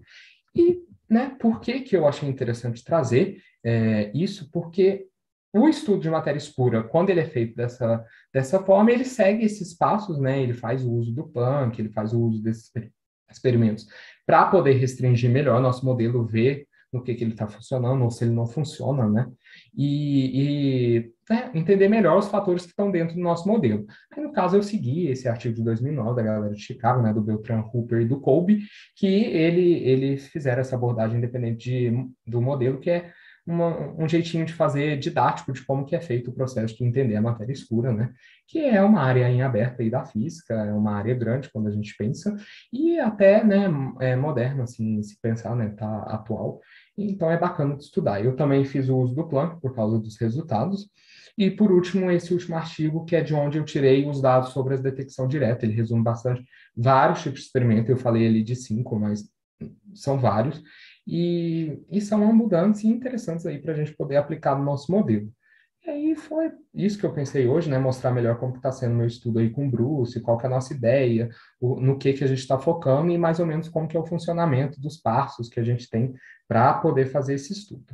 E aí, muito obrigado, né, pra, pela apresentação, aí, por, por ter, poder fazer essa apresentação. E também qualquer dúvida, eu estou aí, posso responder no chat e podem perguntar aí, estou à disposição. Boa tarde e bom restinho de evento para todo mundo. Muito obrigado, é, João Pedro. Então, pessoal, é, a gente agradece o João Pedro pela participação e pela apresentação do workshop. Quem tiver perguntas para o João Pedro pode pegar e fazer no chat que ele responde lá. Agora a gente vai seguir, pelo devido ao tempo, com as apresentações, com a apresentação do Frederico Barros de Souza, que colocou o título aqui em inglês para ajudar a gente, né? O título é Revealing Atomically Sharp Interfaces of Two-Dimensional Lateral Header Structures by Nonlinear Optical Imaging. Então, Fred, é, quando você estiver pronto, é só colocar a tela cheia e apresentar. Beleza. Vocês estão vendo já a minha tela cheia? É, a tela, para mim, não está aparecendo como tela cheia aqui ainda não. Se tiver cheia para você, coloca descompartilhar e tenta compartilhar de novo, que acho que dá certo.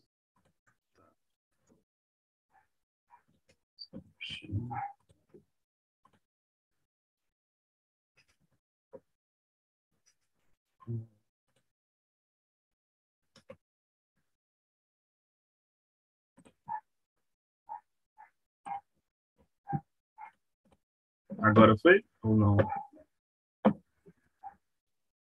Ainda não.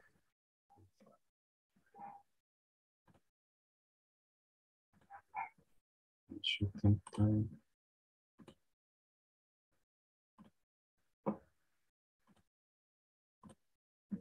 E agora? Agora foi. Beleza. Então, boa tarde a todos. É, meu nome é Frederico Barros de Souza. Eu sou aluno de doutorado, professor Leandro Malad, e hoje eu vou apresentar né, esse estudo né, das interfaces atomicamente finas de heteroestruturas laterais bidimensionais através de ótica não linear. Então, primeiro eu vou apresentar um pouquinho sobre quem são essas heteroestruturas, depois falar sobre os efeitos de ótica não linear que a gente usou e, enfim, apresentar os resultados alcançados até aqui.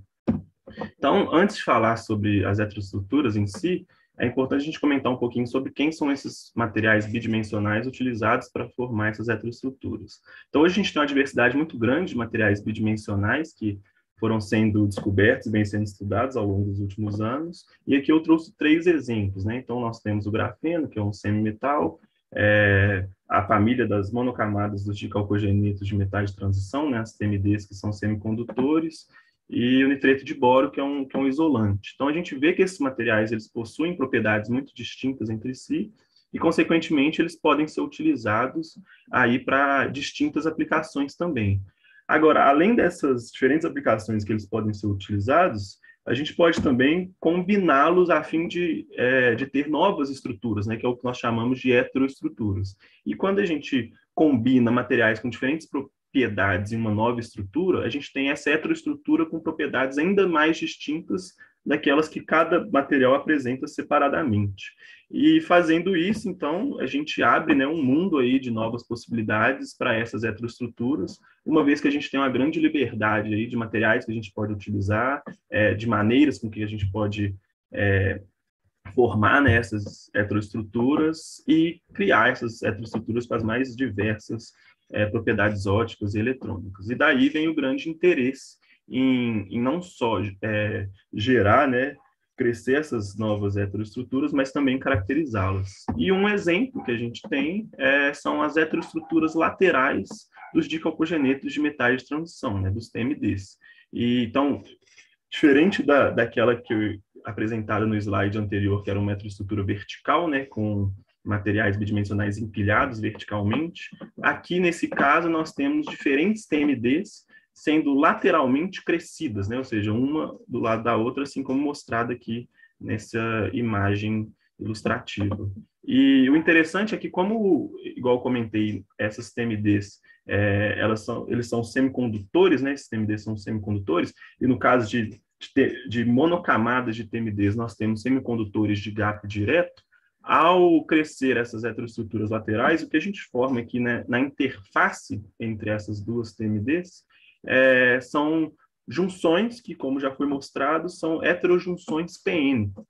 E, e, com isso, esses materiais apresentam, então, um grande potencial né, de, de serem aplicados em dispositivos optoeletrônicos, como LEDs, transistores, fotodetectores e assim por diante. Agora, há um desafio grande né, no, no crescimento desse tipo de material, já, já tinham algum, alguns métodos de crescimento, mas ainda era desafiador ter um método de crescimento capaz é, de fornecer esse, essas heteroestruturas com transições abruptas né, entre essas TMDs e livres ali de, de impurezas. E em 2018, é, nesse artigo aqui na Nature, foi publicado né, um método de crescimento denominado One Pot Growth, né, por CVD, é, um método de crescimento epitaxial, que mostrou ser capaz de fornecer é, essas heteroestruturas laterais de alta qualidade. E hoje nós temos uma colaboração com o grupo do Praçana, que foi quem desenvolveu esse método de crescimento, e ele nos fornece esse tipo de material para que eles possam ser estudados através de ótica não linear. E aí, o, o primeiro é, processo óptico não linear que a gente se propôs a estudar foi, é, esses materiais, foi a geração de segundo harmônico, né? Que a geração de segundo harmônico é um processo, então, quando dois fótons de mesma energia interagem com o material e geram um fóton com o dobro da, da energia. E a geração de segundo harmônico vem sendo muito utilizada né, para estudar esses materiais bidimensionais, e, e um exemplo é, por, por exemplo, através de medidas resolvidas com a polarização, utilizar né, geração de segundo harmônico para obter informações sobre a orientação cristalográfica desses materiais. No entanto, essas heteroestruturas laterais de TMDs ainda não foram muito investigadas por, por geração de segundo harmônico. E o que, primeiramente, a gente se propôs fazer nesse trabalho é exatamente né, estudar uma heteroestrutura lateral é, de monocamadas de MOSE2 com WSE2 através do imaginamento por geração de segundo harmônico. Então, aqui a gente tem é, uma imagem ótica do, do material que a gente estudou, é, onde aqui, num contraste mais escuro, a gente tem o MOSE2 e num contraste mais claro o WSE2. E a primeira coisa que a gente fez foi o imaginamento, né, por geração de segundo harmônico, para diferentes comprimentos de onda. E aí, lembrando, né, se a gente está é, excitando nossa amostra com determinado comprimento de onda, então ela vai emitir né, o segundo harmônico na metade do comprimento de onda, que, que é o equivalente ao dobro da energia. E o que a gente percebe aqui nessas imagens de intensidade de segundo harmônico é que há uma transição na, das intensidades relativas de cada região, é, variando esse comprimento de onda. Então, para certos comprimentos de onda, a gente tem a região de WSE2, com emissão maior, para outros comprimentos de onda, a gente tem a região de MOSE2, com, com essa emissão mais intensa. Agora, o mais interessante acontece quando a, as intensidades né, do WSE2 e do MOSE2 são similares, que é quando a gente vê aqui aparecendo uma intensidade relativa maior nas interfaces, né, nessas regiões que eu comentei que são tão importantes desses materiais. A gente pode ver isso tanto pelo, é, pela essa imagem de intensidade, quanto esse, pelo perfil de intensidade traçado ao longo dessa linha também. E aí, para entender melhor né, esse efeito que a gente fez em sequência, foram medidas resolvidas com a polarização nessas três regiões, e a gente viu né, que está é, plotado aqui nesse gráfico que tanto a região de WSE2 quanto a região de MOSE2 quanto a interface, todas possuem a mesma orientação cristalográfica. E isso é, tornou possível a gente né, é, propor um modelo de intensidade né, da, de segundo harmônico para interface. E, então, assim, é, cada região, né, o MSE2 tem seu campo de, de segundo harmônico gerado, o WSE2 também gera seu campo de segundo harmônico, e o que a gente propôs, né, que já foi mostrado na literatura, é que a intensidade na interface é a superposição coerente desses dois campos aqui. E uma vez que esses materiais possuem a mesma orientação cristalográfica, então essa superposição coerente, ela daria né, é, uma interferência construtiva entre esses dois campos, e aí a gente foi capaz de formar esse, esse modelinho aqui para interface é, de uma interferência construtiva, onde a gente introduziu esse fator gama aqui, devido à possibilidade de uma diferença de fase intrínseca né, entre esses dois materiais, é, que viria aí de uma possível diferença entre as suscetibilidades de segunda ordem deles, né, que também já foi mostrado aí na, na literatura. E aí a gente fez, então, um, a gente plotou né, as intensidades para vários comprimentos de onda de emissão aqui, dessas três regiões, né, do MOSE2, do WSE2 e da interface, e também a gente plotou o, o modelo né, de, dessa interferência construtiva para um fator gama de 0,5. E a gente vê que, que esses tanto a, o, o, medido, né, o experimental, quanto o modelo, eles é, casam bem, o que mostra que nós temos um, um, modelo razoável, né, essa explicação através dessa superposição coerente. Então, é, para concluir essa parte né, dessas primeiras medidas, o que a gente observou foi um aumento é, na emissão de segundo harmônico, na, na, interface dessas heteroestruturas laterais de TMDs. É, esse foi um efeito que, ao nosso conhecimento, não havia sido reportado até então, e, e a gente explicou ele né, como uma superposição coerente dos campos de segundo harmônico de cada material, e isso abre é, a oportunidade né, da gente utilizar essas heteroestruturas para aplicações fotônicas. E mais do que isso, esse estudo mostra também né, o poder da microscopia de geração de segundo harmônico para revelar aí características nanométricas desses materiais bidimensionais. É, esse, esse trabalho foi recentemente publicado né, nesse artigo aqui, é, na revista 2D Materials, e logo em sequência, né, a, o nosso maior interesse foi em ver se haviam outros efeitos é, de óptica não linear ocorrendo também nesse material para outras regiões de comprimento de onda. Então, lembrando que aqui, né, se o material está emitindo em 420, é porque a gente estava excitando ele em 840. Então, a primeira região que a gente foi observar é uma região abaixo de 800, da emissão abaixo de 840.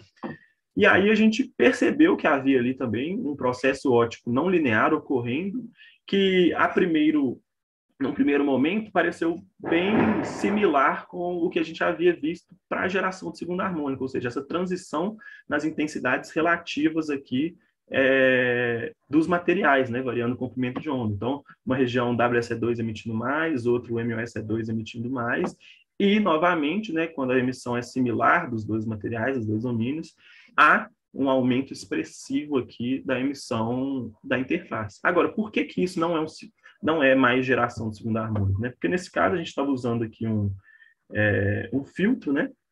Em, um, um filtro passa-banda em 620 nanômetros. E, e isso está fora ali de onde seria a emissão do segundo harmônico, que seria para esses comprimentos de ondas mais ou menos em 400. Então, aí a gente vê que não que é um efeito óptico diferente que está acontecendo. Agora, a gente sabe que é um efeito não linear, por quê? Porque a gente está observando um sinal mais energético, um sinal com uma energia maior do que o, o, a energia com que a gente está, a energia que a gente está incidindo na nossa amostra, ou seja, a gente está incidindo em mais ou menos 800 nanômetros e coletando aqui um sinal em 620 nanômetros, né? ou seja, coletando um sinal com energia maior. Então, isso viria de um processo não linear. E, e mais do que isso, a gente percebe também que esse efeito aqui nas interfaces, ele não vem de, um, de uma simples interferência, como no caso do, do segundo harmônico, porque a gente vê que o aumento né, em relação ao material, o aumento da interface em relação aos materiais, é mais do que o dobro não podendo vir, então, de uma simples interferência construtiva. Bom, para entender melhor esse efeito, a gente fez um é, perfil de excitação né, para esses materiais, varrendo aqui vários comprimentos de onda de, de excitação. A gente vê que realmente existe uma região aqui onde a interface ela tem uma emissão maior, e, e a gente vê também né, é que esses dois materiais, o WSE2 e o MSE2, eles seguem ali um padrão é, ressonante ali com o exton A desses materiais que está logo aqui abaixo, né? Ele parece seguir esse padrão de ressonância com, os exton A's. Além disso, a gente tirou os espectros de, de cada região, é, e aí a gente vê que esse espectro mostra que essa emissão provavelmente vem de uma luminescência não linear devido ao é, o, o, tanto que essa emissão aqui é larga, né? A, a, largura dessa, dessa emissão. Agora, a gente procurou né, esse tipo de emissão aqui na literatura desses materiais e a gente não encontrou, não só para essas heteroestruturas laterais, como para quaisquer TMDs né, é, separadamente isoladas. Então, antes a gente entender esse efeito aqui para as heteroestruturas, a gente precisa entender para as TMDs separadamente. E para fazer isso, a gente fez essas mesmas medidas é, para um MOSE2, uma monocamada de MOSE2 esfoliada, né? É, para ter certeza que esse efeito não viria de nenhum é, defeito estrutural, nem nada disso. E a gente viu, né, fazendo aqui novamente, tirando o espectro aqui com um short pass de 750, a gente vê esse, essa banda aqui é mais energética né, do que o, o, o sinal do laser, é, com o que a gente já havia visto anteriormente nas heteroestruturas. A gente vê também a característica não linear né, dessa luminescência com essa medida é, dependente com a potência, né? A gente vê aqui, e também de uma medida de correlação de dois pulsos, que a gente tirou o tempo de vida médio dessa luminescência que é uma luminescência ultra rápida, né, com 3,5 picosegundos, que é um tempo muito menor do que o tempo característico é, de uma luminescência convencional nesses materiais. É, só que apesar dessa, desse tipo aqui de efeito não ter sido visto ainda em, em TMDs, é um efeito muito similar, foi visto em grafeno e foi explicado né, através de uma distribuição térmica de elétrons quentes. E o que, que seria isso? Né? Então, para finalizar, o que, que seria essa distribuição térmica aqui de elétrons quentes? Então, quando a gente excita o nosso material com pulsos de laser ultra rápidos, né, com, com altas potências, o que a gente tem é uma densidade muito grande de elétrons excitados aqui na banda de condução. E essa densidade muito grande faz com que esses elétrons interajam entre si, né, através, né, estejam fortemente acoplados através de espalhamento elétron-elétron, e os elétrons eles passam a ter entre eles uma distribuição térmica. E essa distribuição térmica faz com que, ao recombinar radiativamente, esses elétrons emitam como se fosse um corpo negro. E essa emissão de corpo negro explica né, esse, essa parte dessa banda da luminescência com energia maior do que energia de excitação. Então, para concluir, o que a gente viu até agora, né, é um novo efeito que, ao nosso conhecimento, não foi observado ainda nessas TMDs, o que abre aí um, um novo campo para estudo e aplicações dessas TMDs, e mais do que isso, a gente viu também que esse novo efeito já apresentou ali nessas heteroestruturas laterais é, um aumento da emissão na interface, e agora, diferentemente do segundo harmônico, um aumento intrínseco da interface, né, de algum efeito que provavelmente vem da interface. Então, agora, é, a gente vai criar um modelo, né, os próximos passos é criar um modelo de temperatura para descrever melhor né, esse efeito e fazer medidas complementares para entender essa emissão maior nas interfaces. Bom, eu queria agradecer a todos pela atenção, agradecer aí ao workshop pela oportunidade de estar apresentando o, nosso trabalho, todas as agências fomentam, o laboratório e a pós. Muito obrigado. É, muito obrigado pela participação no workshop e pela apresentação, Fred. Temos aqui uma perguntinha no chat para você. O uhum. Tiago perguntou: Fred, a maior intensidade no sinal de segundo harmônico para cada material em diferentes excitações são processos de ressonância? Sim, então, ah, deixa eu até colocar aqui um slide disso. É, sim, é um processo de ressonância com o exton C. Então, se a gente olha né, o espectro de absorção desses dois materiais, eles seguem um padrão muito parecido, né, um comportamento muito parecido com esse esse padrão de citação aqui de, do segundo harmônico, exatamente na região do exton C. Então, a gente atribui a essa, essa variação no sinal de segundo harmônico com uma ressonância com os exton Cs do material fazendo essa relação aqui com, com esse espectro de absorção. E aí, até mesmo esse é, ponto aqui, onde esses dois espectros se cruzam, é muito parecido, né? Próximo aqui de 437 aqui nos dois casos. Certo. É, pergunta respondida, então a gente agradece novamente pela, pela apresentação e pela participação. Agora vamos prosseguir com com, as, com a, a, última apresentação do dia, né? E às 19 horas nós teremos a, a mesa redonda. Então, a apresentação agora é do Gabriel Bruno. O título da apresentação dele é Métodos Computacionais de Monte Carlo para determinar os zeros de Fischer no modelo de Heisenberg anisotrópico 2D. É, você está aí, Gabriel? Eu estou aqui, vocês, estou aqui, estão vendo minha tela aqui? Agora a gente está. É, seu som estava um pouco estourado, fala, fala alguma coisa. É, é, tá, você está tá me ouvindo tranquilo? É, o som tá, tá um pouco tá um pouco estranho. E agora?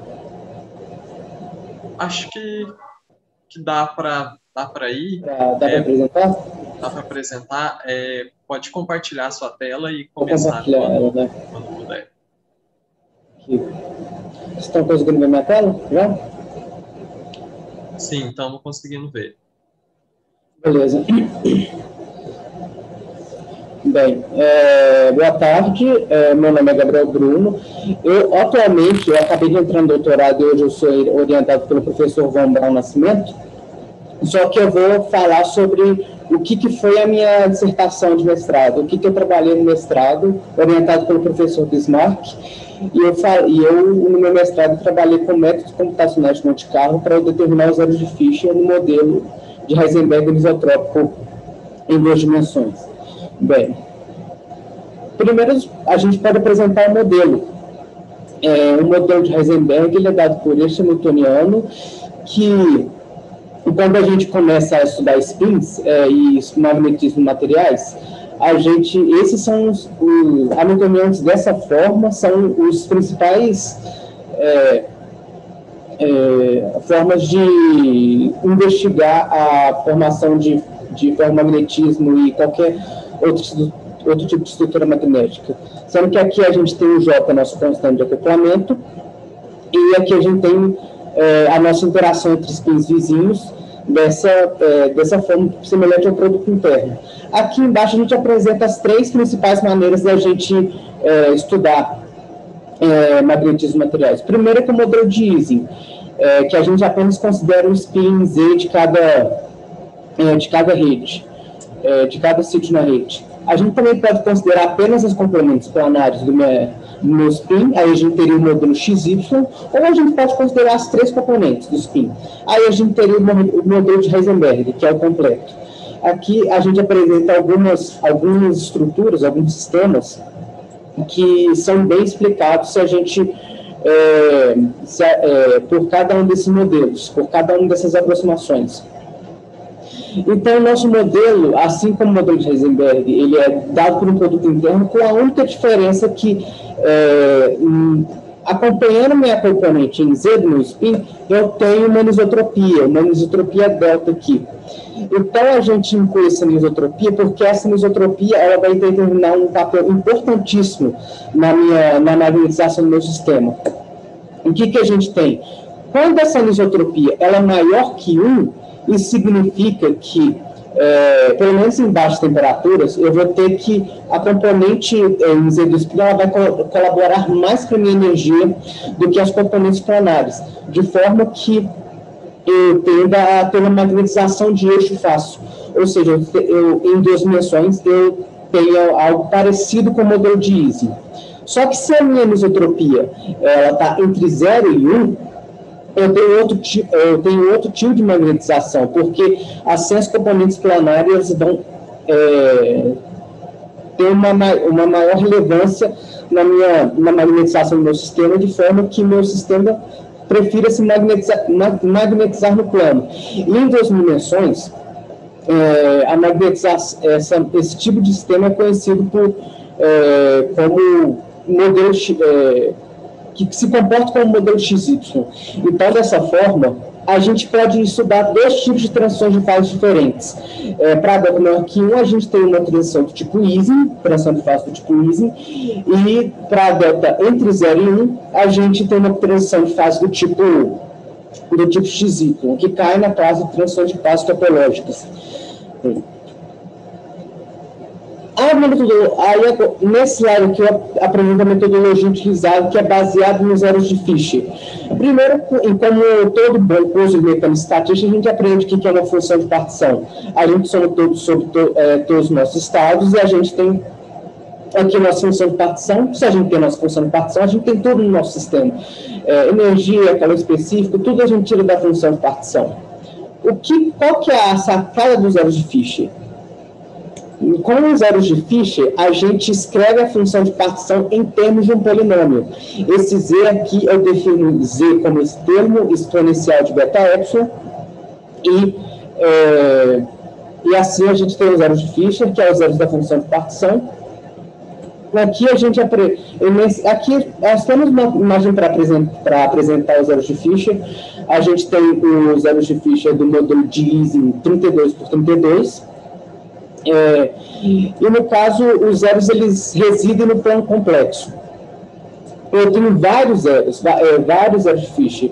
É, quantos, é, quantos zeros o, o, grau do meu polinômio me falar o, a quantidade de zeros que eu tenho que ter.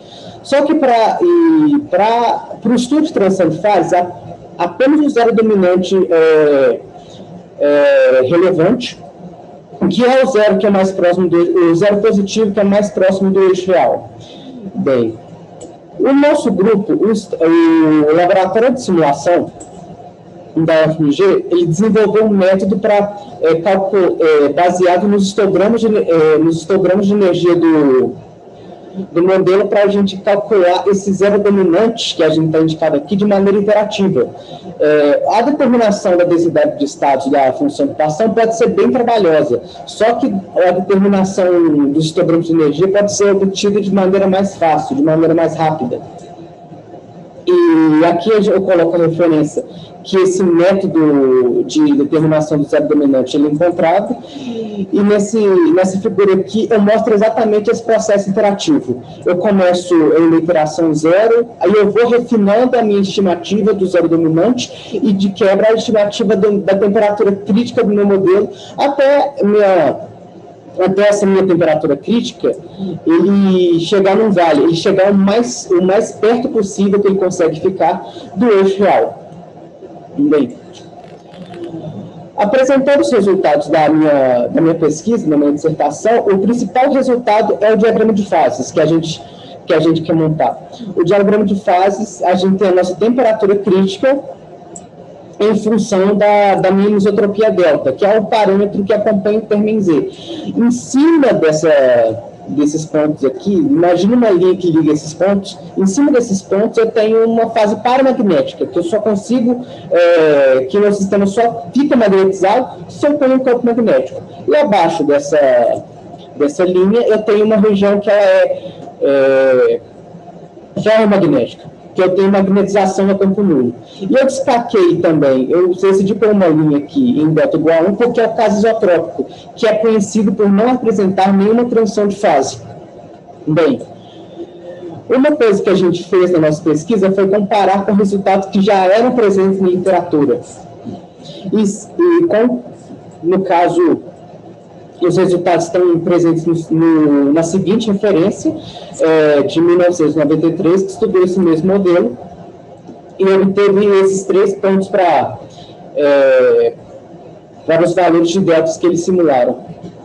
Só que com um detalhe que na, nesse artigo, nessa referência, a temperatura crítica ela tem, uma, ela tem uma barra de erro que está na, em na ordem da segunda casa decimal, é, de, na ordem da segunda casa decimal. E o método que eu usei, que eu obtive, ele, ele me ofereceu uma estimativa com é, duas ordens de grandeza de precisão a mais, ou seja, eu consegui é, deixar meus resultados mais precisos em termos de é, duas ordens de grandeza. E comparando com o resultado da literatura, vocês podem ver que os meus resultados seguem uma mesma linha é, com os resultados que já eram conhecidos previamente. É mostrando que, que esse método que eu, que eu apresentei ele é adequado para é, estudar o modelo, a transição de fase em questão.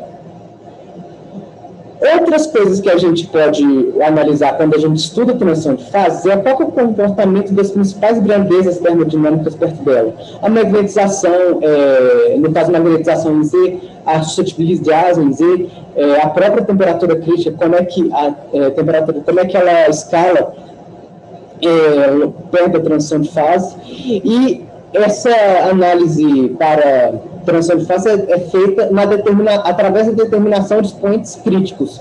O beta relacionado à magnetização, o, o NIM relacionado ao comprimento de correlação, no caso, com a temperatura crítica, o, o gama relacionado ao, ao é, à suscetibilidade, e é, a gente, aqui eu apresento os, os resultados para os pontos críticos que eu obtive na minha, na minha dissertação.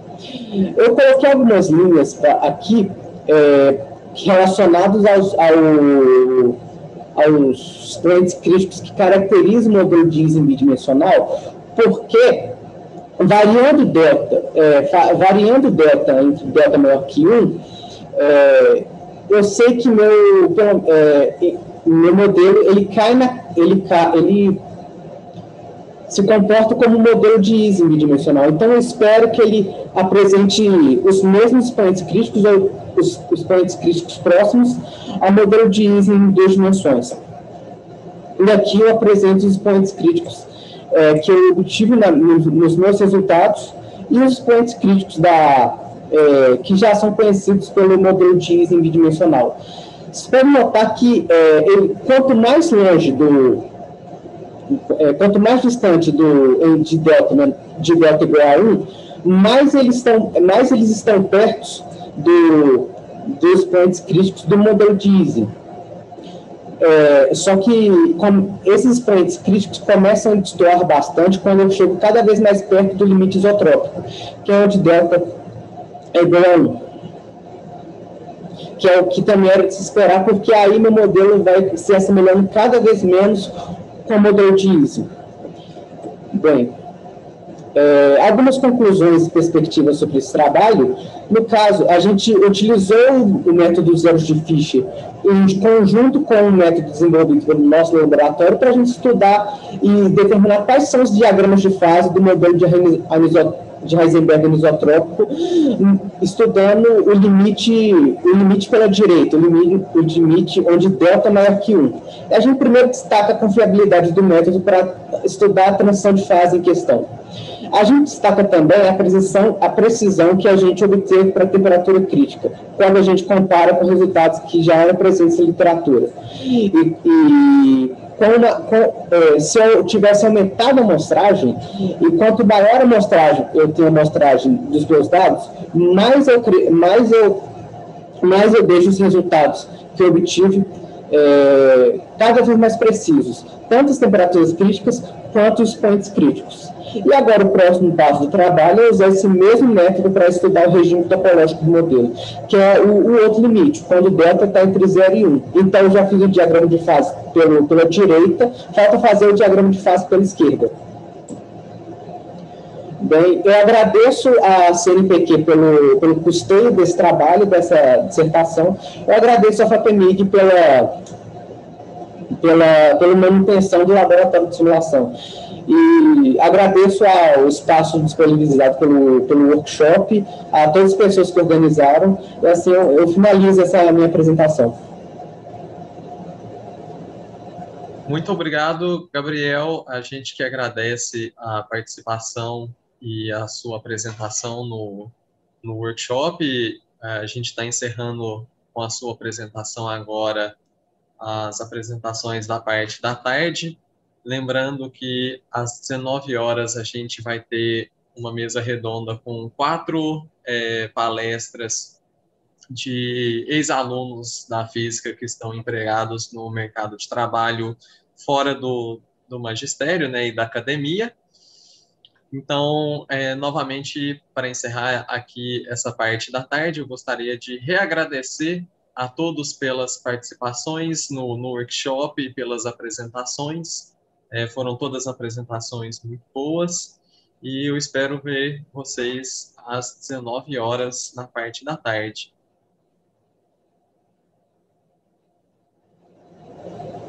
Na mesa redonda, no caso, né? Na parte da tarde, não, na mesa redonda.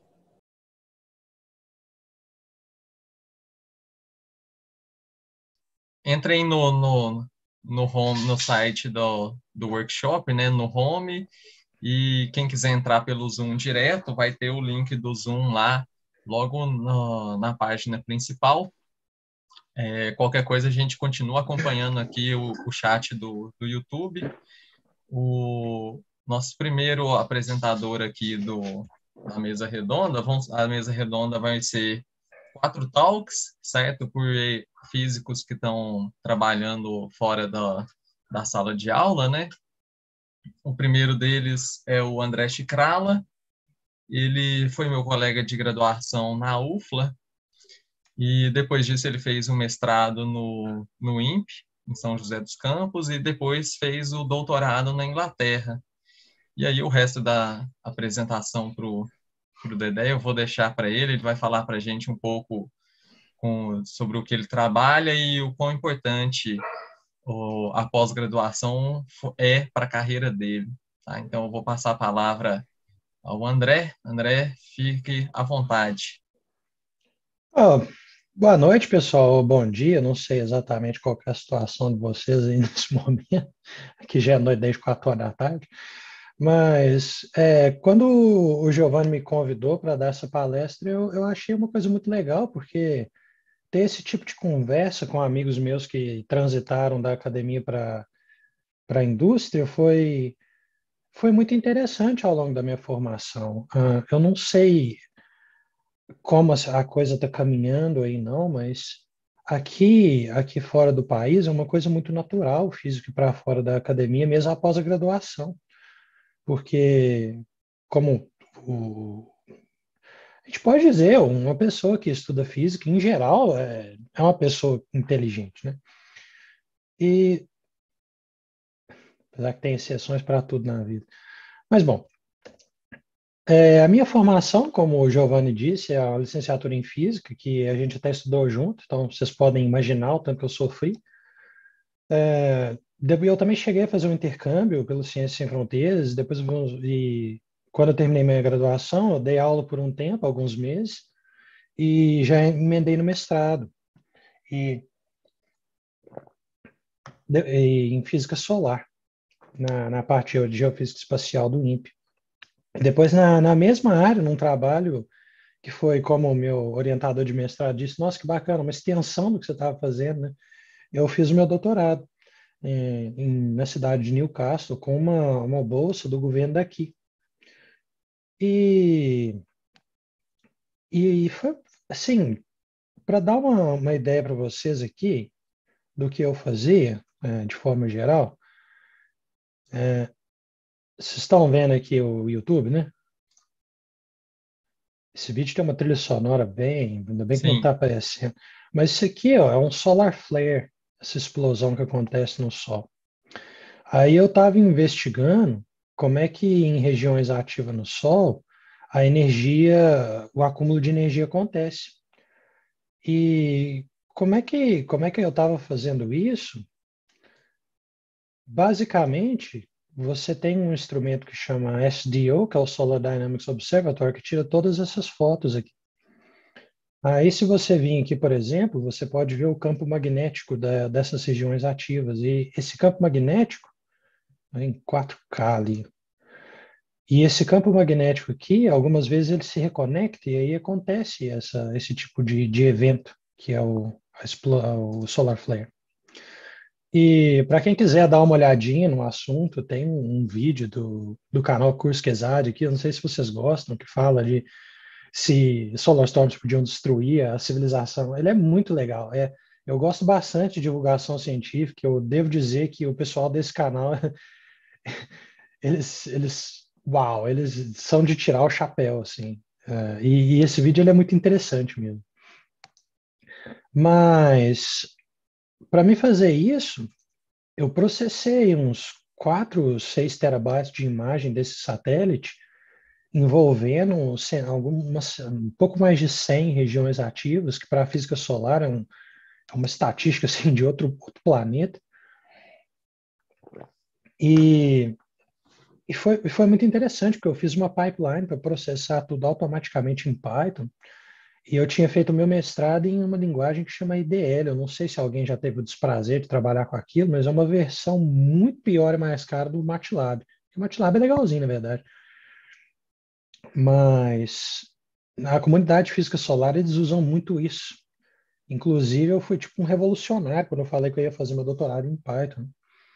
Mas aí acabou que nessa aventura de tentar automatizar os processos, porque era, é muita coisa para processar, e fazer os códigos certinhos para poder processar todas essas imagens, eu aprendi muita coisa interessante.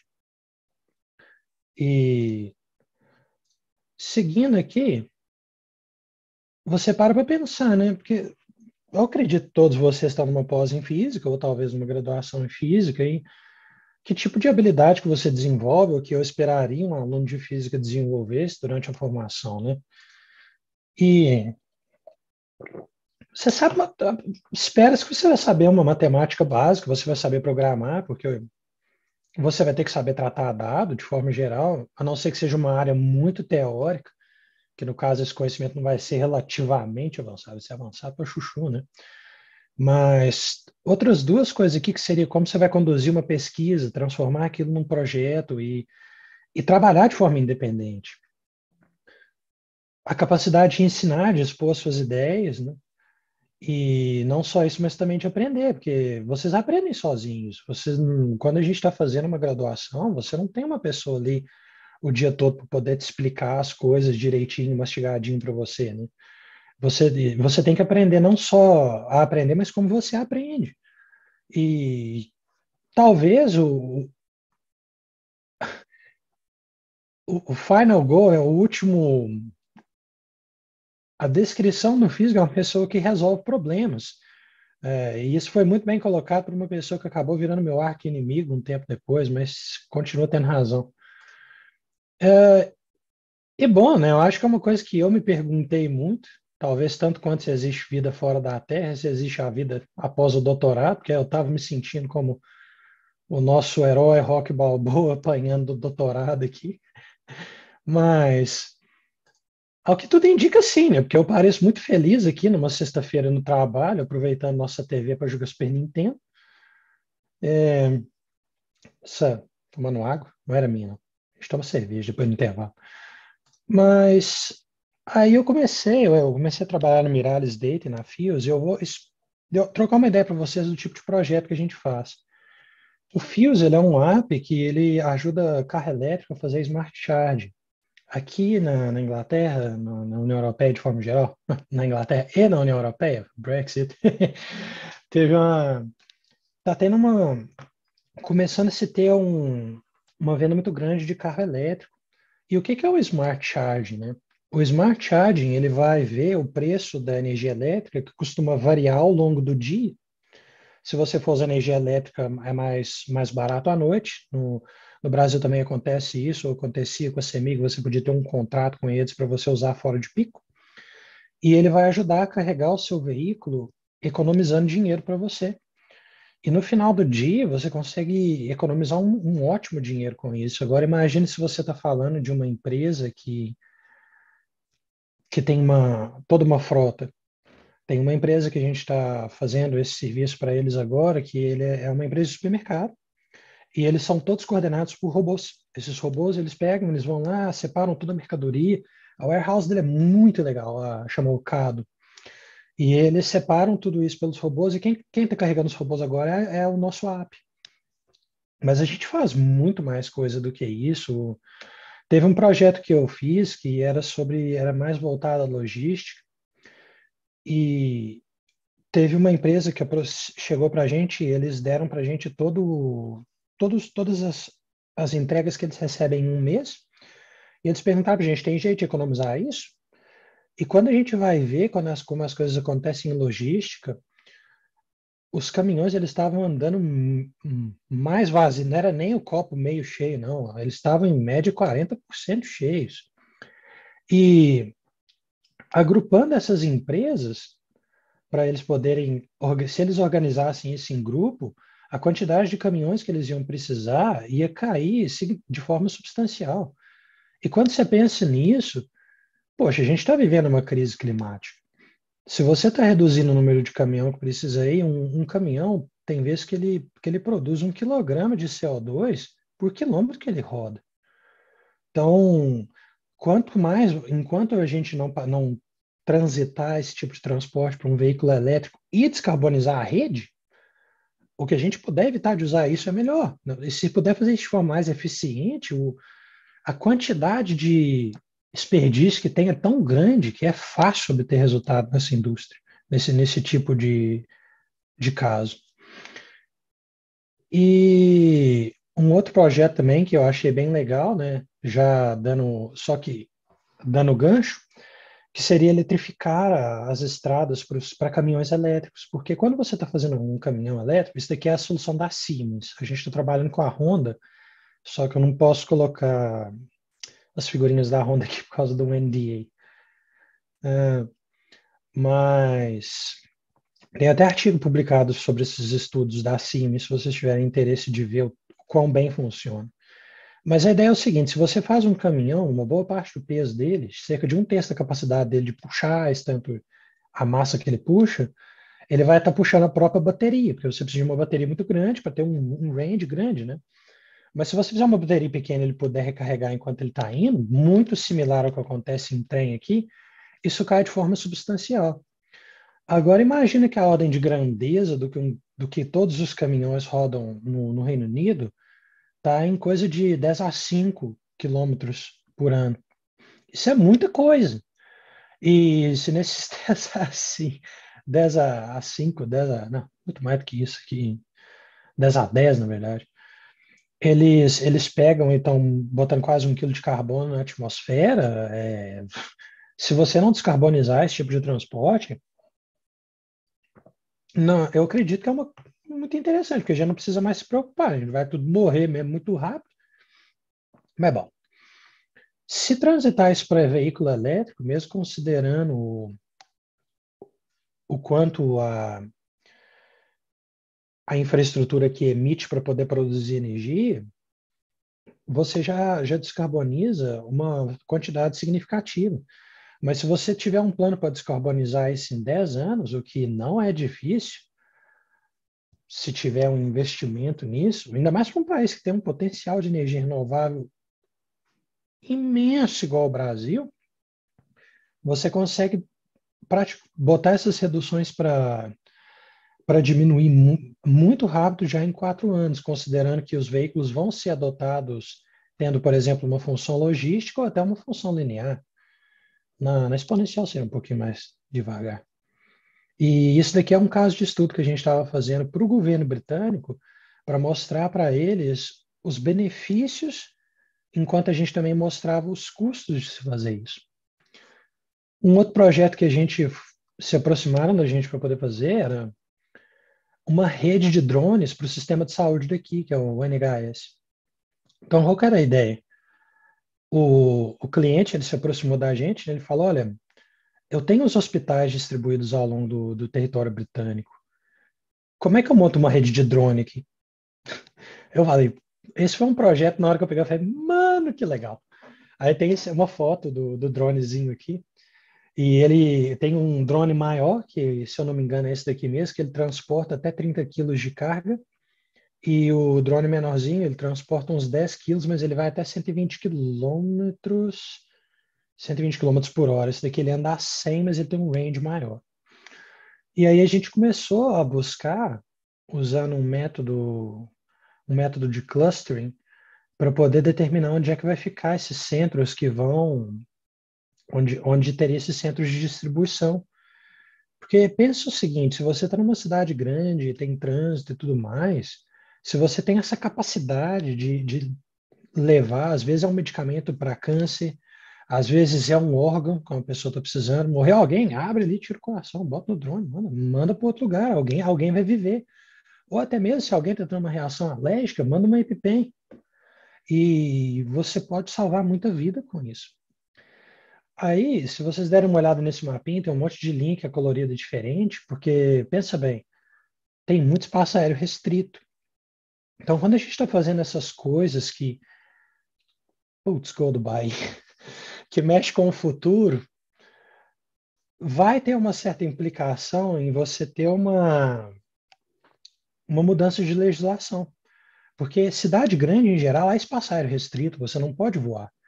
Mas esse tipo de iniciativa, a quantidade de vida que você pode salvar é muito grande.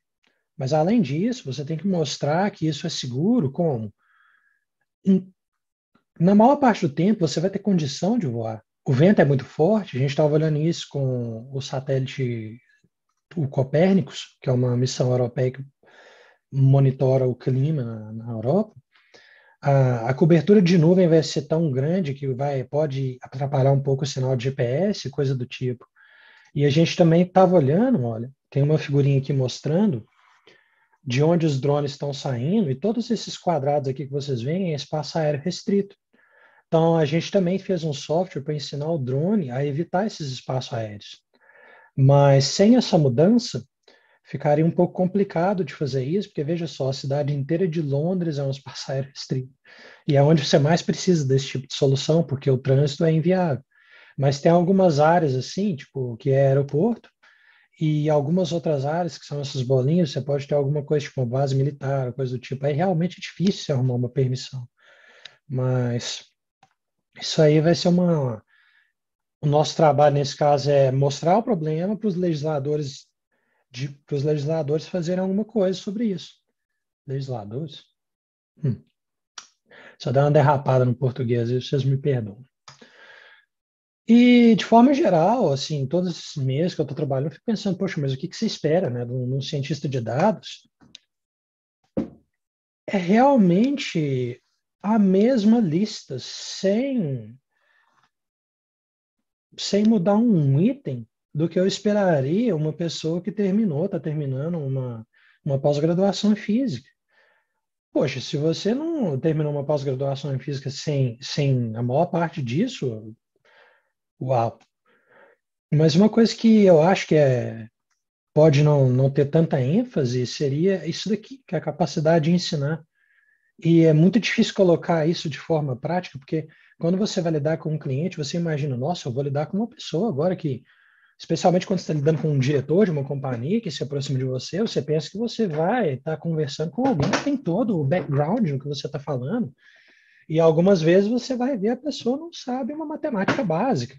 Ela coordena a empresa, sabe fazer talvez o marketing, sabe vender o produto, mas e ela quer dar pitaco na solução que você está tá fazendo. Então, você ter essa capacidade de pegar a sua solução, pegar o que você está fazendo e explicar para um leigo, isso não tem preço nesse sentido, entendeu?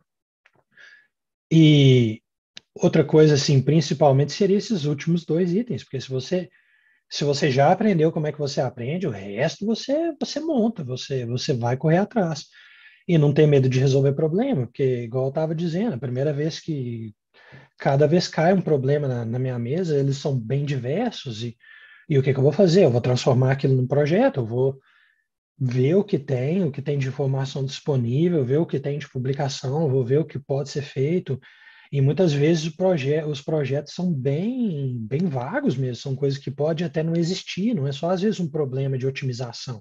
Eu tenho esse dado, por favor, me otimize isso para mim, otimize esse processo, me ajude com isso. E, e, realmente eu acho que o físico, a nossa formação como físico, ajuda tanto, porque a gente, a gente tem, é, a gente está o tempo todo lidando com essa, essa, esses problemas abstratos.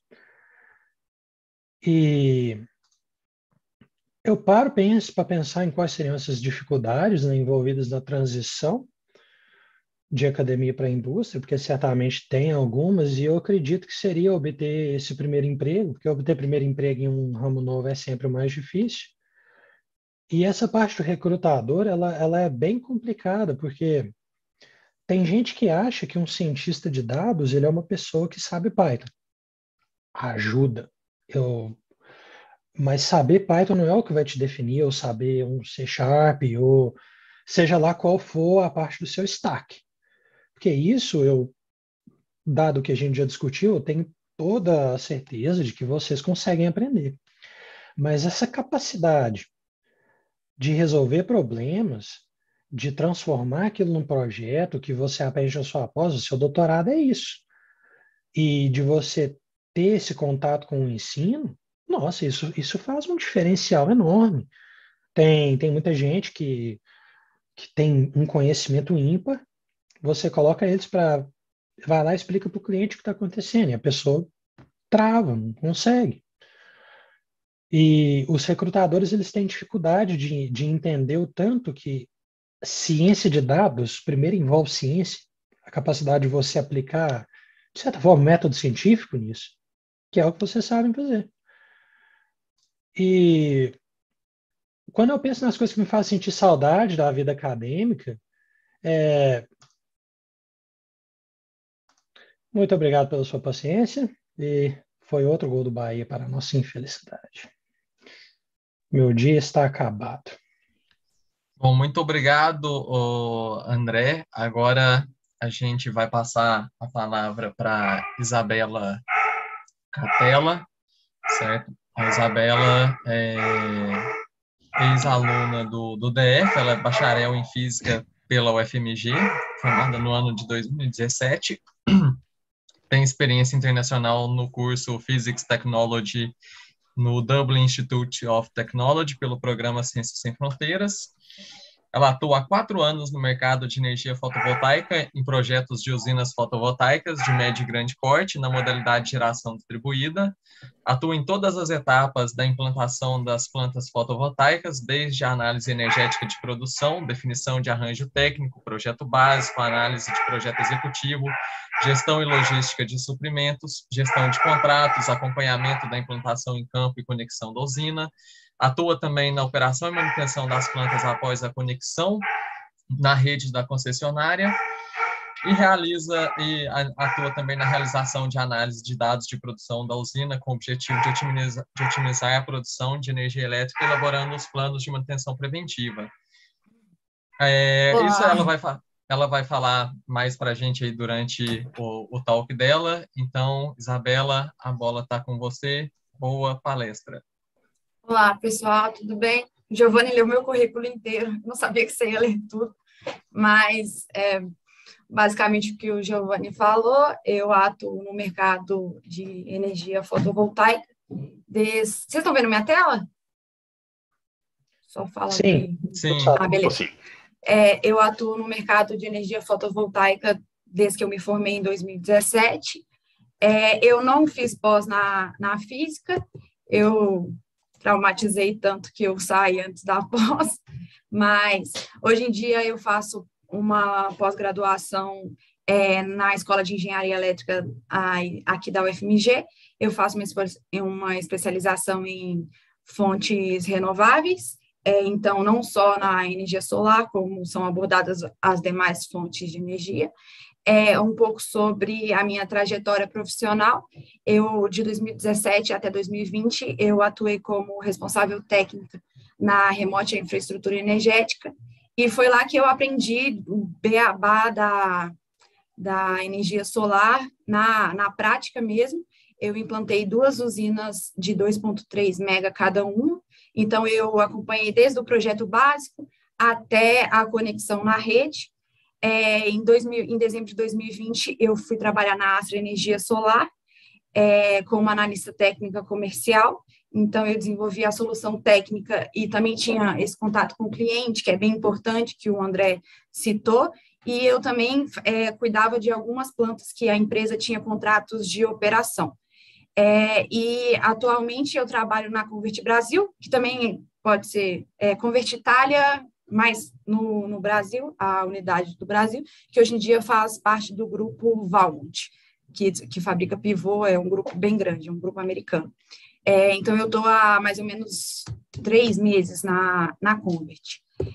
É, então, é, a energia solar é basicamente né, o, o fenômeno físico por trás, é o efeito fotovoltaico.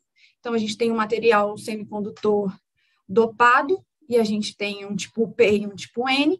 Os elétrons é, do, do semicondutor tipo N são excitados pela radiação solar, gerando aí um movimento de cargas que produz a corrente elétrica, né? Na verdade, que é a corrente elétrica.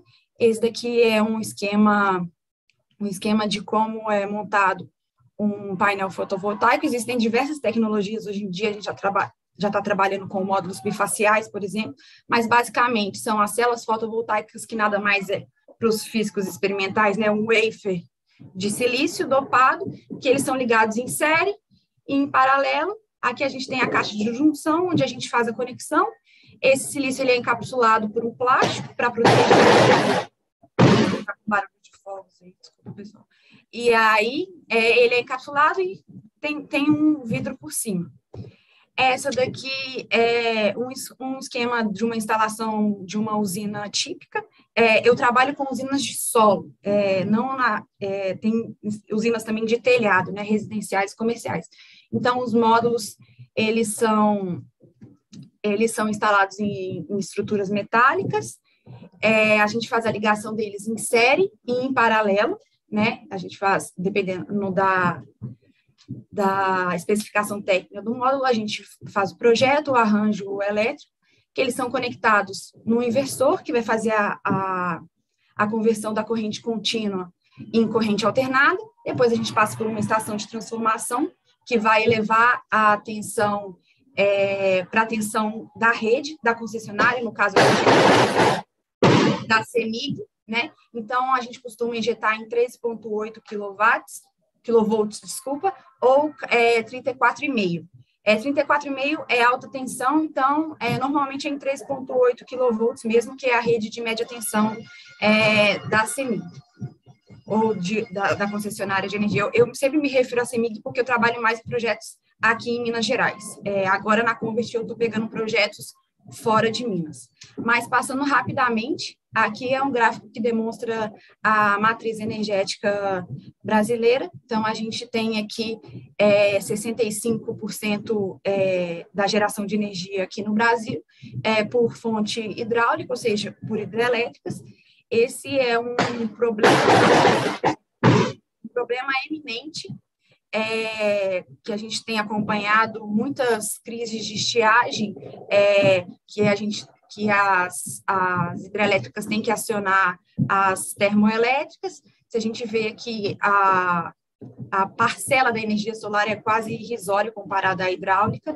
e as, as, as demais fontes fontes renováveis também. Então, é, o investimento em, em fontes renováveis como a solar é imprescindível para que a gente não enfrente uma crise energética ainda mais grave do que a gente está passando.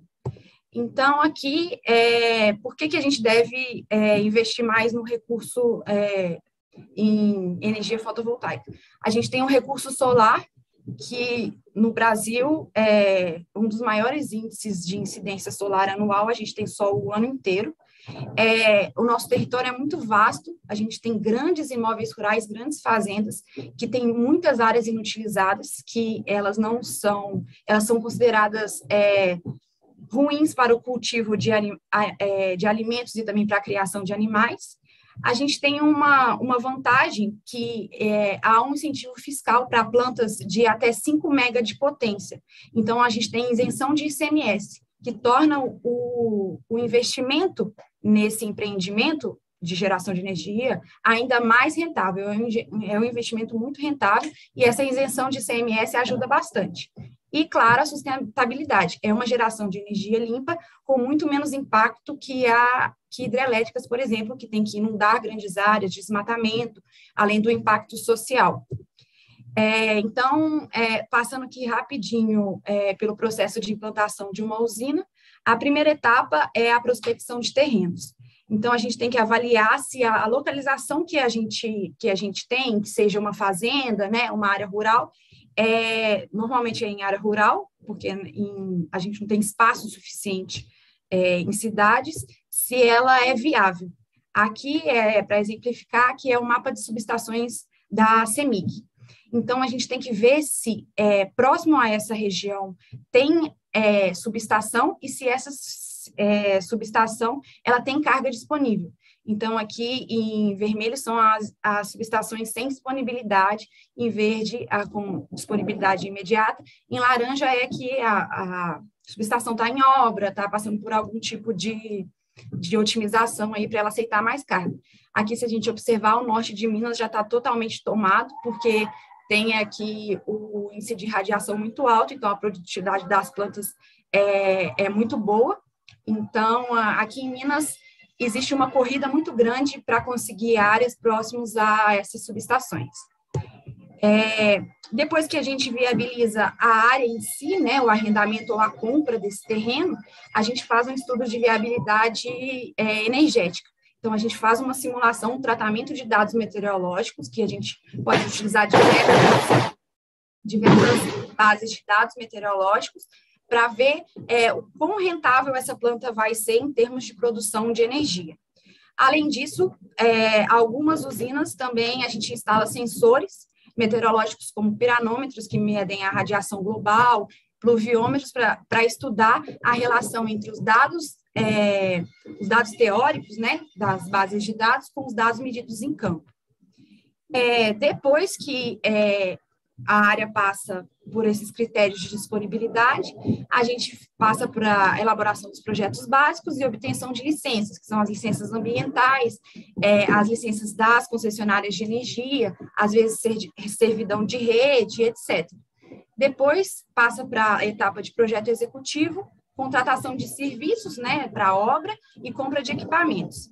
Depois disso, e mais ou menos em paralelo, começa a obra de implantação. Aqui é, são algumas fotos é, dessas duas, de duas usinas de balde em que eu fiz o gerenciamento da obra. Aqui é a etapa de solo, que é a perfuração do solo e a concretagem das estacas das estruturas, instalação dos módulos, e aqui é como fica a usina depois que já está tudo instalado, toda a parte elétrica é, subterrânea instalada, pronta para ser conectada. Então, a gente faz o comissionamento, que são testes para garantir que todas as conexões foram feitas corretamente, e a conexão na rede. Aqui é uma foto da, do dia que essas duas usinas foram conectadas. A CEMIG faz a vistoria e depois faz a conexão. E aqui é uma foto aérea. É, aqui são duas usinas de 2,3 mega, é, e cada uma ocupa mais ou menos 8 hectares aqui, que dá 80 mil metros quadrados. Depois é, é, vem a fase de operação. Né? A operação de uma usina fotovoltaica ela é bem simples é, se, se comparada a uma usina hidrelétrica, por exemplo. Basicamente, a gente tem sempre um mantenedor, que é um, um técnico, um eletrotécnico, um eletricista e que ele vai acompanhar os parâmetros de geração da usina e, e fazer alguma manutenção corretiva, se for o caso. E no back-office, né, a gente faz o acompanhamento pelo sistema supervisório da planta. Aqui eu coloquei um, um gráfico para ilustrar que a gente sempre vai usar como base a simulação que a gente fez durante o estudo energético e comparar com a, com a energia gerada pela planta. Então, é, a gente analisa os dados mês a mês, é, normalmente é semana a semana, que a gente faz um acompanhamento mais de perto, é, para ver se a planta está ela tá produzindo como a gente previu, e se não, é, fazer o plano de manutenção corretiva e ver como que, que a gente pode melhorar né, a, a, a, produtividade da planta. Isso são, às vezes, são medidas simples, como é, limpeza de módulos, às vezes algum módulo está queimado, algum transformador está com superaquecimento. Então, é, a operação da planta é mais ou menos isso, estudo de tratamento de dados mesmo, e, e, e elaboração de planos de manutenção. É, agora eu vou, eu vou mostrar um pouco como funciona um tracker, que agora eu trabalho na Convert, que ela, a Convert é uma das maiores é, fornecedoras de, de tracker do mundo, que é o, o seguidor solar. Então, eu vou colocar um videozinho aqui, que é um vídeo é, corporativo, né? Mas ele mostra direitinho como que é o tracker. Então, aqui, é, esse é o tracker da Convert, é o mais simples do mercado, o mais fácil de instalar. Então, aqui a gente tem a instalação da estaca. É, deixa eu passar essa parte aqui. São só oito componentes mesmo. O motor, esse aqui é um motor eletromecânico, é, que tem um pistão. A viga principal, onde os módulos são instalados. Esse, o tracker é instalado no sentido norte-sul e ele faz o acompanhamento do sol no, no eixo leste-oeste. Deixa eu colocar aqui de novo, finalzinho. Então, ele faz o acompanhamento do Sol. Como que ele faz o acompanhamento do, do Sol?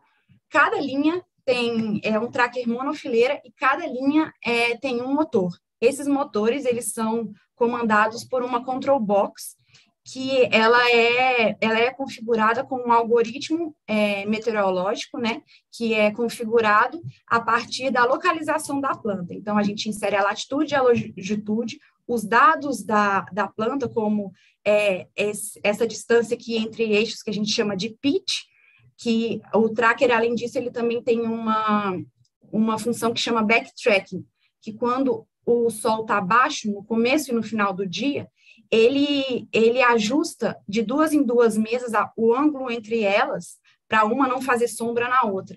Então, dessa maneira, com, uh, com o sistema de, tra de traqueamento, né, a gente consegue é, otimizar a produção e aumentar o coeficiente de, uh, de produtividade da usina. É, a gente consegue aumentar em até 30%, depende muito da localização. Aqui é um gráfico é, comparando um sistema fixo, né, de que o sistema fixo ele é instalado é, com a, o módulo voltado, com a face do módulo voltado para o norte, é, mais ou menos no ângulo da latitude, e o sistema com seguidor solar é no eixo norte-sul, fazendo um traqueamento no sentido leste-oeste, como eu falei. Então, sempre o, a radiação solar vai estar perpendicular ao plano do, do painel. Então, a gente consegue esse ganho aqui, que é um ganho muito significativo na, na produção geral da, da planta. E aí, aqui eu coloquei alguns diferenciais do físico no mercado. O André até falou muito bem, que eu acho que a física, ela ensina a gente a aprender sozinho mesmo. e a física é a base da engenharia, então aplicar ela é, para a gente é natural. É, isso eu senti. A gente tem uma análise também muito criteriosa de dados, então, por exemplo, a parte que eu expliquei de análise dos dados meteorológicos, é, eu sinto que, que a física, principalmente a física experimental, me deu muita, me deu muita bagagem para fazer esse tipo de trabalho. Nós temos uma mentalidade analítica e uma aptidão para solução de problemas. É isso. Meu contato e obrigada. Muito obrigado, é, Isabela. É, muito boa a, a, a, palestra. É, o pessoal que quiser fazendo pergunta nos chats, tanto para a Isabela, quanto para o André, quanto para os próximos dois palestrantes, já podem ir fazendo as perguntas. É, que depois, no finalzinho, depois a gente vai abrir para eles responderem, certo? E agora quem vai conversar com, com a gente é o Leonardo Machado, o famoso Léo, que todo mundo aqui já, já deve conhecer, certo? O Léo, ele foi do ele foi do DA, ele formou em física em 2016/2, fez o mestrado na UFMG mesmo em 2019 e trabalha na Red Ventures na área de, de negócios, em growth marketing e ele vai explicar para a gente melhor com o que, que ele trabalha e a importância da, da formação em física no, no desenvolvimento dele no trabalho agora. Então, Leonardo, Léo, está com você. Opa! E aí, pessoal? Estão me escutando? Tudo certinho? Tudo certinho. Ok, boa. Bom, eu não preparei o PowerPoint bonito, não. É, então, vou ficar aqui no Gogó mesmo. Queria ver quem que está aí. Deixa eu ver. Maria Clara, Renan, Tiago, Jéssica, que galerinha boa aí. Não sei quem, quem que é o F. Santana? Fabiano. Ah, grande, grande, grande, grande, ok. Boa. Então, pessoal, vamos lá. É, vou falar um pouco sobre o que é trabalhar com, com negócios, tá? Porque eu estou numa área um pouco diferente, sair, enfim, sei lá, não tem nada para mostrar de física aqui em PowerPoint nem nada do tipo. É, trabalhando com negócios, um pouco de dados aqui também. Estou é, aqui no escritório hoje, é, enfim, aqui em São Paulo, lugarzinho bem legal assim, está bem vazio, já está bem de noite aqui. Peguei a sair de reunião. É, acho que vamos, vamos, começar falando, tipo assim, putz, o que, que você, sei lá, o que, você pode fazer como sendo um físico, assim, que está querendo fazer a transição academia, mercado, assim. É uma pergunta que eu me fiz ali, depois de ter acabado meu mestrado, tipo assim, putz, o que, que dá para fazer? É, eu acho que, putz, tem uma carreira meio engenharia, que acho que a Isabela mostrou ali, é, que é uma carreira, não meio engenharia, assim, né, mas assim, putz, indo para um negócio que você vai aplicar mais diretamente seu conhecimento, que eu acho que é uma carreira super válida. O framing que eu fiz para mim mesmo naquela época foi algo do tipo, o que, que eu consigo fazer, é, não necessariamente aplicando meus conhecimentos de física, é, no mercado. Assim. Putz, o que, que, será que dá para fazer? O que, que não precisa de tanta especialização que tipo eu vou conseguir fazer? É, putz, eu acho que identifiquei três áreas assim é, na época. Tem, tem a área de, de dados, acho que foi a primeira apresentação do André, né? Você pode trabalhar com, com data science, data engineer. Tem muita gente que utiliza ferramentas de programação durante mestrado, doutorado. Putz, a galera manja de, de código mesmo é, sabe analisar quantidades grandes de dados, trabalha com essas ferramentas, etc. e tal. Então, acho que é um caminho bem natural, assim, tipo assim, putz, é, fazer uma transição para o mercado, trabalhar com data. É, e depois, enfim, a gente pode entrar nos detalhes de como se preparar, etc. e tal. Acho que fica para conversa no final. É, mas dados é tipo assim, putz, era certamente uma das coisas assim, eu sempre gostei. Estou fazendo isso aqui agora, aqui dentro, mesmo entrando em negócios, fazendo uma transição aqui. É, tem a parte mercado financeiro, sim, acho que talvez nem não muita gente goste assim, mas tipo, foi um negócio que sempre me fascinou durante a graduação. É, é você trabalhar em banco, assim, então, putz, é, Itaú, BTG, vários bancões assim, tem processos seletivos e vem contratando pessoas de áreas quantitativas bem mais nos últimos anos do que antes, assim. Então, eu cheguei a fazer o processo do Itaú na época, eles estavam criando uma área de trading quantitativo lá dentro, para quem não sabe, é basicamente você usar matemática, física e outras áreas para tentar mexer com derivativos, ações, instrumentos de mercado financeiro, aplicando técnicas matemáticas, análise de risco, etc. e tal.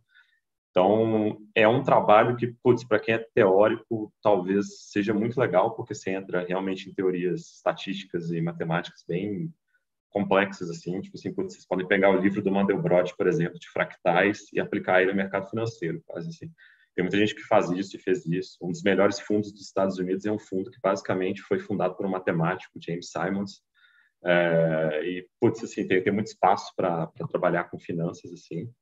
É, e acho que o mercado está cada vez mais aberto para a gente que está de física, matemática, estatística, áreas mais, mais quantitativas de, de base, assim.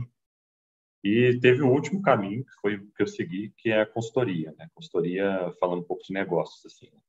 Então, tem empresas de mercado como a McKinsey, o PCG, é, a Y e várias empresas que trabalham com essa parte de, de estratégia de negócio, assim, né? tipo assim, putz, como é que eu, sei lá, é, vendo um serviço para uma empresa, de entrar na empresa, ver o que, que tem de errado lá dentro e fazer uma de, decisões estratégicas de negócio para decidir onde é que ela vai seguir. É, e foi uma área que eu também estudei, eu acabei estudando para as três, tentando as três coisas diferentes. Eu acabei gostando pra caramba do lugar que eu caí aqui, que é o Red Ventures. Já já eu falo vendo peixe aqui também. Mas é, consultoria, é, eu acho que é uma área que você aplica um pouco de, de, de análise de dados, porque basicamente se, você tomar uma decisão de negócio sem estar embasado em dados, acho que você está errado, assim. É, e tem muito raciocínio analítico de, putz, pensar em estratégias. É, você acaba tendo que mexer bastante com o número também, porque, putz, você desenhar a sua estratégia, no fim do dia você quer gerar receita, gerar lucro e tal, então você precisa estar bem afiado em como você vai trabalhar os números, entender como é que as coisas funcionam. E, e eu acho que especificamente, tipo assim, tem, tem empresas que estão trabalhando nessa área mais perto de tecnologia. Porque tem uma consultoria tradicional, tá, que é consultoria em negócios, que você vai fazer otimização logística, comercial e coisas do tipo, que talvez não brilhe o olho de muita gente assim, e não, não brilha o meu também tanto assim, e tem consultoria mais perto de tecnologia, que é um pouco do que a RV aqui, que é a empresa que eu estou agora faz. É... E, putz, foi o caminho que eu escolhi na época, enfim, entrei no mercado em final de 2019, fiz o processo da RV, eles foram lá na FMG na época, conheci a galera daqui que trabalhava, muitos alunos de engenharia, né, que acho que é o caminho bem natural lá do, curso de engenharia, a galera curte sair para o mercado, entrar nessas empresas assim. É, e é um negócio diferente, assim, tipo assim, a preparação do que você tem que fazer, etc, tá bem diferente de dados, é bem diferente de mercado, né, cada um tem seu próprio caminho ali. É, vou falar um pouco do que eu fiz aqui dentro, é, tentar ser bem breve, assim, mas, putz, eu entrei numa operação de growth marketing, assim, um negócio, termo disruptivo de, de, de empresinha, assim, é, que é basicamente, putz, como é que você cresce um negócio com marketing digital, que é um negócio diferente, novo, muita empresa querendo fazer, e eu entrei num dos negócios aqui da RV, que a gente começou aqui dentro, uma startup dentro da RV, a RV é tipo uma empresa grande, a gente tem 5 mil funcionários, a sede é lá em Charlotte, nos Estados Unidos, e a gente começou a operação no Brasil em 2015 aqui. É, a gente fez, é, não sei aqui quem investe, mas quem conhece a XP Investimentos, a gente fez o funil da XP em 2016 ali. É, basicamente, toda a estratégia de aquisição digital de clientes da XP foi desenhada aqui pela, pela RV. Então, um negócio super legal que a gente mexeu. E eu entrei numa operação interna aqui, basicamente, de, de mídia é, para crescer um dos nossos negócios que era de maquininha de cartão. E, assim, sei lá, meio que você entra assim, os caras te dão meio milhão de reais, falam, faz mídia aí, gera resultado pra gente, beleza, valeu, falou.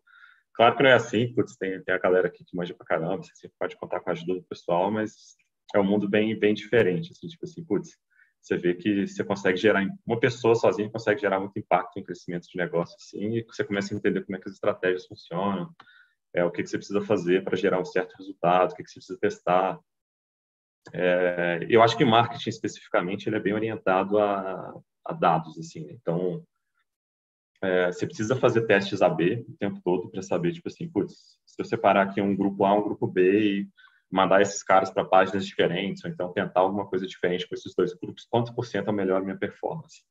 E é basicamente você ir iterando isso com o time, é, putz, você trabalhando com pessoas o tempo todo, né? Tem um time técnico que implementa exatamente as mudanças que você quer fazer, então, tem a galera aqui front-end, né, que poda a parte bonita da página ali, entre aspas, né, a parte dos eventos. tem a galera back-end que trabalha com APIs e gravar dados, etc. E tal. Tem designer que desenha experiência. Você precisa fazer um meio de campo de conectar todos esses times para desenhar a experiência e testar, né? Claro, tipo assim, putz, você precisa medir todas as métricas que você vai usar para testar se você gerou resultado ou não. É, então, é bem data-driven, assim. Pelo menos o nosso approach aqui é bem data-driven, assim, né? Tipo, putz, vamos testar e medir, ver o que, que faz sentido, o que, que não faz. É, eu fiquei nessa operação durante algum tempo, fiz várias coisas diferentes de mídia, né? Facebook, Instagram, Google, e-mail, enfim, provavelmente receberam algum spam meu aí por e-mail durante esse período aí. É, depois surgiu a oportunidade de trabalhar remotamente para a RV de Charlotte, lá nos Estados Unidos. Então, começou a pandemia, né, então não podia ir para lá, é, então acabou ficando remoto, mas foi basicamente para trocar growth também, só que nos Estados Unidos, assim, porque a gente fazia muito bem aqui no Brasil, era um modelo de negócios lá que o pessoal não estava muito acostumado nos Estados Unidos, que o modelo lá é um pouco diferente, eles queriam testar. Então, putz, a gente passou com marcas bem fortes lá, assim, tipo, tinha uma marca lá, por exemplo, que chamava Bankrate, uma, uma marca que a RV pagou um bilhão de dólares para comprar, que é basicamente um marketplace gigante de serviços financeiros. Acho que quem já estudou fora, morou fora, provavelmente talvez já usou o Bankrate para procurar hipoteca, empréstimo, seguro, alguma coisa do tipo. E basicamente é, tocamos growth lá no Bankrate, na parte de seguro de carro, seguro de casa, na parte de hipotecas e várias coisas diferentes para testar o que, que funcionava. É, trabalhamos com o USwitch, que é uma marca do Reino Unido, que a gente tem também, que é basicamente lá no Reino Unido a energia é desregulada, você pode escolher de quem você compra energia, né? Não é tipo assim, putz, preciso comprar da CEMIG. Você pode escolher uma empresa, por exemplo, que usa energia limpa, uma empresa que usa energia nuclear, enfim, você é o cara que meio que escolhe. Então, lá tem um mercado bem grande, assim, de, de, de, de direcionar o consumidor para a melhor escolha de energia possível, né? Que foi um trabalho que a gente fez lá também. É, a gente tocou um business bem parecido no Texas, nos Estados Unidos, de energia também, o mercado é desregulado igualzinho, só que um é no Reino Unido, outro no Texas ali. E também, nada a ver com nada, mas a gente também operou um business de colchão, literalmente colchão para a pessoa dormir. A gente também tentou fazer o business crescer ali. Era um pessoal que tinha um canal no YouTube bem famoso, que a RV comprou também lá fora, e putz, era um pouco para trazer o conhecimento deles de, de, de, de, vídeo, YouTube, etc e tal, e um pouco para a gente tentar crescer o negócio também um pouco mais agressivo ali no, mídia digital. É, e aí foi super legal, tipo assim, putz, falando inglês o dia inteiro, trabalhando com a galera lá de fora, tocando um time lá de fora, né, a galera front-end, back-end lá, putz, experiência bem diferente, super legal, é, super exposição, assim, e no começo do ano, eu voltei para o Brasil, né? sempre estive aqui, mas comecei um trabalho numa mais de consultoria. A gente está fazendo a transformação digital de uma seguradora.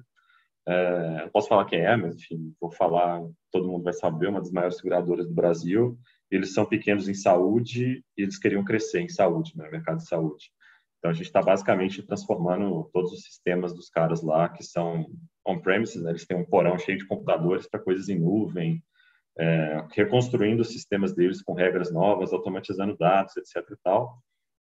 E eu vim para esse negócio para tocar justamente em parte de dados, né? Tipo, fazer a transição do sistema deles de um sistema antigo, bem ineficiente, para uma stack mais moderna e também ajudar os caras a usar os dados deles da melhor forma possível. E, putz, tem sido bem legal, assim, essa parte desse projeto, assim, putz, fazendo coisas do tipo de, cara, sei lá, é, robô para buscar preço dos concorrentes na internet, para a gente ver como que a gente está posicionado em termos de preço do produto, para fazer ter uma visão estratégica de tipo onde que a gente está caro, onde a gente está barato, onde a gente tem margem, para a gente poder brincar um pouco com o preço.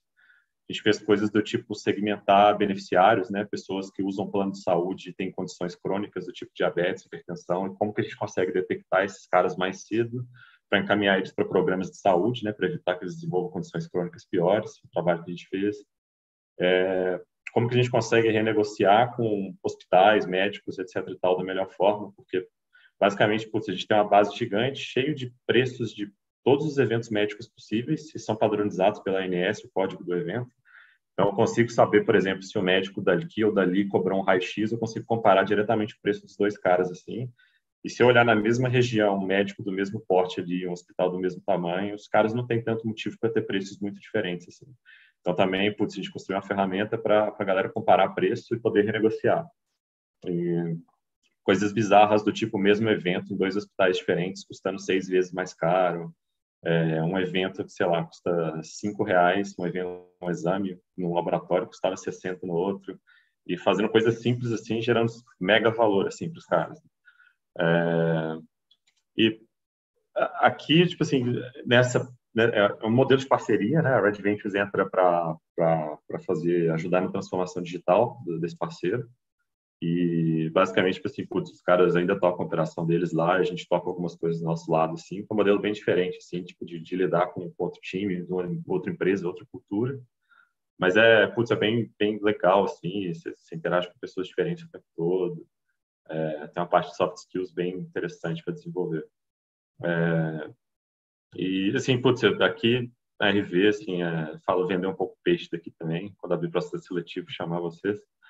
É, putz, é uma empresa grande, tá? A gente tem 5 mil funcionários é, ao redor do mundo, mas aqui no Brasil a gente está com 250, 300 funcionários. É, a gente tem marcas próprias que a gente cria aqui dentro. Então, um exemplo é a 11, que é uma empresa de previdência privada que a gente está criando para tentar vender PrevTech para empresas. Tem o IQ, que é um aplicativo que você pode usar para cadastrar, pagar contas com cartão de crédito. Por exemplo, se vocês têm cartão de milhas, vocês podem cadastrar o IQ para pagar conta de luz, água, gás, etc. e tal, e basicamente gerar pontos para vocês no cartão. É, a gente tem Azules, que é um marketplace de produtos para o empreendedor, que foi outra marca que a gente começou aqui dentro também. E a gente tem essas parcerias, né? A gente teve com a XP, que já acabou, a gente tem essa com a seguradora, a gente tem uma parceria também com o banco aqui, é, então é, tem bastante coisa diferente para fazer. E tem, tem várias carreiras, assim, digamos assim. Putz, tem uma parte de, de dados, que é para onde eu estou jogando minha carreira, que eu gosto. É, mas também, putz, tem a parte de produto aqui. Eu não sei quanto todo mundo conhece de produto, mas, tipo, tem um papel de, de, de ser um gestor de produto, né? Ser um PO, um PM, né? um Product Owner, Product Manager, onde você basicamente tenta desenvolver um produto, um aplicativo, um, sei lá, um, algum produto mais complexo, como um plano de saúde, etc e tal, e quebra esse parte, e você toca um time técnico ali para resolver problemas, né? Você toca a galera de front-end, back-end, galera de designer, gerando métricas de negócio, ter um, ter um caminho mais comercial se você gosta de, de, de ser vendedor e vender as coisas e falar com os caras. É, tem um caminho de growth, que é putz, trabalhar com growth marketing, crescer marcas em alta velocidade e tal. É, e apesar, tipo assim, putz, da gente ser grande e tal, a gente tem vibe bem de startup, assim. É, assim, putz, mega informal, né? Não tem que vestir colarinho, assim, tô, tô de camiseta aqui, de boa no escritório. É, a gente está no modelo híbrido agora, vem para o escritório quem quer. Hoje eu tinha umas coisas para fazer aqui, eu acabei vindo assim, mas, tipo, putz, a gente tem um modelo 100% remoto aqui também. É, enfim, putz, às vezes, se você se interessar em ser desenvolvedor ou mesmo trabalhar com, com negócios, tem esse modelo assim também. Quiser ficar, tipo, em BH e trabalhar aqui, existe essa oportunidade. Eu acho que a melhor parte, assim, é a cultura, assim, tipo assim, putz, a galera daqui é, é muito foda, é, a galera é cabulosa, assim, a galera é gente boa também, gostoso de trabalhar, que eu acho que é talvez um pouco difícil de encontrar em empresas muito grandes, muito consolidadas. É, eu acho que é um negócio que você encontra startup, é que a gente tem um pouco dos dois, né? Porque a gente tem a segurança de ter um gigante ali de, dos Estados Unidos que tem muita grana e tal, mas ao mesmo tempo a gente tem ambiente de startup de tentar coisas novas, né? De empreender, etc. E tal. Então acho que isso é muito legal e muito divertido, assim, e você cresce muito rápido. É, e é isso, assim, putz, eu não vou falar muito mais não, acho que eu já falei demais, vou deixar pro, pro, pro Tiago, né, agora eu vou falar, e depois a gente é conversa o... qualquer coisa. Agora é o, o Mário, o Mário, Mário. O Léo. É, mas é, muito obrigado pela, pelo talk aí pra gente, e aí depois a gente, a gente já tem uma pergunta no, no chat, aí depois da apresentação do Mário, todos vocês podem pegar e comentar um pouco a respeito certo? Fechado. Que a mesa redonda é para isso mesmo. Então, muito obrigado novamente. É, o Mário, acho que maioria de vocês deve conhecer também, mas o Mário ainda é aluno do, do DF de, de doutorado, certo? Já deve estar próximo de, de defender a tese dele. Ele fez a graduação dele na USP, fez o mestrado na, na UFMG e está fazendo doutorado também na, na UFMG, terminando. E Mário também está na área de ciências de dados e pode falar com a gente, Mário. Pode compartilhar sua tela e fala com a gente. Ah, joia, galera. É... Eu estou compartilhando a minha tela ou não? Vocês estão vendo a minha tela, Oi, pessoal? Apareceu, Acho que apareceu. Tá sim. Joia. Beleza. É... Deixa eu dar o início aqui da, da apresentação. Então, boa noite, pessoal. É, em primeiro lugar, obrigado aí da oportunidade de estar aqui nessa conversa com vocês. É, então, vou falar aí um pouquinho da minha experiência, né? É, como o Giovanni disse, eu estou terminando, estou na fase final de escrever a tese, mas desde 2019 eu saí é, em busca né, de, de, emprego no mercado de trabalho normal. Então, desde 2000, de 2019 até meados ali de 2020, eu estava trabalhando numa empresa pequena aqui de Belo Horizonte mesmo, chamada Ion Sistemas. Depois eu fui contratado na Via Varejo, que é a dona das Casas Bahia, Ponto Frio, é, a Zaplog e várias outras, não, várias outras empresas que eu não vou conseguir lembrar, mas que, é, enfim, é uma baita empresa grandona. É, e aí eu queria contar um pouquinho para vocês, né, de como que foi essa experiência para mim. É, bom, antes de eu começar, é, eu acho que tem dois grandes grupos, assim, de motivos, né, que podem levar a gente a procurar um, a gente da física, né, a procurar um, é, um, um emprego normal, vamos dizer assim, né. É, então, vai ter gente que, tipo assim, que acha uma área que gosta, tipo, não, eu gosto de uma coisa mais de engenharia, gosto de uma coisa mais isso, mais aquilo. E realmente é, vamos dizer assim, é, é, é puxado pelo, pela vontade, né, de, de ir para essas outras áreas. Esse aí é o caso legal, é o caso que a pessoa está fazendo o que ela quer e ainda está esse, né, do, do sonho dela e tal. E, por outro lado, acho que também tem as pessoas que, um pouco foi o meu caso, de que, na verdade, é, é, é procura por um emprego foi mais consequência do desinvestimento em ciência que a gente vem tendo no país, né? Então, eu podia juntar um monte de manchetes aqui, que desde vários anos. Então, essa primeira manchete aí de cima é de 2015, já estava tendo um monte de corte. Essa segunda manchete é de 2019, já tinha um monte de corte. Se eu pegar a notícia desse ano, é mais corte ainda, mais corte ainda, mais corte ainda. Então, acho que acaba sendo meio inevitável é, que a gente acaba tendo pouco investimento na ciência em si. E enfim, então acho que também tem esse segundo grupo de pessoas que acaba indo meio porque, tipo, ah, tá difícil fazer ciência, tá difícil seguir na carreira científica, né, e tal. É, outra coisa ainda que eu podia falar para vocês, né, tipo, se, você, se a gente pegasse é, como que bolsa, as bolsas de mestrado e doutorado vão ficando cada vez mais defasadas e tal, também, enfim, é, a única conclusão que você chega é que em breve você, sei lá, não tem como pagar suas contas e manter seu custo de vida e tal. É, e, na verdade, foi meio isso que me motivou a procurar um emprego lá em 2019. É, só que o que começou como uma história meio triste, assim, talvez, é, se transformou. Tipo assim, é, hoje em dia eu gosto bastante do que eu faço. É, acho que meio como o André, talvez eu não, acho que eu não vou sentir muita falta, assim, quando eu terminar o doutorado finalmente. É, enfim, então tem sido um processo que foi muito bacana e tal. É, então, mais pro final da, da da conversa aqui, eu vou falar, voltar assim é, a falar desse ponto, mas enfim, queria só deixar é, um pouco essa pulga atrás da orelha de vocês, de que para muitos de nós que estão na graduação hoje em dia, é, provavelmente vai ser uma necessidade arranjar um trabalho fora da academia. A gente precisa se planejar para fazer isso, porque talvez não vai ter tantas vagas como professor, talvez não tenha tanto investimento em ciência, então todo meio acadêmico vai estar tá em baixa e tal. Então, realmente é uma coisa que a gente precisa é, contemplar essa possibilidade. A gente, né, é, acho que com o passar dos anos vem só caindo a, a quantidade de vagas, etc., né, que possibilitariam a gente continuar no meio científico mesmo. Mas isso não vai precisar ser necessariamente uma experiência ruim ou traumática, e depois eu volto nesse ponto.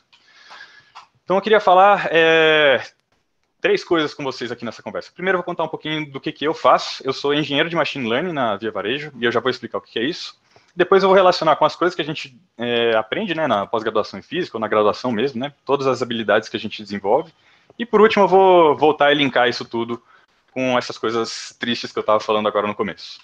Bom, então vamos lá.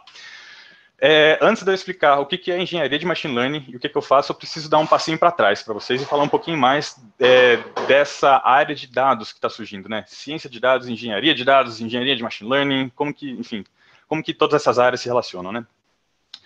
Bom, então hoje em dia a gente tem uma abundância de dados muito grande. É, a gente, quando a gente usa um aplicativo, quando a gente usa um, é, um site, quando a gente usa um, sei lá, é, algum sensor, né? Hoje em dia tem os, essas, né, esses reloginhos que vão medindo, sei lá, um monte de coisa, monitor cardíaco, etc. A gente está gerando dados o tempo inteiro e dá para extrair muito valor desses dados. Muitas empresas, não só empresas, tipo assim, é, o setor público também tem iniciativas nesse sentido mas acho que a gente está, enquanto humanidade mesmo, está vendo como que dá para a gente é, mensurar, quantificar um monte de coisa diferente assim tal e tirar muito valor disso.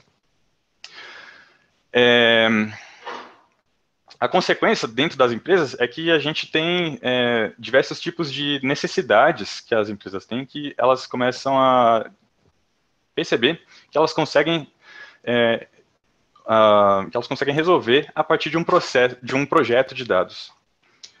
Então, pelo menos na Via Varejo, o ciclo em que isso acontece é mais ou menos o seguinte: tudo começa na área de negócio, que vão ser todas as áreas, vamos dizer, tradicionais da, que você pode ter numa empresa, né? Então tem área de logística, área de serviços financeiros, área de recursos humanos, área de, sei lá, as áreas normais que a gente pensaria, né? Esses caras vão lá e pensam assim, hum, eu tenho esse problema aqui, eu preciso, sei lá, baratear o meu frete, eu preciso na hora que eu vou oferecer um, é, uma venda parcelada, eu preciso calcular melhor quem que tem uma chance alta de, sei lá, não me pagar ou ficar inadimplente. Eu preciso descobrir qual é o maior empecilho no fluxo de trabalho dos meus, dos meus funcionários, enfim, tem todo tipo de questão diferente e muito prática. É, e, aí, e, aí, essa galera vai lá e começa a descobrir que existe algum, sei lá, algum dado que é coletado que pode ajudar é, a resolver esse problema. Então, normalmente, nesse processo de descoberta, a área de negócio vai chamar a equipe de BA, de Business Analytics, ou análise de negócio, né, em português. E aí, a equipe de BA vai ajudar a área de negócio a formular precisamente é, esse problema. Então, por exemplo, ah, beleza, entendi que você quer deixar o frete mais barato, mas como que a gente vai fazer isso na prática, né? Entendi o que você quer fazer, mas como que a gente vai fazer isso? Sei lá, eu vou deixar os caminhões mais cheios, eu vou melhorar as rotas dele para eles gastarem menos combustível, eu vou melhorar minha malha logística, sei lá, abrir mais centros de distribuição, enfim, como que eu vou fazer isso? É, e aí, na hora que esse entendimento já está mais bem fundamentado, tipo assim, é, na hora que já está mais claro como que essa meta vai ser atingida, aí o pessoal vai chamar a área de DS, de Data Science ou Ciência de Dados. A parte Aí na, na, área de ciência de dados, o pessoal vai fazer um modelo mesmo, vai usar técnicas computacionais, estatísticas, é, otimização, redes neurais, todas essas coisas que são muito legais, muito interessantes, para de fato fazer um modelo que vai fazer algum tipo de predição ou algum tipo de, sei lá, é, enfim, tem várias técnicas diferentes, né? Mas vai fazer algum modelo matemático que vai pegar aquele, aquela montoeira de dados, moer esses dados e cuspir uma resposta e auxiliar a área de negócio a resolver o seu problema. Na hora que esse modelo está pronto, que ele está rodando bem, que ele está dando resultados legais, que a área de negócio já deu joinha, assim, falou, hum, tá joia, esse modelo aí, do jeito que ele está, vai resolver tá, o meu problema aqui.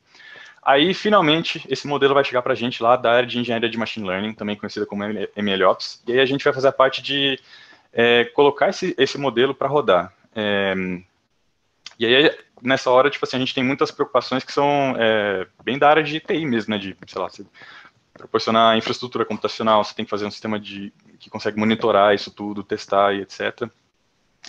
É, enfim, e aí a gente aqui toma esse último passo, né? A gente já pega, o, é, depois que a gente sabe que o modelo está funcionando, a gente bota ele para rodar e na, em toda a infraestrutura computacional que ele precisa rodar. É, essas três últimas áreas, né? Bom, deixa eu dar um passo atrás. É, quanto mais para a direita aqui nessa linha que eu desenhei, mais perto da área de informática você está. Quanto mais para a esquerda, mais perto da área de negócio, né? Enfim, seja ela logística, regar, enfim, é, você estaria. E eu acho que qualquer um que é de uma área de exatas se encaixa muito bem em, principalmente nas três últimas áreas, né? BADS e MLOps. Porque o raciocínio quantitativo é fundamental para isso, e a gente tem muito traquejo para isso. É, então, o que eu queria, assim, é, é, encorajar quem tiver curiosidade, assim, tal, é, eu queria trazer um pouquinho desse sentimento de coragem, tipo assim, você se encaixa bem, você ia, se você arranjasse uma vaga em uma dessas áreas, você ia mandar bem, você ia, ia se divertir um monte, ia se, enfim, é, ia ser muito recompensador. Bom, é, então deixa eu dar uns exemplos um pouquinho mais concretos. Então, às vezes a gente vai estar, tá, é, através desse fluxo todo, é, resolvendo problemas é, que são para o cliente final. Por exemplo, você pode fazer um sistema de recomendação que vai ajudar o cliente a achar os produtos de uma maneira mais fácil pode fazer um, ah, sei lá, é, enfim, tudo que você poderia fazer que o usuário final é, é, quem vai ser o usuário, que o cliente final que vai ser o usuário. É, então, muitas vezes você tem esses tipos de problema, né? Então, uma, sei lá, um sistema que vai rodar junto lá com o front-end no site e fazer alguma coisa.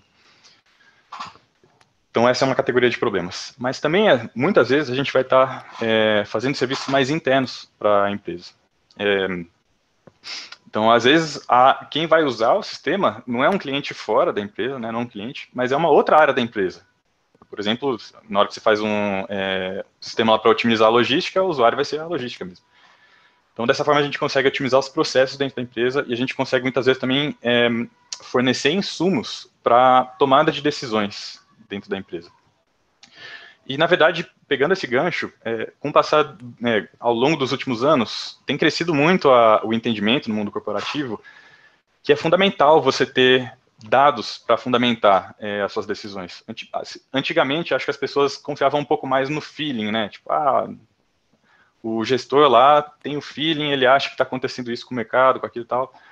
E a gente é ser humano, uma bela de uma hora esse cara ia errar no feeling dele, ele ia ter a impressão errada, e ia tomar decisões erradas. Então, não que o feeling não seja importante, mas ele é um primeiro passo e a gente precisa sempre estar refinando, né, esse feeling para tomar decisões acertadas que correspondem né, à, à, realidade. Então, tem crescido essa coisa que é chamada de cultura de dados. E no fundo, no fundo, é, se a gente tirar essa linguagem de marketing, a linguagem do mundo corporativo, isso é, no fundo, no fundo, é o mundo das empresas descobrindo o método científico. Eles estão descobrindo que para você entender o que você está fazendo, você tem que formular hipóteses, testar elas quantitativamente e refinar o seu entendimento a partir disso. É, enfim. Então, é, tudo isso que, que acontece nesse fluxo está é, tá relacionado com essa cultura, com esse pensamento científico, que a gente desenvolve desde sempre, né, numa, é, especialmente na, na, graduação em física né, e tal, mas é, então isso é muito natural para a gente, a gente faz isso o tempo todo, a gente aprende a desconfiar do que a gente pensa, né, é, desde sempre, a gente está o tempo todo testando, fazendo experimento e tal. Essa é a base, né, acho que do, do nosso, do método de pensar que a gente aprende, né, ao fazer física, e isso é muito valioso, né, para para as empresas e tal. Então, é uma coisa que a gente consegue contribuir enormemente, que a gente consegue levar essa, esse modo de pensar e tal, e a gente consegue contribuir muito para mudar esse tipo, né, para levar esse pensamento para fora. Bom, só para arrematar, então, é, então, normalmente quando você tem um projeto de dados, um projeto de machine learning, você vai ter o ator principal, que é o código de machine learning ali, que ele vai ser feito pela equipe de data science, mas é, para chegar nele também tem muitas discussões com a área de negócio, com a equipe de BA, e esse é o coração do sistema, esse aí é o ator principal. É, mas, para ele rodar bem, a gente precisa colocar vários elementos para garantir que ele tenha as condições de, é, de fazer a mágica que ele tem que fazer. Então, a gente precisa da infraestrutura, infraestrutura computacional, a gente precisa fazer teste, debug, a gente precisa é, automatizar um monte de passos na hora que a gente vai colocar esse cara para rodar, a gente precisa monitorar se ele está rodando bem, né? se ele parar de funcionar por qualquer razão que seja, a gente tem que saber para poder ir lá e resolver, em vez de descobrir só dali um tempão que, nossa, ele não rodou e, sei lá, perderam-se milhões de reais. É, e todas essas outras é, responsabilidades acessórias, é, normalmente quem vai fazer é a equipe de engenharia de machine learning. Então é com esse tipo de coisa que a gente mexe, a gente pega um, o código, o ator principal, e coloca todos esses acessórios ali para garantir que ele vai estar tá rodando bem e rodando é, certinho, e a gente vê ele, né, é, sei lá, é, quando a gente termina de fazer esses processos todos, é quando a gente vê ele, vamos dizer assim, ganhando vida, né? É a hora que a gente vê ele rodando, gerando resultado e tal. É, é muito gratificante também, né? É, eu, pelo menos, sempre fui uma pessoa que gostava de ver as coisas funcionando na prática, né? Enfim, então é, é, muito recompensador trabalhar nessa última etapa, né? De que a gente faz o deploy e tudo e ver a, a, né, a coisa funcionando ali na realidade. Então é isso que faz um engenheiro de machine learning, é isso que eu faço no meu dia a dia. É, e aí, daqui a pouco, se vocês quiserem, a gente pode, sei lá, entrar em algum detalhe aí que vocês tiverem curiosidade. Mas agora eu queria falar um pouco das habilidades que a gente desenvolve ao longo da nossa carreira em física e que são muito valiosas para esse contexto todo. Isso aí o pessoal já falou, né? É, falou, enfim, todos aí que falaram antes de mim já deram né, uma ótima ideia do que acontece, então vou passar um pouquinho mais rápido. A gente é muito bom de conhecimento quantitativo. A gente está o tempo todo, o tempo todo na física, pensando em como uma quantidade se relaciona na outra. O que, que aquela quantidade significa no mundo físico, no mundo real. Isso aí é, sei lá, está nas nossas, tá nas nossas entranhas. A gente faz isso o tempo todo. Isso é fundamental para essas áreas que a gente, é, para isso que eu, da, das áreas de dados. A gente está trabalhando com dado quantitativo o tempo todo. Então, essa é uma facilidade que, é, que ajuda muito. A gente também é muito bom em formular os problemas de uma maneira precisa, entender os detalhes intrincados daquele problema, entender como as coisas se relacionam, daquela famosa, tipo assim, pera lá, deixa eu pensar com calma e entender de cabo a rabo o que está acontecendo aqui. É, e isso é muito, muito valioso, assim, para você fazer, o, normalmente, o, o é, implementar o, última, as últimas etapas, assim, é, de uma solução, de um problema que você esteja resolvendo, é aí que está o, o diabo, né? O diabo está nos detalhes. Então, nessa hora que você vai ver é, todo tipo de, lá, problema, de incompreensão surgindo, e, enfim, mas a gente é bom em lidar com isso, em, em reformular as coisas e, e, reentender melhor o problema. E a gente também é muito bom em, em pesquisa. É, a gente é bom em aprender uma coisa que a gente não sabe fazer ainda. A gente consegue levantar toda uma bibliografia, sei lá, seja curso, seja livro, seja artigo, seja esse montão de coisa, a gente consegue ler essas coisas, entender e transformar em algum entendimento. A gente tem facilidade em fazer isso. A gente meio que tem que fazer isso desde sempre, né? Desde aquele primeiro curso lá que, a gente tem aquele professor carrasco que dá uma aula de má vontade e cobra super, coisa super difícil na prova e, enfim, a gente acaba aprendendo a se virar meio na marra, né? A fazer esse tipo de coisa. Mas depois disso também, né, lógico, quando a gente está na pós-graduação, a gente está envolvido em um, em um projeto de pesquisa mesmo e tal, e isso aí é fundamental, né, para a gente propor uma solução nova que ainda não, não existe, né, e dar uma contribuição para o conhecimento, a gente tem que ver o que, é que já foi feito, entender bem aquilo e tal. Então a gente é craque em fazer isso. É, a gente também é muito bom de construir as próprias ferramentas. É, então eu tenho certeza que, independente da área da física que a gente segue, então, se você está numa área teórica, você vai se, é, você vai se virar para fazer um acabouço matemático e formular bem um problema, entender a matemática por trás de um fenômeno e tal. Se você é da área experimental, você está o tempo todo ali vendo como é que você monta uma coisa no laboratório ou não. É, putz, muitas vezes, né, no Brasil a gente não tem tanto recurso assim, então a gente tem que ficar ali tirando leite da pedra e tal, é, e pensando em como que a gente faz aquilo com os recursos que tem disponíveis. Se você é de uma área mais computacional, a gente está programando o tempo todo, vendo o código que já existe, adaptando ele para o que a gente precisa fazer. Então, isso é natural da gente, isso é do nosso dia a dia também. O, o grande projeto que a gente está trabalhando lá na nossa equipe agora, lá na Vivarejo, é uma coisa que chama esteira de deploy. Então, para a gente pegar aquele é, projeto de machine learning e botar ele para rodar, tem muitas etapas que a gente já entendeu como é que faz. A gente já é, a gente já fez ela manualmente muitas e muitas vezes, já entendemos todo o contexto que precisa. Então agora a gente quer automatizar isso daí para, vamos dizer assim, para economizar nossa paciência, para economizar nosso tempo, e aí a gente pode fazer outras coisas mais legais também. E essa esteira é uma coisa que ninguém, nenhuma companhia sabe exatamente como fazer. Você pode procurar na internet, você pode ir em, em congresso, em, enfim. Todo mundo sabe fazer alguns pedaços, mas juntar os pedaços é difícil. E ninguém tem uma solução pronta para isso. E é um contexto muito parecido com a pesquisa científica. Quando você está resolvendo um problema novo, que ninguém resolveu ainda, não, não, tem nenhum lugar que você pode ir lá e ler no livro e ver como que é a solução, ou no artigo e tal. Você tem que é, ter essa autonomia de ir lá e criar suas coisas. E, então esse é o tipo de, é, né, só para dar um exemplo, é um tipo de coisa que a, essa, essa atitude bem autônoma, é, eu, eu vejo que me ajuda muito assim no, no dia a dia.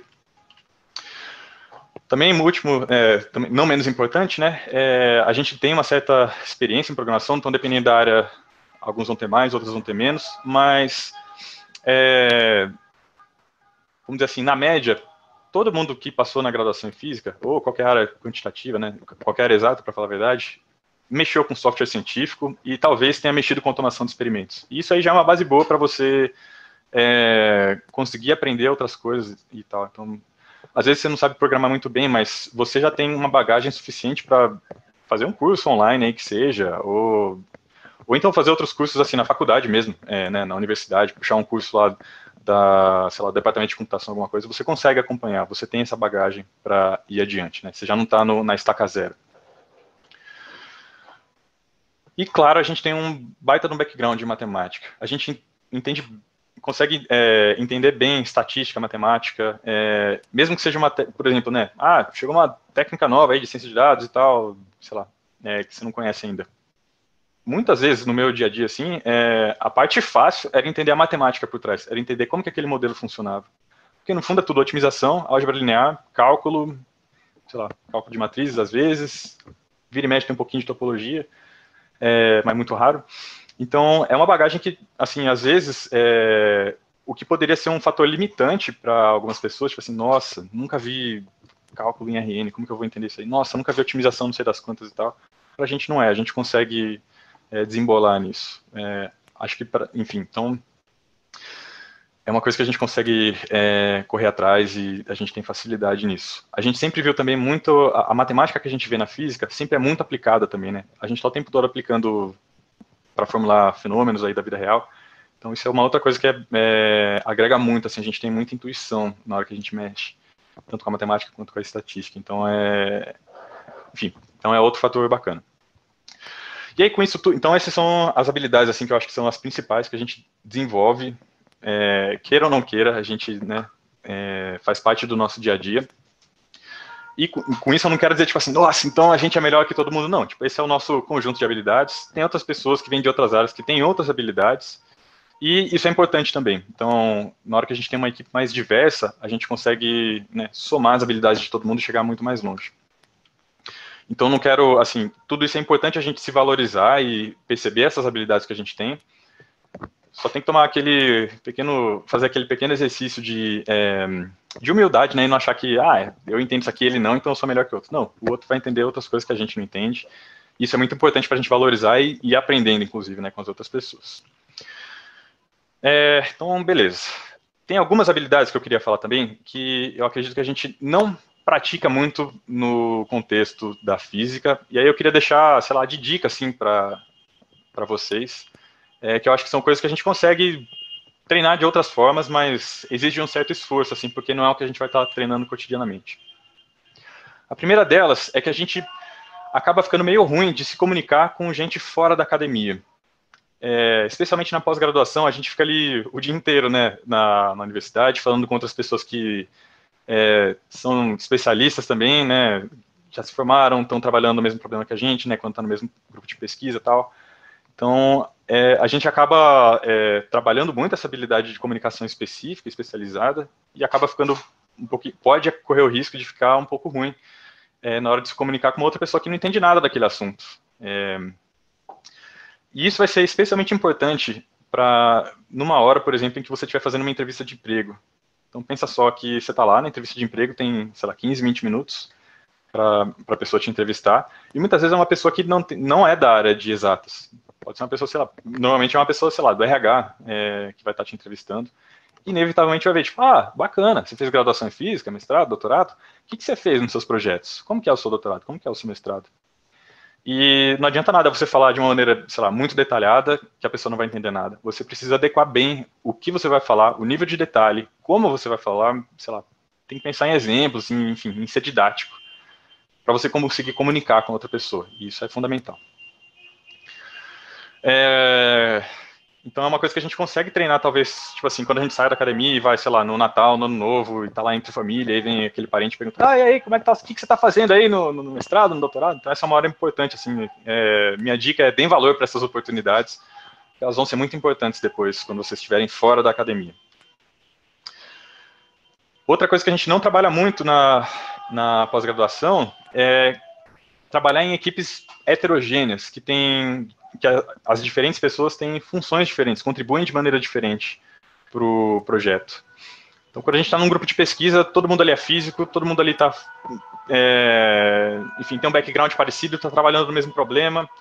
O que muda muitas vezes é o nível de experiência, né, o nível de senioridade, né, então, tem a pessoa que está na iniciação científica, a pessoa que está no mestrado, a pessoa que está no doutorado, às vezes tem um pós-doc também, e muitas vezes você, o que você faz é pedir ajuda, tipo, nossa, fulano, vem me ajudar aqui, como, me ensina a fazer essa coisa assim tal. Mas no fundo é muito mais homogêneo dentro da academia, né? A forma como as maneiras, a forma como as equipes são montadas, do que fora da academia. E então isso é uma coisa que a gente precisa é, mudar um pouquinho o nosso jeito de pensar também. É, a gente precisa ver, muitos projetos não vai ser só a parte técnica que vai resolver. Você pode fazer uma parte técnica super boa, mas se ela não estiver alinhada com a necessidade da área de negócio, não vai adiantar nada. Então você precisa ter uma comunicação constante, você precisa ter é, essa habilidade assim em se comunicar, em explicar bem o que você fez e entender o que, que a outra pessoa precisa que seja feito. Isso é fundamental. E por último, a gente também na, na academia acaba desenvolvendo uma maneira de trabalhar que é uh, que eu acho que acaba sendo meio assim, a gente traça uma meta, a gente traça um objetivo, ah, o resultado que eu quero chegar é esse, a medida que eu tenho que fazer no laboratório é essa, o programa tem que fazer isso, a teoria tem que, é, a, a, formulação teórica tem que, sei lá, chegar nesse resultado aqui e tal. E a gente vai lá e fica trabalhando e rastejando e, enfim, é, fica trabalhando até chegar naquele ponto. E muitas vezes vai ter vários imprevistos vai, é, no meio do caminho. Mas aí a gente segue tentando, segue tentando, segue tentando. É, o contrário de fazer isso seria a gente fazer as coisas de uma maneira mais iterativa. A gente estabelece um objetivo, tal, mas a gente começa a apresentar os resultados e ter comunicação e ter feedback desde sempre, assim, é uma, é uma comunicação mais constante, sei lá, você pode fazer uma reunião semanal com o pessoal que está no projeto, assim, tal. Isso é muito importante para você ter uma certa manobrabilidade naquilo que você está fazendo. É, porque às vezes acontece isso, muda alguma coisa de contexto, às vezes, é, conforme vai avançando é, no entendimento do problema, a gente entende que, nossa, lá atrás eu tinha pensado uma coisa que não é verdade, então, sei lá, o problema é outro, é diferente, é, enfim, você tem um entendimento mais profundo, e aí você precisa é, ter essa manobrabilidade, assim, para conseguir né, levar o, o projeto até o final. Então, essa é uma maneira que a gente não trabalha, assim, pelo menos eu, na minha experiência, não trabalhei muito assim na, na, na pós-graduação. É, e acho que é a maneira mais comum de se trabalhar fora do mercado de trabalho. Então, tem essa, é, então, tem essa diferença na maneira de trabalhar também. Lógico que, assim, é, não tem nada escrito, não tem uma regra na pós-graduação que impede a gente de fazer isso, então, às vezes, sei lá, né, pode ficar até de sugestão, às vezes, é, trabalhar dessa, combinar com o orientador, com o orientador de trabalhar um pouco mais dessa forma, assim, pode valer muito a pena que já facilita, acho que, a, a mudar essa maneira de pensar. Então, essas, eram, essas eram as habilidades, desculpa, gente, é, essas eram as habilidades que eu queria falar que a gente não treina muito bem e deixar essa dica aí para vocês. Agora, para arrematar isso tudo, então, como que isso tudo que eu falei da engenharia de machine learning, dessas habilidades e de que a gente e do fato de que a gente é capacitado para exercer essas funções fora do, da academia, é, como que isso se relaciona com aquilo tudo que eu estava falando lá no começo, aquela história triste de que a gente não está tendo um, né, um é, investimento adequado é, na, na ciência, né, de uma maneira geral, aqui no Brasil. Bom, quando a gente faz essa transição para fora da academia, eu acho que a gente tem dois grandes frutos para colher. É, a nível individual, a primeira coisa que você vai notar é, quando você for para o mercado de trabalho, é que você vai ter uma remuneração muito mais adequada. Né? A bolsa de mestrado, a bolsa de, pós, de doutorado, elas estão muito defasadas. É, e muitas vezes isso aí é impeditivo também, é, né? porque afinal de contas, no final do mês, tá, os boletos chegam, é, então se você não consegue se manter com uma bolsa de doutorado, com uma bolsa de mestrado, vai ficar difícil você é, levar, né, você terminar o seu projeto de mestrado ou de doutorado. A gente, infelizmente, né, a gente não consegue viver só de satisfação e de amor pela ciência. É, então, se a gente não está conseguindo ter uma vida financeira minimamente, é, minimamente adequada, é, não tem como a gente levar até o fim os projetos. Então, normalmente nos, né, no mercado de trabalho você vai ter três níveis assim, né, de senioridade na hora que você entra no, no, na vaga. Você vai ter as vagas que são júnior, as vagas que são pleno e as vagas que são sênior, né, em nível crescente de experiência. Se você pegar uma vaga de júnior, que é a vaga de entrada, que normalmente é uma vaga que, sei lá, normalmente as pessoas que estão terminando a graduação, é, elas entram numa vaga júnior, é, você já entra ganhando 3 mil reais, que é bem mais do que a bolsa de doutorado, que é 2.200.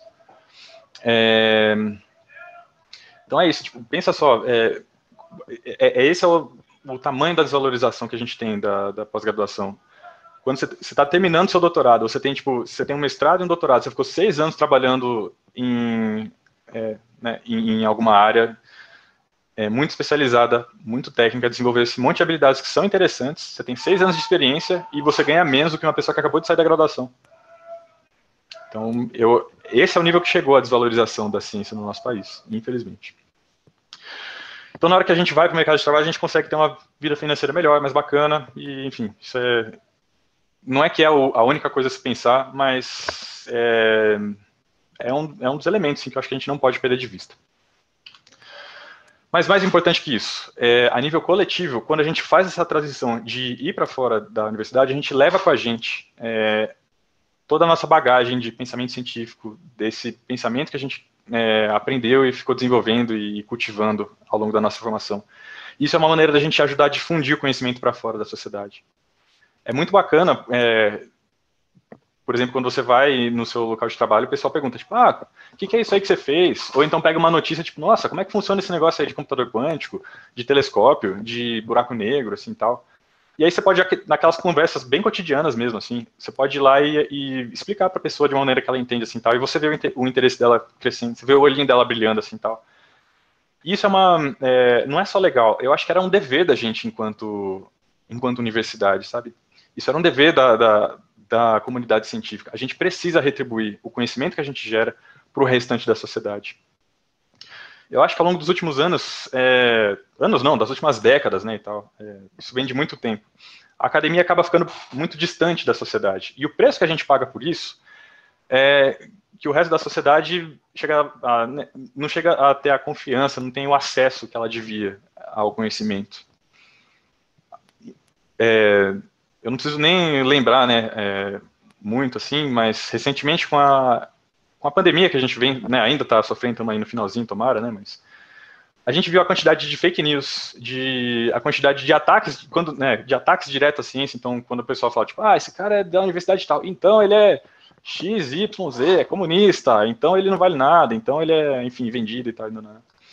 A gente viu o tanto de políticas públicas que não tinham o mínimo de embasamento lógico, de embasamento na realidade o fato dessas coisas existirem é, acho que é um grande sintoma dessa distância que a academia acabou criando com o resto da sociedade.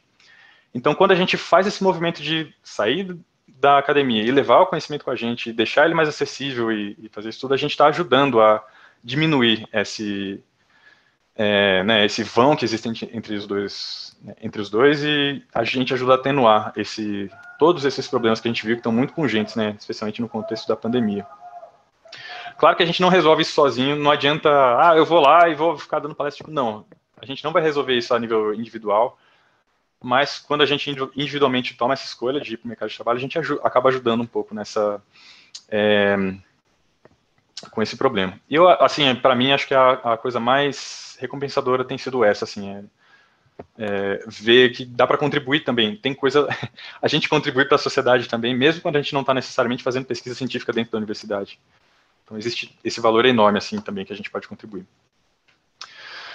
É, então meio que é isso que eu tinha para falar para vocês, pessoal. É, espero que vocês tenham gostado. O meu testemunho pessoal que eu queria deixar era meio esse, assim, eu sempre fui um, um, apaixonado, assim, por ciência, o que eu queria seguir, assim, né, se você me perguntasse, na graduação, no mestrado, ou até antes de 2019, acho que meu grande sonho era seguir na carreira científica, eu queria fazer pesquisa mesmo e tal. É, mas em 2019 eu fiz as contas lá, botei a, o meu orçamento, né, do, na, na ponta do lápis, e eu vi que quando eu fosse ter o reajuste de aluguel, em janeiro de 2020, a bolsa ia ser insuficiente para cobrir meu custo de vida. Eu morava numa república super simples, ali no Ouro Preto, é, com meus amigos aí da, da física também. Não tinha de forma nenhuma uma vida luxuosa assim tal, e não ia dar para cobrir, enfim, então eu vi que eu ia ter que fazer essa mudança.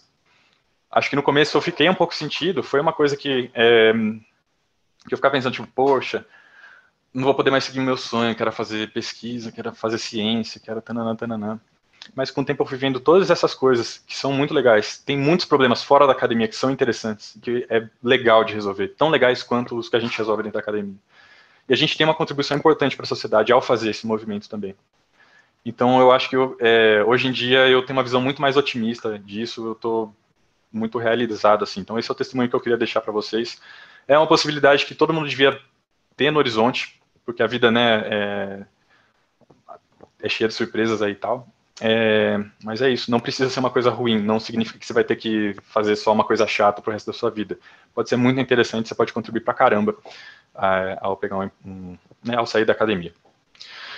Então é isso, galera. Então, muito obrigado pela atenção de vocês. Espero que vocês tenham gostado. E aí eu deixo eu devolver a palavra então para o Giovanni. Bom, muito obrigado, Mário. É, bem esclarecedor aí ao, alguns pontos importantes sobre o que, que a gente, apesar dos outros palestrantes anteriores terem dito o que, que a gente tem de, de qualidade, você ainda acrescentou falando o que, que a gente precisa trabalhar, né? Algumas coisas que a gente ah, não, não, não desenvolve bem assim durante a, a vida acadêmica, né? É, o Renan, ele começou fazendo uma primeira pergunta que eu acho que é o que todo mundo gostaria de saber, porque assim, para o pessoal que já tem as carreiras que já vão direto para o mercado de trabalho, eles enfrentam o dilema que para ter emprego você precisa ter experiência, mas para ter experiência você precisa ter emprego, né? Então, começando pela Isabela, que foi para a área de energia solar, é, como é que a, a, gente gostaria de saber de cada um de vocês como é que foi a experiência para conseguir o primeiro emprego? Na realidade, eu eu fiz o Ciências Sem Fronteiras, né? E no Ciências Sem Fronteiras eu, eu convivia só com um aluno de engenharia. E eles já demonstravam um desespero muito grande para, na hora que voltar para o Brasil, arrumar um estágio. E eu meio que comecei a ficar um pouco contaminado por esse desespero. Eu falei, gente, eu também quero um estágio, pelo amor de Deus. É, e aí eu trabalhava eu, de iniciação científica, né? Eu trabalhei toda a minha graduação com o professor Paulo Sérgio, trabalhando com semicondutores, e eu sempre tive crises existenciais, fiz inscrição no Enem todos os anos da minha graduação, enfim. É, e eu, eu, eu queria até parabenizar o Mário, porque ele falou exatamente o sentimento que eu tive, é, tanto de frustração de aplicabilidade, vamos dizer assim, quanto financeira mesmo porque a gente, né, eu namoro o Tiago, o Campô, todo mundo sabe, a gente é casado, é, e a gente, e eu sempre vi ele sofrer muito no, na, na academia, e eu sempre fiquei, gente, não quero isso para mim. E aí, é, no mundo corporativo, tem muito quem indica, né? Então, eu acabei conhecendo um amigo do meu pai, que estava que estava começando com uma startup de biogás. E aí eu falei, ah, deixa eu trabalhar com você. E aí ele, ele me falou, então vem. É, ele não é físico, mas ele tem o grau de loucura que a gente tem, assim, de pensamentos, tipo, megalomaníacos e tal. E aí eu comecei a trabalhar com ele, na verdade, foi numa planta de biogás. Então, ele me, ele me ensinou o beabá da engenharia. E a partir daí eu fui conhecendo pessoas e comecei nesse projeto da Remote, né? Conheci os sócios, os investidores e comecei nesse projeto mas eu participei de outros processos seletivos de banco, de é, data scientists. Eu até, acho que foi em 2018 ou em 2019, eu fiz uma, uma palestra para os calouros no seminário de física, o Zé Guilherme me chamou, e é, eu lembro que durante a minha graduação teve, uma, teve um seminário de física justamente sobre va vagas para físico. Então, eu quis mostrar para os calouros dessa, dessa turma, né? Que era possível. Então, por exemplo, eu mostrei várias, várias vagas no LinkedIn que, que contratam físicos. Então, eu mandei vários currículos e, assim, meu primeiro emprego foi meio que quem indica, né?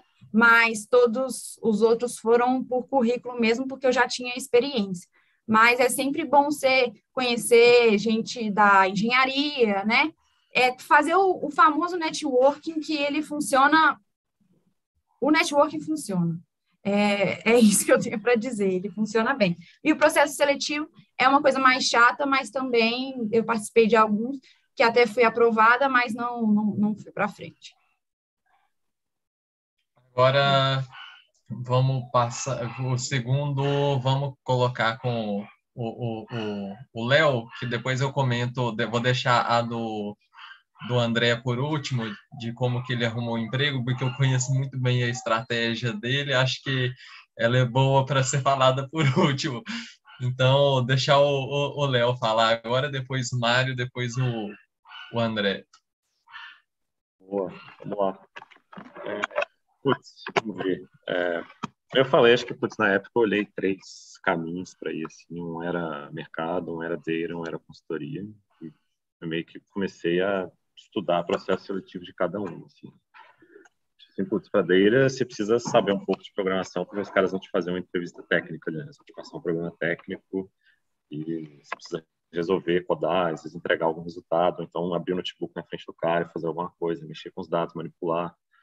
É, então, putz, sei lá, acho que eu, você se prepara desse jeito. Para mercado, você precisa conhecer um pouco de mercado. Na minha graduação, participei do Finance Club da UFMG, então eu gostava, eu tinha um pouco de conhecimento e tal. Então, tipo, putz, na hora de falar com a galera do banco, assim, você sabia o que é curva de juros, o que é Selic, o que é DI, um monte de coisa. Acho que isso ajuda um pouco o teu conhecimento prévio.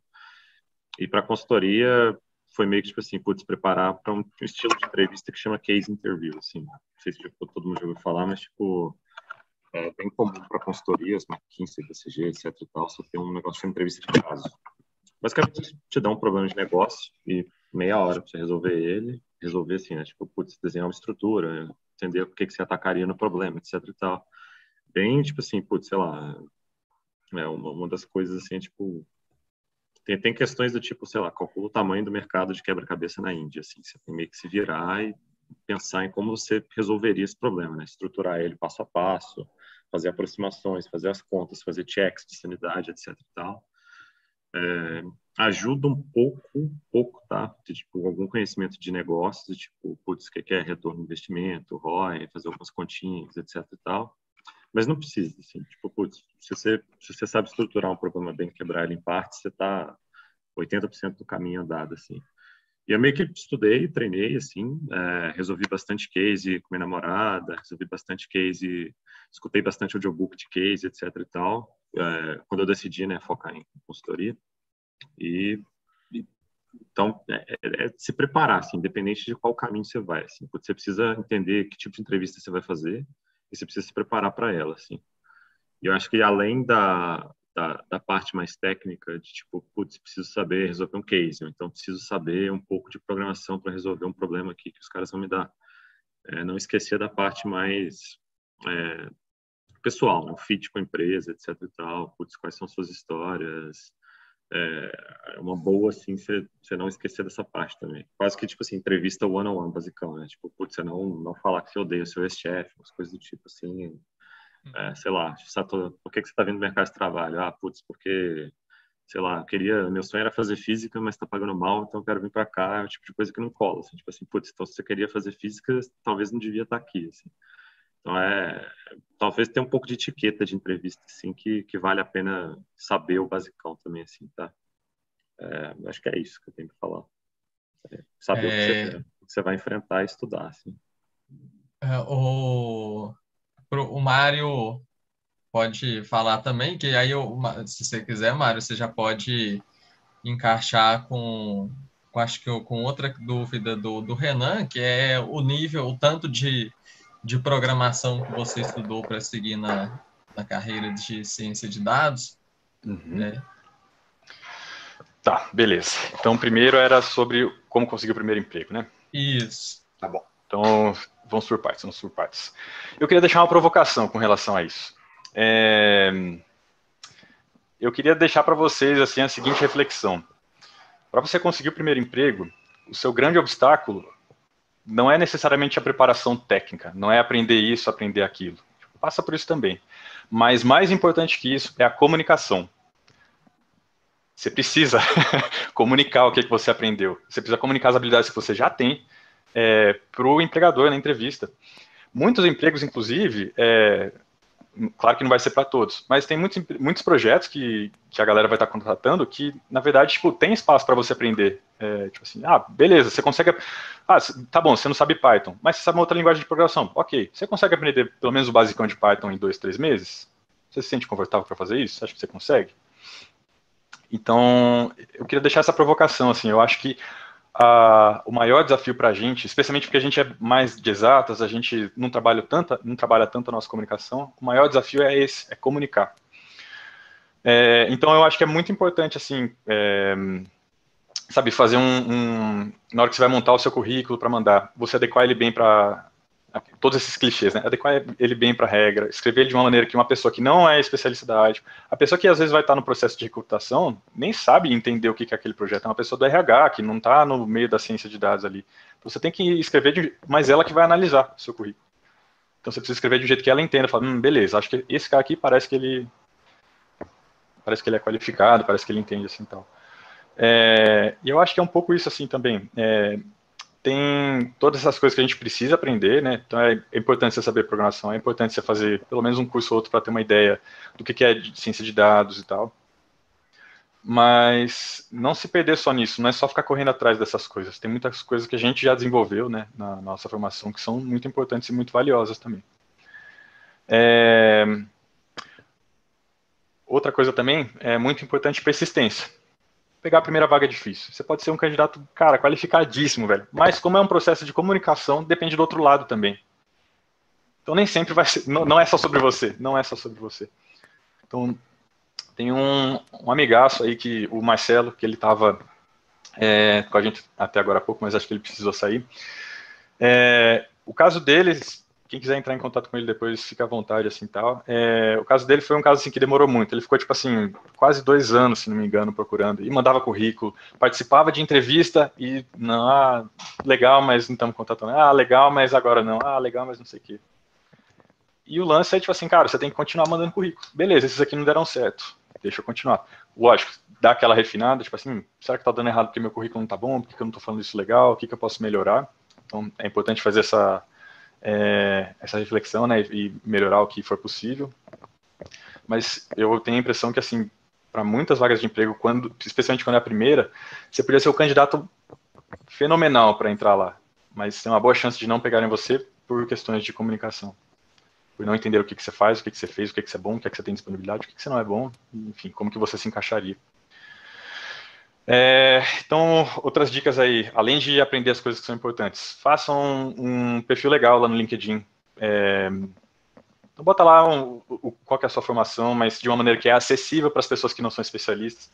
Não adianta você sair falando tipo, com todos os detalhes do seu projeto de mestrado, de doutorado. Não é que ele não é legal, ele é muito legal. Mas para a maioria das pessoas que vai estar passando ali no seu perfil, elas não têm nem bagagem para entender se você escrever numa linguagem muito especializada. Então faz de uma maneira que é acessível, que as pessoas conseguem entender. É, se alguém tiver curiosidade, fala assim, hum, ah, ele fez tal coisa de informação quântica. Hum, de, ah, sei lá, mas é uma pessoa que entende de informação quântica. Ele pode vir te mandar uma pergunta, mandar um direct, assim, tal. Então, pensa que é uma... O seu currículo é tipo uma página inicial de apresentação. A partir dali que você pode aprofundar. Mas aprofundar logo de cara não é uma boa estratégia, assim, de comunicação. Eu acho que é super importante também fazer um portfólio além do, do currículo. Então, se você estiver fazendo algum curso de programação em Python, algum curso de data science, algum qualquer curso desse aí que você esteja fazendo, vai fazendo um portfólio em algum lugar também. Monta um site no, no Google Sites, monta um repositório no GitHub e coloca isso de uma forma que você pode linkar lá no seu currículo e aí a pessoa pode ver, entrar, ver o que, que você fez. É, então isso aí eu acho que é bem valioso também. Então, bom, então para pegar o primeiro emprego é meio isso. Melhora a comunicação, é, faz um portfólio legal, faz um currículo legal e seja persistente. Vai ser demorado, vai ser difícil e não é sobre você, é sobre o outro lado também, que muitas vezes é, dificulta né, a, a, gente se comunicar. É, e sobre a segunda era quais coisas que a gente precisa aprender, né? Linguagem de programação, etc. O nível de programação, né? Isso, o nível de programação. Você é iniciante, intermediário, né? Porque a, a, o que a gente pensa é sempre o avançado, né? A gente está uhum. tão acostumado a achar que tem que ser bem entendedor do que a gente faz que as, a gente é. até passa do ponto, né? É, não, a gente é bem perfeccionista nesse sentido, né? Bom, é, eu acho que isso daí varia bastante para é, para qual área você está querendo entrar. Se você estiver, por exemplo, entrando na área de BA, eu acho que, cara, nível iniciante é ok. Você estiver pegando uma vaga júnior de BA, você não precisa saber horrores de programação. Você tem que saber a sintaxe básica ali de, de alguma linguagem, por exemplo, Python. É, você tem que conseguir, tipo assim, pensar computacionalmente. Se alguém te der um problema, tipo, ah, resolve isso daqui desse jeito. Você tem que conseguir tipo, quebrar o problema, o problema em pedacinhos menores, fazer as funçõezinhas, pensar que é input, que é output, como que elas vão se encadear. Mas é, de verdade, assim, a minha experiência é, tipo, eu acho que com os cursos que a gente faz de, de computação ao longo da graduação, você já tem uma base ok para pegar, por exemplo, uma vaga de júnior na área de BA. Mas a área de BA é a que menos pega, né, menos que mexe com programação. Se você for para data science, aí eu acho que já precisa ser uma coisa mais intermediária.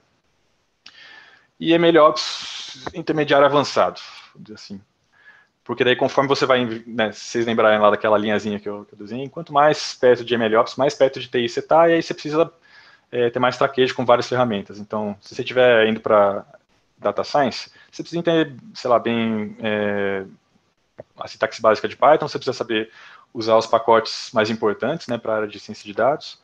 Se você for para MLOps, é muito importante você saber também, sei lá, Linux, é, saber mexer com Git, né, versionamento de é, controle de versionamento, é importante você pensar bem, tipo assim, na infraestrutura computacional, então como que a máquina aqui, ah, essa máquina não está dando conta, e aí, o que, que eu preciso? Mais processador, mais processador, mais RAM, é paralelizar em várias máquinas, em vários workers, isso é fundamental. Como que elas se comunicam, sei lá, saber um pouquinho de web. É, então é isso. Se você tiver um conhecimento básico, eu acho que dá para você ir mais para a área de BA, por exemplo. E é super bacana também, você vai estar junto com a área de negócio, você vai estar é, não, eu não, quero, não é só porque as, mais, não é só porque BA sabe menos de programação que BA não sabe nada, tá? Não é nesse sentido que eu estou falando. Estou falando especificamente no que existe programação. Então é isso. É, mas é aquela coisa, quanto mais você souber, se você tiver facilidade, se você gostar, quanto mais você tiver disposição, quanto mais der, vai fundo. O que eu daria assim de, de caminho das pedras é primeiro você aprender o básico da, de alguma linguagem. Python é uma lingu linguagem muito boa para começar. Eu, eu, a primeira linguagem que eu aprendi foi C, lá na graduação. Depois eu aprendi C++, mas Python é muito mais... Ah, é muito mais legal, é muito mais legível. Então, essa é a, se for começar... Cara, Python é uma ótima linguagem para começar, manda bala. Não é só porque é clichê, ela é boa mesmo. Depois que você aprendeu bem a sintaxe de Python, você já está confortável de, de, de, programar ali, é, aí eu acho que o próximo passo é você aprender bons princípios de programação. Tem um livro fantástico que chama Engenharia de Software Moderna, que é um professor aí do DCC da UFMG mesmo, que ele escreve. Eu não vou lembrar o nome dele agora, mas vocês podem me cobrar, eu mando o link. O livro está inteiro de graça na internet, é, você acessa ele na web, assim, tal. E a engenharia de software é a área que, né, da, da computação que se preocupa em fazer é, o software ser mantenível, você conseguir escrever um software que você consegue mudar ele depois sem quebrar tudo e tal. E esse é o próximo passo, assim, acho que na evolução da, de, de você programar bem. Você não só resolve o problema, você resolve ele bem, de uma maneira que dá para você mudar, de uma maneira que é, enfim, que é elegante, vamos dizer assim. E aí, nesse, nesse tópico, tem, se vocês procurarem por princípios SOLID, S-O-L-I-D, SOLID de sólido em inglês mesmo, é, são esses os princípios assim que são muito importantes para a gente criar bons hábitos de programação. É, e aí, meio junto com isso, começar a aprender orientação a objeto também. Mas Solid e orientação a objeto já é, tipo assim, coisa que vai ser importante, acho que mais se você estiver querendo uma área, é, uma vaga de engenheiro de machine learning. Se você estiver em data science, não é obrigatório. Se você souber, é melhor, mas não é obrigatório, obrigatório. Então, acho que é meio isso que eu tinha para dizer nessas duas perguntas, galera.